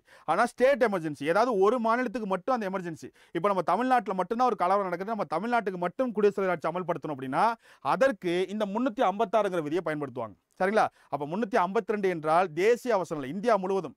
ஏதாவது ஒரு மாநிலத்துக்கு மட்டும் அவசர நிலை அறிவிக்கணும் அப்படின்னா முந்நூற்றி ஐம்பத்தி ஆறு என்ற இந்த விதியை பயன்படுத்துவாங்க. நான் சொன்னது தான் இந்த இடத்துல அப்படியே வரிசலாக கொடுத்துருப்பாங்க. ஓகேவா அடுத்து பாருங்க. நிதி சார்ந்த அவசர நிலை. நிதி சார்ந்த அவசர நிலைனா முந்நூற்றி அறுபது. சரிங்களா? முந்நூற்றி அறுபதுங்கிறது என்ன அப்படின்னா நம்ம இந்தியாவில் பயங்கரமான பொருளாதார பிரச்சனை வந்துட்டு. நம்ம கவர்மெண்ட்டில் பணம் பெருசாக இல்லை அப்படின்னா இந்த முந்நூற்றி அறுபதுங்கிற இந்த விதியை யூஸ் பண்ணி நிதி அவசர அறிவிச்சிருவாங்க.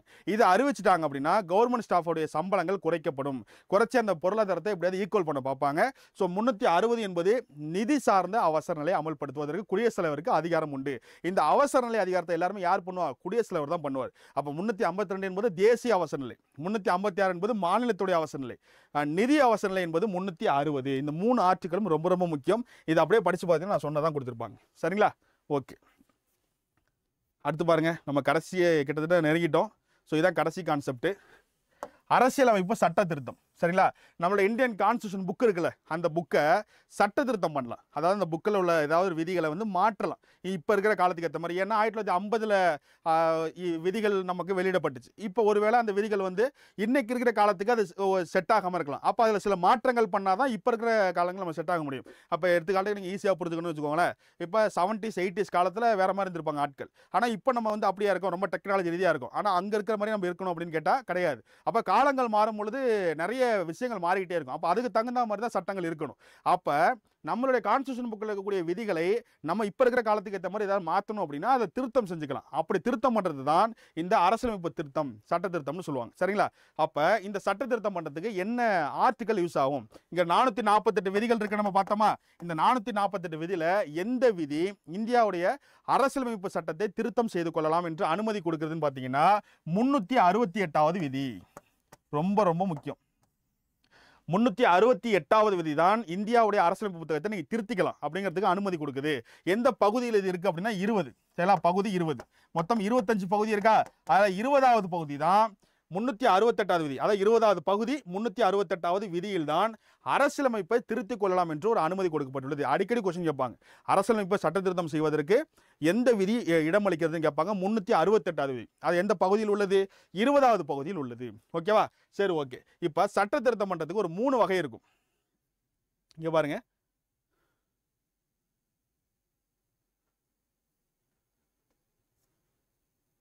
இங்கே பாருங்க. அரசியலமைப்பு சட்ட திருத்தத்தின் வகைகள். அரசியலமைப்பு சட்டத்திட்டத்தின் வகைகள். என்னென்ன வகை இருக்குன்னா மொத்தம் மூன்று வகை. ஃபர்ஸ்ட் வகையை பாருங்க. நாடாளுமன்றத்தின் சாதாரண அறுதி பெரும்பான்மை மூலம் திருத்தப்படுதல். அதாவது நாடாளுமன்றத்துடைய சாதாரண அறுதி பெரும்பான்மை. அப்படின்னா இப்போ பார்லிமெண்ட் இருக்காங்கல்ல அந்த பார்லிமெண்ட்டில் இருக்கக்கூடிய மொத்த பேரில் மொத்த பேரும் வரணும்லாம் அவசியம் கிடையாது. இப்போ ஏதாவது ஒரு சட்டத்தை நீங்கள் நாங்கள் ரன் பண்ண போகிறப்பா இன்றைக்கெல்லாம் வந்துருங்க அப்படின்னு சொல்கிறாங்க ஆனால் அதில் ஒரு மொத்தமே ஒரு ஐம்பது பேர் தான் வந்திருக்காங்க பார்லிமெண்ட்டில் அப்படின்னா எத்தனை பேர் வந்தாங்களோ அதில் பாதிக்கும் மேலே அவங்க சொல்கிற அந்த சட்டத்துக்கு ஒத்துக்கிட்டாங்கன்னா அந்த சட்டம் நிறைவேறிடும். அதுக்கு பேர் தான் வந்து சா நாடாளுமன்றத்துடைய சாதாரண அறுதி பெரும்பான்மை மூலம் திருத்தப்படுதல். ஒரு சட்ட திருத்தம் செய்யும் இப்போ வந்து சொல்லிட்டாங்க நாளைக்கு வந்து இது சம்மந்தப்பட்ட ஏதோ ஒரு சம்மந்தப்பட்ட ஒரு விதி. இப்போ அடிப்படை உரிமையாக இருக்குது இல்லை அடிப்படை கடமைகள் இருக்குது இது மாதிரி நிறைய இருக்குல்ல. அது சம்மந்தப்பட்ட ஒரு விதியை நாங்கள் நாளைக்கு திருத்த போகிறோம்ப்பா எல்லாம் நாளைக்கு வந்துருங்க அப்படின்னு இப்போ பார்லிமெண்ட்டில் சொல்லிடுவாங்க.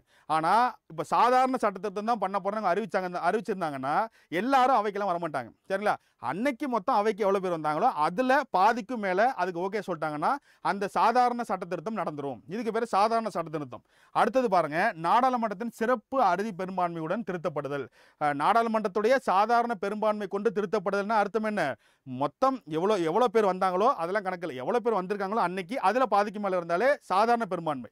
ஆனால் அறுதி பெரும்பான்மை சிறப்பு பெரும்பான்மைன்னு என்ன அர்த்தம் அப்படின்னா நாடாளுமன்றத்தில் மொத்தம் எவ்வளோ பேர் இருக்காங்களோ மூணுல ரெண்டு பங்கு பேருக்கு மேலே ஸ்ட்ரென்த் வந்திருக்கணும். இப்போ எக்ஸாம்பிள் சொல்லணும்னா மொத்தம் முந்நூறு பேர் நாடாளுமன்றத்தில் இருக்காங்க அப்படின்னா இப்போ வந்து சிறப்பு பெரும்பான்மை வச்சு நம்ம நாளைக்கு ஒரு சட்ட திருத்தம் பண்ண போகிறோம் நாளைக்கு எல்லாரும் வந்துருங்கப்பா அப்படின்னு பார்லிமெண்ட்டில் சொல்லிட்டாங்கன்னா இப்போ அடுத்த நாள் எவ்வளோ பேர் வந்திருக்கணும் அப்படின்னா நாடாளுமன்றத்தில் இருக்கக்கூடிய மூணு பங்கில் ரெண்டு பங்குக்கு மேலே உறுப்பினர்கள் வந்திருக்கணும். சரிங்களா? எக்ஸாம்பிளுக்கு முந்நூறு பேர் மொத்தம் அவையில் இருக்காங்கன்னா அப்போ இரநூறு பேருக்கு மேலே ஏன்னா மூணில் ரெண்டு பங்குங்கிறது இரநூறு. அப்போ இரநூறுக்கும் மேற்பட்ட உறுப்பினர்கள் அன்னைக்கு அவைக்கு வந்து அந்த வந்திருந்தவங்களில் ஐம்பது பர்சன்டேஜ்க்கு மேலே அதாவது பாதிக்கும் மேலே இருக்கிறவங்க அவங்க கொண்டு வந்த அந்த சட்ட திருத்தத்துக்கு ஒத்துக்கிட்டா மட்டும்தான் அது சட்ட திருத்தமாக அங்கீகரித்து வெளியில் வரும். இதுக்கு பேர் தான் சிறப்பு பெரும்பான்மை. அடுத்த மூன்றாவதாக ஒன்று இருக்கு. அது என்னன்னு பார்த்தீங்கன்னா இங்கே பாருங்க. நாடாளுமன்றத்தின் சிறப்பு அறுதி பெரும்பான்மையுடன் பாதிக்கும் மேற்பட்ட மாநில சட்டமன்றங்களின் ஒப்புதலை பெறுதல். அதாவது இந்த ரெண்டாவது ஒன்று இருக்குல்ல மொத்தம் மூணு ரெண்டு பங்குக்கு குறையாம வரணும் அப்படின்னு. அதோட சேர்த்து எக்ஸ்ட்ராவாக மாநிலங்கள் இருக்காங்களா? இருபத்தெட்டு மாநிலங்கள். அந்த இருபத்தெட்டு மாநிலங்களுடைய முதலமைச்சர்களும் ஒத்துக்கணும் கூடுதலாக. அப்போ இப்படி சரி இது இது எந்த சட்டம்னு யாருக்கு தெரியும்? இப்போ வந்து சிறப்பு பெரும்பான்மை சம்பந்தப்பட்ட ஒரு விதியை தான் நிறைவேற்ற போகிறாங்க அப்படின்னு எப்படி தெரியும்? அவங்களே அனௌன்ஸ்மெண்ட் கொடுத்துருவாங்க. அந்த துறைகள் சம்மந்தப்பட்டது இருக்குது சாதாரண சட்ட திருத்தம் என்னென்ன துறைகள்னு கவர்மெண்ட் வச்சுருப்பாங்க. சிறப்பு பெரும்பான்மை செஞ்சு என்னென்ன உரிமைகளை திருத்தம் பண்ணணுங்கிறதுக்கு லிஸ்ட் வச்சுருப்பாங்க. அப்போ அவங்களே எந்த துறைகள் சம்பந்தப்பட்டது வருதுங்கிறத பார்த்து அனௌன்ஸ்மெண்ட் பண்ணிடுவாங்க. அதன் அடிப்படையில் வருகை தருவாங்க. பார்லிமெண்ட் உறுப்பினர்கள். அதை வச்சு தான் சட்ட திருத்தம் நடக்கும். அப்போ அரசியலமைப்பு சட்ட திருத்தம் என்பது மூன்று வழியில் நடைபெறும். ஒன்று சாதாரண பெரும்பான்மை. இன்னொன்று சிறப்பு பெரும்பான்மை. இன்னொன்று சிறப்பு பெரும்பான்மை மற்றும் மாநில சட்டமன்றங்களின் அனுமதிகள். அப்படின்னு மூன்று வகையாக சட்ட திருத்தம் செய்யப்படும். சட்ட திருத்தம் முன்னூற்றி அறுபத்தி எட்டாவது விதியில் செய்யப்படும். சரிங்களா? பகுதி இருபதில். இங்கே பாருங்க. இது வரைக்கும் அரசியலமைப்பு சட்ட திருத்தம் பண்ணியிருக்காங்கல்ல அதில் எத்தனாவது சட்ட திருத்தம்? நிறைய சட்ட திருத்தம் ஒரே சட்ட திருத்தத்தில் நிறைய விஷயங்களை மாற்றினாங்க அப்படின்னு கேட்டிங்கன்னா இந்த ஆயிரத்தி தொள்ளாயிரத்தி எழுபத்தி ஆறில் நாற்பத்தி ரெண்டாவது சட்ட திருத்தம் பண்ணாங்கல்ல. ஆயிரத்தி தொள்ளாயிரத்தி எழுபத்தாறில் நாற்பத்தி ரெண்டாவது சட்ட திருத்தம் ஒன்று பண்ணாங்க. இந்த சட்ட திருத்தத்தை தான் நிறைய விஷயத்தை புதுசாக உள்ளே கொண்டு வந்தாங்க. அதனால இதுக்கு பேர் என்ன சொல்லுவாங்கன்னா குறு அரசியலமைப்புன்னு சொல்லுவாங்க. குறு அரசியலமைப்புனா சிறிய அரசியலமைப்புன்னு அர்த்தம். அதாவது அவ்வளோ பெரிய அரசியலமைப்பு புத்தகத்தையே நிறைய விஷயங்களை திருத்தினது ஒரே சட்டத்திருத்தத்தை தான் நாங்கள் திருத்தணும் அது எதுலன்னு பார்த்தீங்கன்னா ஆயிரத்தி தொள்ளாயிரத்தி எழுபத்தாறு நாற்பத்தி ரெண்டாவது சட்ட திருத்தத்தில் நாங்கள் நினைச்சோம் அதனால இந்த சட்ட திருத்தத்தை குறு அரசியலமைப்பு என அறியப்படுகிறது. குறு அரசியலமைப்புனா சிறிய அரசியலமைப்பு என்று நாங்கள் அழைக்கிறோம் அப்படின்னு சொல்லியிருக்காங்க. சரிங்களா? ஓகே. இதில் சொன்னது எல்லாமே இந்த இடத்துல இருக்கும். அவ்வளோதான் கடைசியாக ஒரு குழு ஒன்று அமைச்சிருக்காங்க. அந்த குழுவை பற்றி சொல்லியிருக்காங்க. இங்கே பாருங்க. அரசியலமைப்பு செயல்பாடு குறித்து ஆய்வு செய்ய ரெண்டாயிரம் ஆண்டில் இந்திய அரசு ஒரு தீர்மானத்தின்படி திரு எம் என் வெங்கடாச்சலயா தலைமையில் அரசியலமைப்பு சட்ட செயல்பாட்டிற்காக தேசிய சீராய்வு அமைக்கப்பட்டது அதாவது ரெண்டாயிரம் வருஷத்தில் ரெண்டாயிரத்தில் என்ன பண்ணாங்க? டூ தௌசண்ட்ல அப்படின்னா எம் வென் வெங்கடாச்சலையா அப்படிங்கிறவருடைய தலைமையில் அரசியலமைப்பு பற்றி ஆராய்வதற்காக ஒரு குழு ஒன்று அமைச்சாங்க. அந்த குழு அமைச்ச அமைக்கப்பட்டதுடைய விவரத்தை எழுதியிருக்காங்க. சில அப்புறம் இன்னொரு ஒரு குழு ஒன்று அமைக்கப்பட்டிருக்கு. இங்கே பாருங்கள் ரெண்டாயிரத்தி ஏழாம் ஆண்டு எம் எம் பூஞ்சி அப்படிங்கிற ஒரு தலைமையில் ஒரு குழு அமை ஒரு குழு ஒன்று அமைச்சிருக்காங்க. சரிங்களா? இந்த குழுவும் எதுக்கு அப்படின்னு பார்த்தீங்கன்னா அரசின் பல்வேறு நிலைகள் அவற்றிற்கிடையான தொடர்புகள் பற்றி ஆராய்வதற்காக. சில அரசுடைய நிலைகள் பற்றி ஆராய்வதற்காக ரெண்டாயிரத்தி ஏழில் எம்எம் பூஞ்சி அப்படிங்கிற தலைமையில் இன்னொரு குழு அமைக்கப்பட்டிருக்கு. சரிங்களா? அப்போ இதோட இந்த இந்த இந்த லெசனோட எண்டு முடியுது. இங்கே பாருங்கள் இப்போ இந்த லெசனை நீங்கள் கடைசியாக பாட சுருக்கம். பாட சுருக்கம்னா என்ன அர்த்தம் அப்படின்னா இந்த பாடத்தை நம்ம மொத்தமாக பார்த்து முடிச்சிட்டோம். அப்போ அதை பற்றின ஒரு சுருக்கமாக நம்ம என்னென்ன பார்த்துருக்கோங்கிறத அவங்களே கொடுத்துருப்பாங்க. இதை பார்த்தீங்கன்னா தான் நம்ம என்ன படிச்சிருக்கோங்கிறதே புரியும். ஃபஸ்ட்டு பாருங்கள் அமைச்சரவை திட்டக்குழு ஆயிரத்தி தொள்ளாயிரத்தி நாற்பத்தி ஆறின் கீழ் அமைக்கப்பட்ட அரசியல் நிர்ணய சபையால் இந்திய அரசமைப்பு சட்டம் உருவாக்கப்பட்டது. இந்திய அரசமைப்பு எப்படி உருவாக்கப்பட்டுச்சு? ஆயிரத்தி தொள்ளாயிரத்தி நாற்பத்தாறில் கேபினட் மிஷன் குழு கொடுத்த பரிந்துரையின் அடிப்படையில் தானே உருவாக்குறாங்க. அதை இங்கே கொடுத்துருக்காங்க. இதை நம்ம படிச்சிட்டோமா? படிச்சிட்டோம். அடுத்து பாருங்க. இந்தியா ஒரு இறையாண்மை மிக்க சமதர்ம சமய சார்பற்ற ஜனநாயக குடியரசு என இந்திய அரசியலமைப்பின் முகவுரை கூறுகிறது. முகவுரை என்பது ஆஹ், அமெரிக்காவிலிருந்து நேரு கொண்டு வந்தது. அதில் என்ன வாக்கியங்கள் இடம்பெற்றிருக்கும்? இறையாண்மை சமதர்மம் சமய சார்பற்ற ஜனநாயக குடியரசு. ஜனநாயகம் மக்களாட்சின்னு கூட சொல்லலாம். மக்களாட்சி குடியரசு என்று இடம்பெற்றுள்ளது. அதை நம்ம பார்த்துட்டோமா? பார்த்துட்டோம். செகண்ட் ஓகே அடுத்து பாருங்க. சிட்டிசன் என்ற சொல் சிவிஸ் என்ற லத்தீன் சொல்லிலிருந்து பெறப்பட்டது. இதன் பொருள் ஒரு நகர அரசில் வசிப்பவர். இதை நம்ம பார்த்துட்டோமா? பார்த்துட்டோம் சிட்டிசன் பார்த்துட்டோமா? சிட்டிசன்ஷிப் எங்கே பார்த்தோம் குடியுரிமை பகுதி இரண்டில் இடம்பெற்றுள்ளது. சரிங்களா? ஐந்திலிருந்து பதினொன்று வரை உள்ள விதிகள். குடியுரிமை சட்டம் என்பது ஆயிரத்தி தொள்ளாயிரத்தி ஐம்பத்தஞ்சில் இயற்றப்பட்டதான குடியுரிமை சட்டம். அடுத்து பாருங்கள் டாக்டர் பி ஆர் அம்பேத்கரின் கூற்றுப்படி முப்பத்தி ரெண்டாவது சட்டப்பிரிவு அரசியலமைப்பின் இதயம் மற்றும் ஆன்மா ஆகும். அதாவது அடிப்படை உரிமை நமக்கு பறிக்கப்பட்டால் எந்த விதியை வச்சு நம்ம கேஸ் போட முடியும்? முப்பத்தி ரெண்டாவது விதி. அந்த முப்பத்தி ரெண்டாவது விதியை அம்பேத்கர் என்ன சொல்லியிருக்காரு? அரசியலமைப்பின் இதயம் மற்றும் ஆன்மான்னு சொல்லியிருக்காரு. சரிங்களா அந்த அரசமைப்புடைய இதயம் மற்றும் ஆன்மாவே என்னன்னு பார்த்தீங்கன்னா அந்த முப்பத்தி ரெண்டாவது இதுதான். ஏன் அப்படின்னா அந்த முப்பத்தி ரெண்டாவது விதியை வச்சு தான் நமக்கு அடிப்படை உரிமை கிடைக்கலன்னா நம்ம கேஸ் போட்டு வாங்கிக்க முடியும். அப்போ அதுதான் வந்து இதயம் மற்றும் ஆன்மான்னு அம்பேத்கர் சொல்லியிருக்காரு. ஓகேவா? இது ஓகேவா? அடுத்து பாருங்க. ரெண்டாயிரத்தி நாலில் இந்திய அரசு மொழிகளை வகைப்படுத்த முடிவு செய்து புதிய வகைகளான செம்மொழிகளை அறிவித்தது. செம்மொழிகள் அப்படிங்கிற கான்செப்டை ரெண்டாயிரத்தி நாலில் தான் முத முதல்ல அறிவிச்சாங்க. ஓகேவா? அதில் முதல் முதலாக அறிவிக்கப்பட்ட மொழியே தமிழ் மொழி தான். சரிங்களா? அதுக்கு என்ன அர்த்தம் செம்மொழினா? பழமையான இலக்கிய வரலாறும் பழமையான வரலாறும் கொண்ட ஒரு மொழியைத்தான் செம்மொழியாக அறிவிப்பார்கள். அதன் அடிப்படையில் ரெண்டாயிரத்தி நாலில் தமிழை அறிவித்தாங்க முடிஞ்சு அவ்வளோதான் இப்போ நம்ம புக் பேக் பார்க்கலாமா? புக் பேக் பார்த்துட்டோம்னா நமக்கு முடிஞ்சிடும் நீங்கள் ஆன்சர் பண்ணுறீங்களா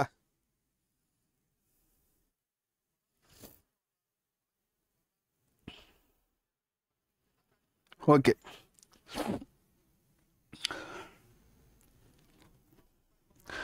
ஓகே புக் பேக் நீங்கள் ஆன்சர் பண்ணுறீங்களா ஃபர்ஸ்ட் கொஸ்டின் பாருங்க. கீழ்காணும் வரிசையில் கீழ்காணும் வரிசையில் முகவுரை பற்றி சரியான தொடர் எது? அப்படின்னு கேட்குறாங்க இதுக்கு ஆன்சர் பண்ணுங்க.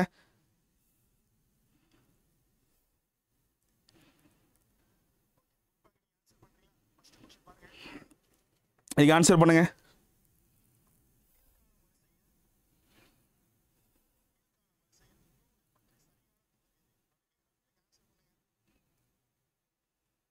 இதுக்கு ஆன்சர் என்ன? எந்த ஆர்டரில் வரணும்? எந்த ஆர்டரில் முகவுரை எழுதப்பட்டிருக்கு?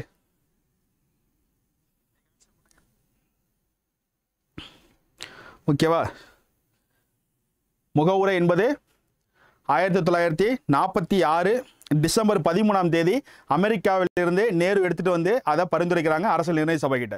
அதை பரிந்துரைச்சு அதை என்னைக்கு அவங்க ஏற்றுக்கிட்டாங்க ஆயிரத்தி தொள்ளாயிரத்தி நாற்பத்தி ஏழு ஜனவரி இருபத்தி ரெண்டாம் தேதி அதை ஏற்றுக்கிட்டாங்க அப்படிப்பட்ட அந்த முகவுரையில் அந்த முதல் பேஜில் என்ன வாக்கியங்கள் இடம்பெற்றுள்ளது வரிசையாக.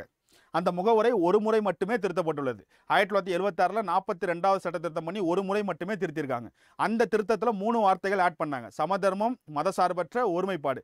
அந்த வார்த்தைகள்லாம் சேர்க்கப்பட்ட பின்பு அந்த வரிசையாக அந்த வார்த்தை அந்த வார்த்தைகள் எப்படி மாறுனுச்சுங்கிறத நீங்கள் சொல்லணும். ஓகே எல்லாரும் டி ஆன்சர் பண்ணியிருக்கீங்க கரெக்ட் இறையாண்மை சமதர்மம் சமய சார்பற்ற ஜனநாயக குடியரசு. இதுதான் ஆன்சர் சரிங்களா? முகவுரை இந்த வாக்கியத்தில் தான் இடம்பெற்றுள்ளது. அடுத்த கொஸ்டின் பார்க்கலாமா? ரெண்டாவது கொஸ்டின் பாருங்கள் இந்திய அரசியலமைப்பு முகவுரை எத்தனை முறை திருத்தப்பட்டது? முகவுரை இது வரைக்கும் எத்தனை முறை திருத்தப்பட்டிருக்கு?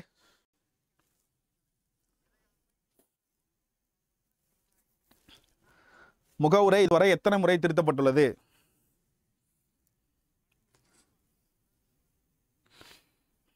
எத்தனை முறை? பாத்துங்க முகவுரை அடிக்கடி கொஸ்டின் கேட்பாங்க.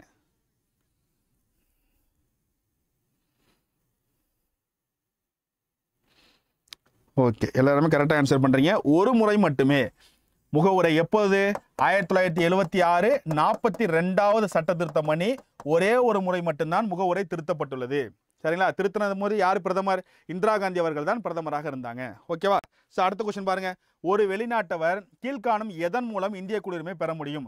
ஒரு வெளிநாட்டுக்காரங்களா இருக்காங்க. ஆனால் அவங்க இந்தியாவில் ரொம்ப வருஷம் வாழ்ந்து அதை ஒரு ப்ரூஃபாக காமிச்சு நம்ம இந்தியாவில் ஜாயின் பண்ணோம்.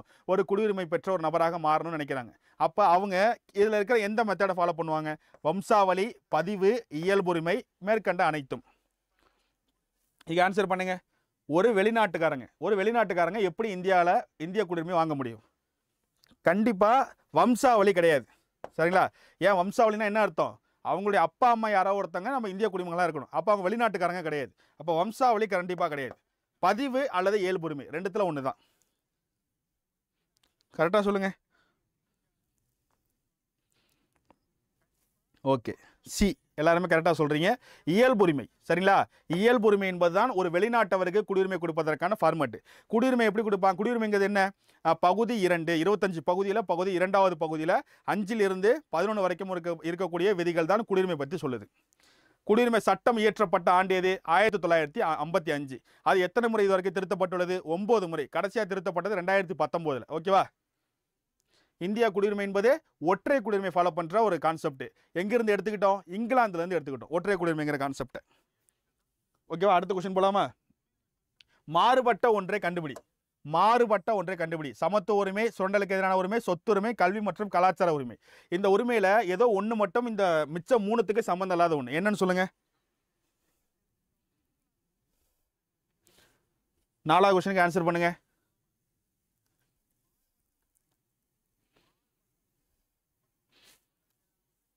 ஓகே கரெக்ட் சொத்துரிமை.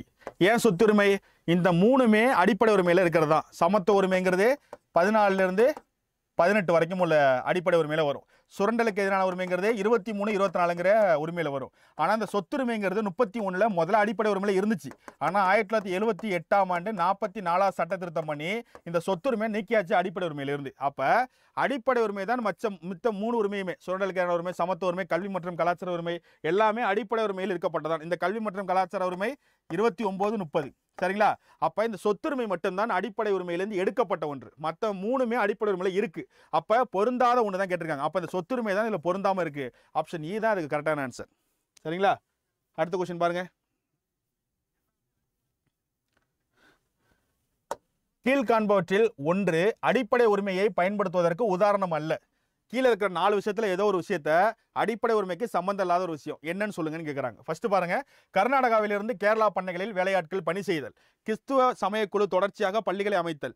ஆண் பெண் இருபாலருக்கும் அரசு பணிகளுக்கு சம ஊதியம் பெறுதல். பெற்றோர்களின் பூர்வீக சொத்துக்கள் அவர்களது பிள்ளைகளுக்கு செல்லுதல். இதுல எது அடிப்படை உரிமைக்கு சம்பந்தப்படாத ஒண்ணு?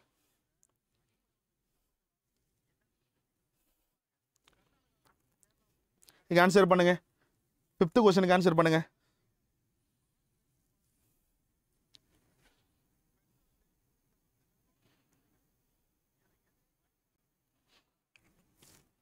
சியா தப்பு. சின்னு சொல்லக்கூடாது. தப்புல சி. ஆண் பெண் இருபாளருக்கும் அரசு பணிகளுக்கு சம ஊதியம் பெறுதல். அரசு பணிங்கிற வார்த்தை இருக்கு. அரசு பணிங்கிறது என்ன ஆர்டிக்கல் வரும்? பதினாறு. பதினாறாவது அடிப்படை உரிமையில் என்ன சொல்லப்பட்டிருக்கோம்? சம சம வேலை வாய்ப்பு வேலை வாய்ப்புகளை சமமாக எல்லாமே இருக்கணும். அதில் சமமான ஊதியமும் ஒரு அரசு பணிகளில். சரிங்களா? அப்போ சி கிடையாது. சரிங்களா? டி தான் கரெக்ட் ஃபைவ்க்கு டி தான் கரெக்ட் பெற்றோர்களின் பூர்வீக சொத்துக்கள் அவர்களது பிள்ளைகளுக்கு செல்லுதல். சொத்துக்கள் சம்பந்தப்பட்ட அனைத்துமே அடிப்படை உரிமையில இல்லை. சரிங்களா? அது எல்லாமே முப்பத்தி ஒன்றுலேருந்து இருந்துச்சு. அது எல்லாத்தையுமே தூக்கியாச்சு. மற்ற மூணுமே பார்த்தீங்கன்னா அடிப்படை உரிமை சம்மந்தப்பட்டதான் வேலையாட்கள் பணி செய்தல். கொத்தடிமை முறையாக யாரும் வேலையெல்லாம் வாங்க முடியாது. சரிங்களா? அப்போ அவங்களுக்குன்னு அடிப்படை உரிமை இருக்குது அடுத்தது கிறிஸ்துவ சமயக்குழு. மத சார்ப மத சார்ந்த எந்த மதத்தை வேணாலும் யார் வேணாலும் ஃபாலோ பண்ணலாங்கிற மதம் சார்ந்த அடிப்படை நமக்கு வழங்கப்பட்டிருக்கு. அப்போ இதுவும் கரெக்ட் தான். அடுத்து ஆண் பெண் இருவாளருக்கும் அரசு பணிகளுக்கு சம ஊதியம் அரசு பணி என்பது ஆர்டிகல் பதினாறின் அடிப்படையில் அடிப்படை உரிமையில் பொது வேலைவாய்ப்பில் சம பங்குன்னு சொல்லப்பட்டிருக்கு. அதனால் அதுவும் அடிப்படை உரிமை. அதனால் சொத்துரிமை மட்டும் தவறாக உள்ளது.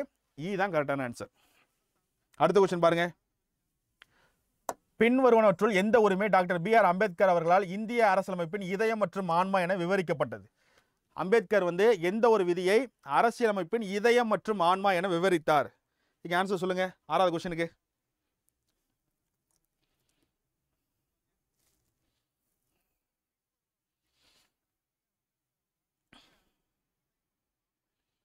இதுக்கு ஆன்சர் என்ன? ஆறாவது கொஷனுக்கு ஓகே எல்லாம் கரெக்டாக சொல்கிறீங்க ஆறாவது கொஸ்டினுக்கு சி தான் ஆன்சர் அரசியலமைப்புக்கு உட்பட்டு தீர்வு காணும் உரிமை. முப்பத்தி ரெண்டாவது விதி. நான் சொல்லியிருக்கேனா? அடிப்படை உரிமையில் இருக்கக்கூடிய ஆறு வகையான உரிமையில் ஒரு உரிமை தான் இந்த முப்பத்தி ரெண்டாவது விதி. அரசியலமைப்புக்கு உட்பட்டு தீர்வு உரிமை.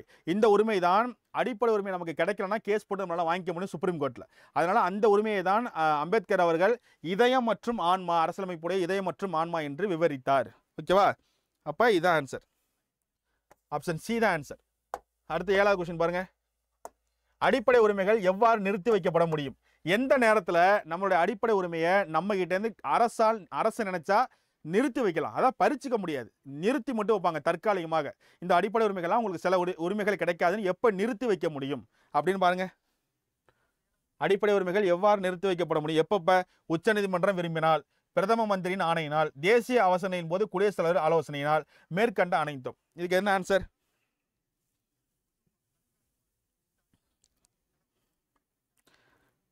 ஓகே சி கரெக்ட் தேசிய அவசரநிலையின் போது குடியரசுத் தலைவரின் ஆலோசனையினால் முன்னூத்தி ஐம்பத்தி ரெண்டுங்கிற ஒரு ஆர்டிக்கலை யூஸ் பண்ணி குடியரசுத் தலைவர் ஆட்சி அமல்படுத்தினாங்கன்னா நம்ம கிட்ட இருக்கிற அடிப்படை உரிமைகளை அங்கே இருக்கக்கூடிய அந்த அடிப்படை உரிமைகளை அந்த குடியரசுத் தலைவர் ஆட்சி அமல்படுத்தி முடிக்கிற வரைக்கும் அந்த போர் நிலைகள்லாம் கேன்சல் பண்ணி நம்ம நாடு நம்ம நாடு வந்து பழைய நிலைமைக்கு திரும்புகிற வரைக்கும் அடிப்படை உரிமையில் சில உரிமைகளை மட்டும் நமக்கு நிறுத்தி வச்சிருவாங்க. தக்க தற்காலிகமாக நிறுத்தி வைக்க முடியும். கவர்மெண்ட் நினைச்சாங்கன்னா. எப்போ? ஒரே ஒரு டைம் மட்டும்தான். இந்த முந்நூற்றி ஐம்பத்தி ரெண்டுங்கிற பவரை யூஸ் பண்ணி குடியரசுத் தலைவர் ஆட்சி அமல்படுத்தினா மட்டும்தான் பண்ண முடியும். வேறு யாராலையும் அதை பண்ண முடியாது. ஓகேவா? அடுத்த கொஸ்டின் பாருங்க. நமது அடிப்படை கடமைகளை நம்ம எங்கிருந்து பெற்றோம்? அடிப்படை கடமைகள் ஃபண்டமெண்டல் டியூட்டிஸ் அடிப்படை கடமைகள் எந்த நாட்டிலிருந்து நம்ம எடுத்துக்கிட்டோம்?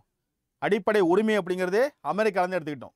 அஹ் அரசுக்கு நெறிமுறைப்படுத்தும் கோட்பாடுகள்ங்கிறது டிபிஎஸ்பி அயர்லாந்துலேருந்து எடுத்துக்கிட்டோம். சரிங்களா? இது மாதிரி ஒவ்வொன்றும் ஒரு நாட்டிலிருந்து பெறப்பட்டது தான் அதன் அடிப்படையில் அடிப்படை கடமைகள் ஃபண்டமெண்டல் டியூட்டிஸ் எங்கிருந்து எடுத்துக்கிட்டோம்?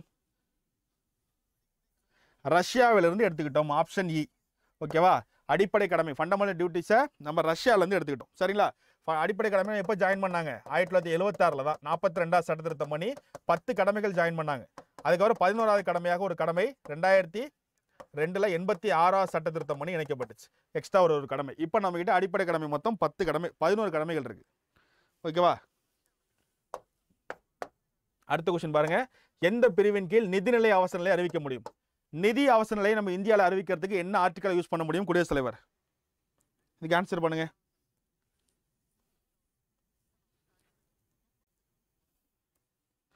Okay super. நைனுக்கு ஈ e தான் ஆன்சர். சட்டப்பிரிவு முந்நூற்றி அறுபது. முந்நூற்றி அறுபதுங்கிற விதியை யூஸ் பண்ணி தான் குடியரசு தலைவர் நினைச்சாருன்னா நிதி அவசர நிலையை நம்மளோட நாட்டில் செயல்படுத்த முடியும். சரிங்களா? மற்றபடி முந்நூற்றி ஐம்பத்தெட்டுங்கிறது தேசிய அவசர நிலை முந்நூற்றி ஐம்பத்தி ஆறுங்கிறது ஒரு மாநிலத்துக்கு மட்டும் அவசர நிலை கொடுக்கிறது. முந்நூற்றி அறுபது என்பது தான் நிதி சம்பந்தப்பட்ட அவசர நிலை. நமது இந்தியாவிற்கு கொடுக்கிறது. ஓகேவா ஓகே அடுத்து லாஸ்ட் கொஷின் பாருங்க எந்த குழுக்கள் கமிஷன்கள் மத்திய மாநில உறவுகள் பற்றி பரிந்துரை செய்தன? மத்திய மாநிலத்துடைய உறவுகள் பற்றி ஆராய்வதற்கு என்ன கமிட்டிகள் அமைக்கப்பட்டுச்சு? சர்க்காரியா குழு ராஜமன்னார் குழு எம்என் வெங்கடாச்சலையா குழு. இந்த மூணு குழுல ஏதோ ஒரு குழு மட்டும் இதற்காக அமைக்கப்படலை. வேற மற்ற ரெண்டு குழு தான் அமைக்கப்பட்டுச்சு. எது எதுன்னு சொல்லுங்க.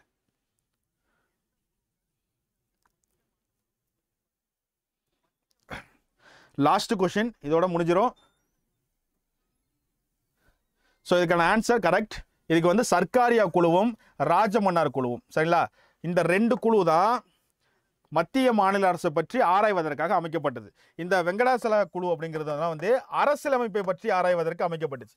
அது மத்திய மாநிலத்துடைய அரசுகள் உறவுகளை பற்றி ஆராய்வதற்கு அமைக்கப்படலை. அப்போ இந்த சர்க்காரியா குழு ராஜமன்னார் குழு இந்த ரெண்டு குழு தான் அப்போ ஒன்று ரெண்டு இருக்குது இங்கே இருக்குது பாருங்கள் ஆப்ஷன் பி. ஒன்று ரெண்டு தான். சரிங்களா? அவ்வளோதான் முடிஞ்சிச்சு. ஓகேவா? ஸோ இந்த லெசனை நம்ம கம்ப்ளீட்டாக பார்த்து முடிச்சிட்டோம். ஸோ உங்களுக்கு இப்போ புரிஞ்சிருக்கும்னு நான் நம்புகிறேன்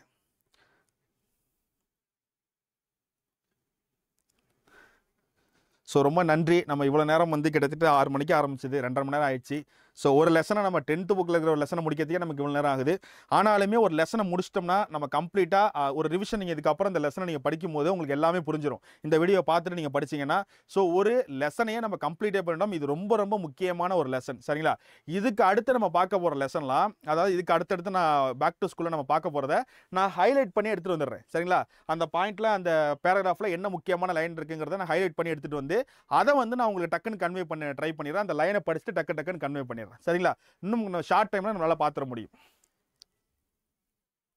ஓகேவா ரொம்ப நன்றி. இவ்வளோ நேரம் வந்து உங்களோட சப்போர்ட் கொடுத்து இவ்வளோ நேரம் நீங்கள் நம்ம ட்ராவலிங்லேயே இருந்ததுக்கு. ஸோ அந்த பேக் டு ஸ்கூலுங்கிற கான்செப்ட் எப்படி இருந்துச்சுங்கிறத அந்த ரிவ்யூவும் கண்டிப்பாக கொடுத்துட்டு போங்க. சரிங்களா?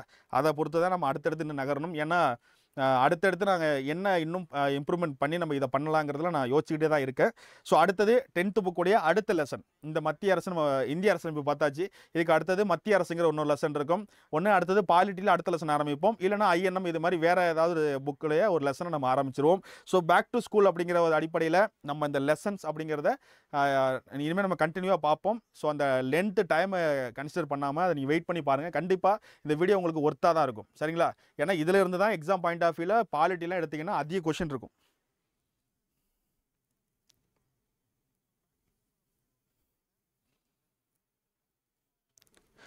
ஓகே ரொம்ப நன்றி. உங்களோட ரிவ்யூ எல்லாத்துக்கும். எல்லாருமே ரொம்ப நல்லா இருக்குன்னு சொல்லிட்டு இருக்கீங்க.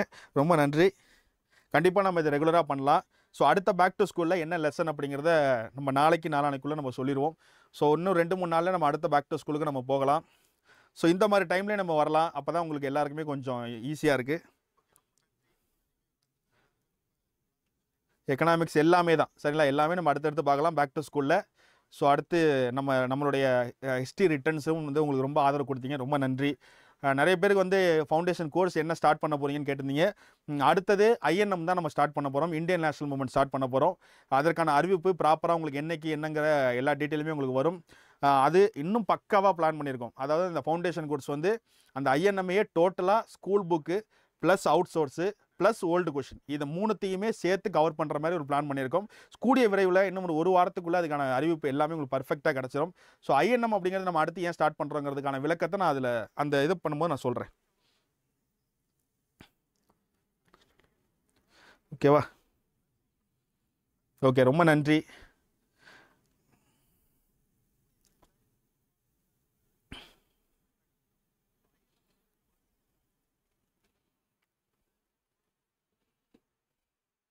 உங்களுடைய ஆதரவுக்கு ரொம்ப நன்றி. உங்களுக்கு புரிஞ்சிருக்குன்னு நான் ரொம்ப நம்புகிறேன் ஏன்னா இது ஒரு புதிய முயற்சி தான்.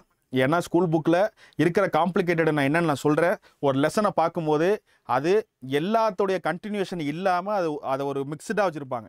அதை எடுத்து நான் உங்களுக்கு கன்வே பண்ணுறதுக்கு என்னால் முடிஞ்சதை நான் பண்ணிட்டேன். உங்களுக்கு அது எப்படி நடந்திருக்குங்கிறத நீங்கள் சொல்கிற கமெண்ட்ஸை வச்சு நான் ஏற்றுக்கிறேன் சரிங்களா?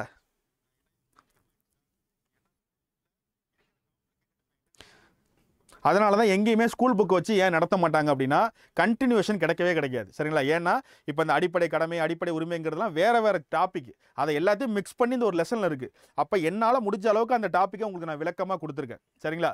அதனால தான் ஸ்கூல் புக்கை யாருமே தொடாத காரணம் ஏன் அப்படின்னா அது கண்டினியூஷன் இல்லாமல் இருக்கும். அதை கன்வே பண்ண முடியாதுன்னு கஷ்டப்படுவாங்க. சரிங்களா?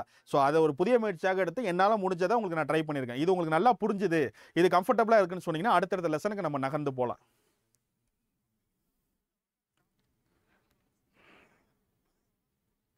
யூனிட் எயிட் வந்து நம்ம திரும்பவும் ஸ்டார்ட் பண்ணுவோம். மேக்ஸிமம் ஐஎன்எம்க்கு ஆரம்பிக்கிறதுலையே யூனிட் எயிட் யார் யாரெல்லாம் சேரணும்னு ஆசைப்பட்றீங்களோ திரும்ப ஒரு தடவை சேரணும்னு ஆசைப்படுற எல்லாருமே ஐஎன்எம்ல சேர்ந்துருங்க. ஏன் அப்படின்னா யூனிட் எயிட்டில் கவர் ஆகுறது கிட்டத்தட்ட செவன்ட்டி பர்சன்டேஜ் ஐஎன்எம்ல கவர் ஆகிடும் சரிங்களா? அந்த சிலபஸ் கவர் ஆகும். நான் அது எல்லாத்தையுமே விளக்கமாக உங்களுக்கு தனியாக ஒரு வீடியோ நான் போடுறேன். ஓகேவா ஓகேம்மா நம்ம வீடியோ முடிச்சிடலாம். கம்ப்ளீட் பண்ணிடலாம். ஸோ இதோட நமக்கு இந்த லெசன் முடியுது. ஸோ அடுத்த ஒரு லெசனில் பேக் டு ஸ்கூலில் நம்ம இன்னொரு ஒரு டாப்பிக்கில் நம்ம சந்திக்கலாம். ஓகேவா நன்றி வணக்கம்.